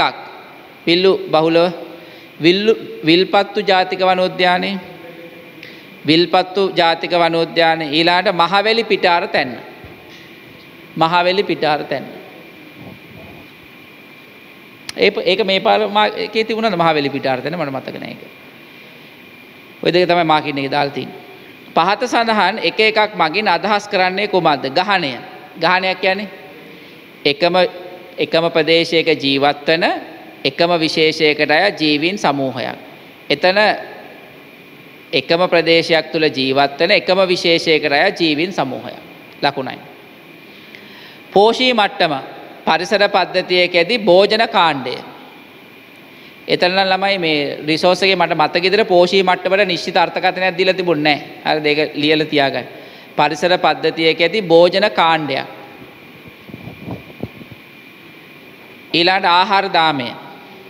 ආහාරදාමයක් ගැන පරිසර පද්ධතියක ප්‍රාථමික නිෂ්පාදකයන්ගෙන් ආරම්භ වෙලා එක් එක් පෝෂී එක් පෝෂී මට්ටමකින් තවත් පෝෂ ඊළඟ පෝෂී මට්ටමට පෝෂක හා ශක්තිය මාරුවන ජීවීන්ගේ අනුක්‍රමණය රේකී අනුක්‍රමණය. පරිසර පද්ධතියක ප්‍රාථමික නිෂ්පාදකයන්ගෙන් ආරම්භ වෙලා එක් එක් පෝෂී මට්ටම් අතර පෝෂණය හා ශක්තිය මාරුවන ජීවීන්ගේ රේකී අනුක්‍රමය ලකුණයි. ශ්‍රී ලංකාවේ වැව් තුළ දැකිය හැකි ආක්‍රමණික ආගන්තුක ශාක දෙකක්. එක්කෙනෙක් ජපන් ජබර නැත්තං අයිකෝනියා අනිත් එක්කෙනා සැල්වීනියා. එතන නම් දෙකම සිංහලෙන් ලිවට කමක් නෑ කියලා තියෙනවා. ජපන් ජබරඉතින් කෝම නමෙන් සැල්වීනියත් සිංහලෙන් ලිවට කමන්නේ ලකුණු දෙකයි. ශ්‍රී ලංකාවේ සුලබ මුහුදු තෘණ ගණ දෙකක් නම් කරන්න. හැලෝ ඩුලේ හැලෝ ෆයිලා. එතන දැන් ඕකලගේ මේ සත් මේ අටවෙනි යුනිට් එකේ රිසෝස් බුක් එකේ අන්තිමටම අන්තිමටම ගහලා තියෙනවා මොකක්ද දන්න වාක්‍යයක් සිංහල විද්‍යා ඒ කියන්නේ සිංහල නම් දී නැත්නම් විද්‍යාත් නම් පාඩම් කළ යුතුයි කියලා. ඒක දැන් මුලදි ගහලා තියෙනවානේ විද්‍යාර්ථ නම ඕනේ නැහැ විද්‍යාර්ථ නම ඕනේ නැහැ විද්‍යාර්ථ නම ඕනේ නැහැ කියලා මුලින් ගහලා තියෙනවා. හැබැයි අන්තිමටම ගහලා තියෙනවා අන්තිම නෝට් එක සම්පූර්ණයෙන් ඉවර කරලා අන්තිමට ගහලා තියෙනවා යම් යම් එකකට විද්‍යා සිංහල නමක් දීලා නැත්තම් විද්‍යාත්ම නම පාඩම් කරන්න ඕනේ කියලා. දැන් ඔය හැලෝ ඩුලේ සහ හැලෝ ෆයිලා කියන එකට සිංහල නම් නැහැනේ. ඒතර විද්‍යාත්මක නම් දෙක විතරයි තියෙන්නේ. ඒතර මේකේ කියනවා විද්‍යාත්මක නීති බලපානවා කියලා එතනට. ඒතර විද්‍යාත්මක නීති වලට ලියන්න ඕනේ. ඒ කියන්නේ ස්පෙලිං වැරදි නම් ලකුණු දෙන්නේ නැහැ. යටින් ඉරක් ඇඳලා නැත්තම් ලකුණු දෙන්නේ නැහැ. ඔන්න ඒව මතක තියාගන්න. සිංහල නමක් තියෙනවා නම් සිංහලෙන් ලිව්වට කමක් නැහැ. විද්‍යාත්මක නම නම් ලියන්නේ. ඔයා මොන හේතුවක් නිසා හෝ විද්‍යාත්මක නම ලියනවා නම් විද්‍යාත්මක නමට අදාළව හරියටම ලියන්න. ස්පෙලිං හරියට ලියන්න යටින් ඉරක් අඳින ඒවා හරියටම කරන්න. කොරල් පර මුහුදේ වැසි වනාන්තර ලෙස සලකන්නේ ඇයි? ඉහළ නිෂ්පාදකතාවයයි අධික විවිධත්වයයි. ඉහළ නිෂ්පාදකතාවය සහ අධික විවිධත්වය. පොයින්ට්ස් දෙකයි. ජෛව විවිධත්වය මගින් සැපේන වැදගත් පාරිසරික සේවා පහක් ගොඩක් තියෙනවන පහක් ලියන් ප්‍රභා සංස්ලේෂණය පෝෂණ චක්‍ර ජලචක්‍රයේ පවත්වා ගැනීම පස සෑදීම පාංශුකාදනය වැලැක්වීම දේශගුණය පාලනය කිරීම ජලය පිරිසිදු කිරීම පරාගණය. කාබන් ඩයක්සයි තිර කියන නැත්තම් ප්‍රභා සංශ්ලේෂණය පෝෂණ චක්‍ර ජල චක්‍රය පවත්වා ගැනීම පස සෑදීම පාංශුකාදනය වැලැක්වීම දේශගුණය යාම පාලනය කිරීම ජලය පිරිසිදු කිරීම පරාගනය ඕනම පහක් ලියන් කාන්තාර කරණය සඳහා දායක වන මානව ක්‍රියාකාරීත්වයන් පහක් වනහායනය නැතම් වනාන්තර විනාස කිරීම ජල අධි පරිභෝජනය එතන ළමයි අධි කියන වචනේ තියෙන්න ඕනේ නැත්නම් ලකුණු දෙන්නේ නැහැ. ජලයේ පරිභෝජනයේ ලකුණු දෙන්නේ නැහැ. ජල අධි පරිභෝජන නැත්නම් අධික ලෙස භාවිතා කිරීම. පස අධි පරිභෝජන. එතරම් එහෙමයි. පස අධික ලෙස භාවිතා කිරීම. අධි කියන වචනේ තියෙන්න ඕනේ. පාලනයකින් තොර කැණීම. කෘෂි රසායනික අධික භාවිතය. දුර්වල භූමි කළමනාකරණය. ඕනම පහක්. වනහායනය. ජල අධි පරිභෝජනය. පස අධි පරිභෝජනය. පාලනයකින් තොර කැණීම. කෘෂි රසායනික අධික භාවිතය දුර්වල භූමි හායන. පරිසර සංරක්ෂණය සඳහා නීතිරීති සහ ප්‍රතිපත්ති රැසක් ශ්‍රී ලංකා රජය මගින් ප්‍රකාශයට පත් කරනු ලැබ ඇත. නීති පද්ධතියක් සහ ප්‍රතිපත්ති යනුවෙන් අදහස් කරන්නේ මොනවද නීති පද්ධතියක් කියන රෙගුලාසි. එතොට ඒව උල්ලංඝනය කරොත් මොකක් වෙනවාද දඩුවම් කරන්න පුළුවන්. ප්‍රතිපත්ති කියල කියන්නේ අනුගමනය කරන්න ඕනේ ක්‍රියාමාලාවක්. ඒක කැඩුව කියලා එකට අදාළව නීතිමය ක්‍රියාමාර්ග ගන්න බෑ. එතකොට ඔයා ලියලා තියෙනවා නම් නීති නීති පද්ධතිය උල්ලංඝනය කළ විට දඬුවම් ලැබේ. ප්‍රතිපත්ති වලට ක්‍රියාත්මක නොකළ විට දඬුවම් නොලැබේ. ඒත් හරි. ඒ දෙක තමයි ලියන්න ඕනේ.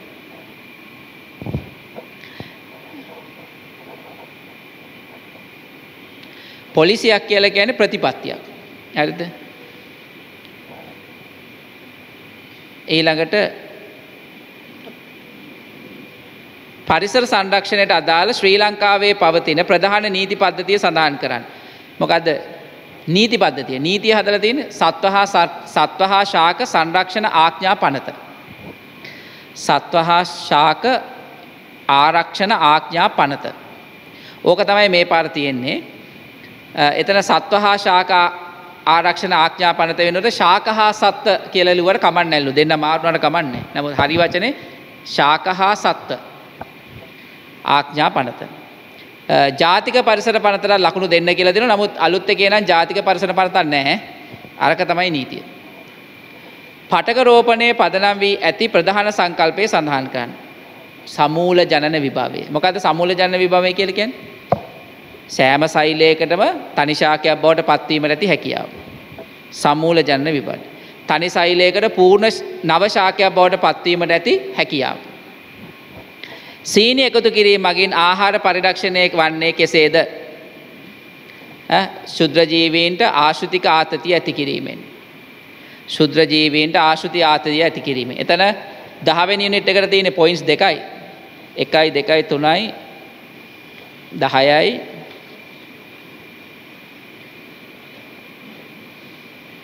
දහතුනයි පහළවයි දාහතයි දහනමයයි විස්සයි විසි එකයි විසි දෙකයි විසිතුනයි විසි හතරයි විසිපහයි විසිහයයි ඔතිහක් ලකුණු තියෙනවා අටවෙනි යුනිට් එකට පොයින්ස් 30ක් තියෙනවා. නවවෙනි යුනිට් එකට පොයින්ස් 13යි. ඊළාට මේ අන්තිම 10 වෙනි යුනිට් එකකට පොයින්ස් දෙකක් දීලා තියෙනවා. හරි. රචනා ප්‍රශ්න පහ මාකින් බලන්න මම මේ සම්පූර්ණ මාකින් එක ඕගලන්ට අද හෝ හෙට දාන්නම් මේ එකට. ඔන්න දැන් අපි පේපස් තුන සාකච්ඡා කළ ඉවරයි. ලබන සතිය අපි සාකච්ඡා කරන්නේ 19 මොඩල් පේපර් එකේ MCQ පේපර් එක. හරිද? එතකොට අපි ඒක දැන් ගිය සතියේ සඳුදායි බදාදායි ලියවුව පන්තියේ. ඒ ලියවපු අයගේ පේපර් බලලා හම්බෙනවා. ලියපු නැති අය මේ බලන්න අහලා ආයතන ඉතුරු වෙලා තියෙනවා නම් පේපර් එකක් ඉල්ල ගන්න. එහෙම නැත්නම් පේපර් එකක් හොයාගන්න වෙනවා. බලන්න ඇති ඇති ඉතුරු වෙලා ඇති ඉල්ලගන්න. හරි. එහෙනම් ගිහිල්ලා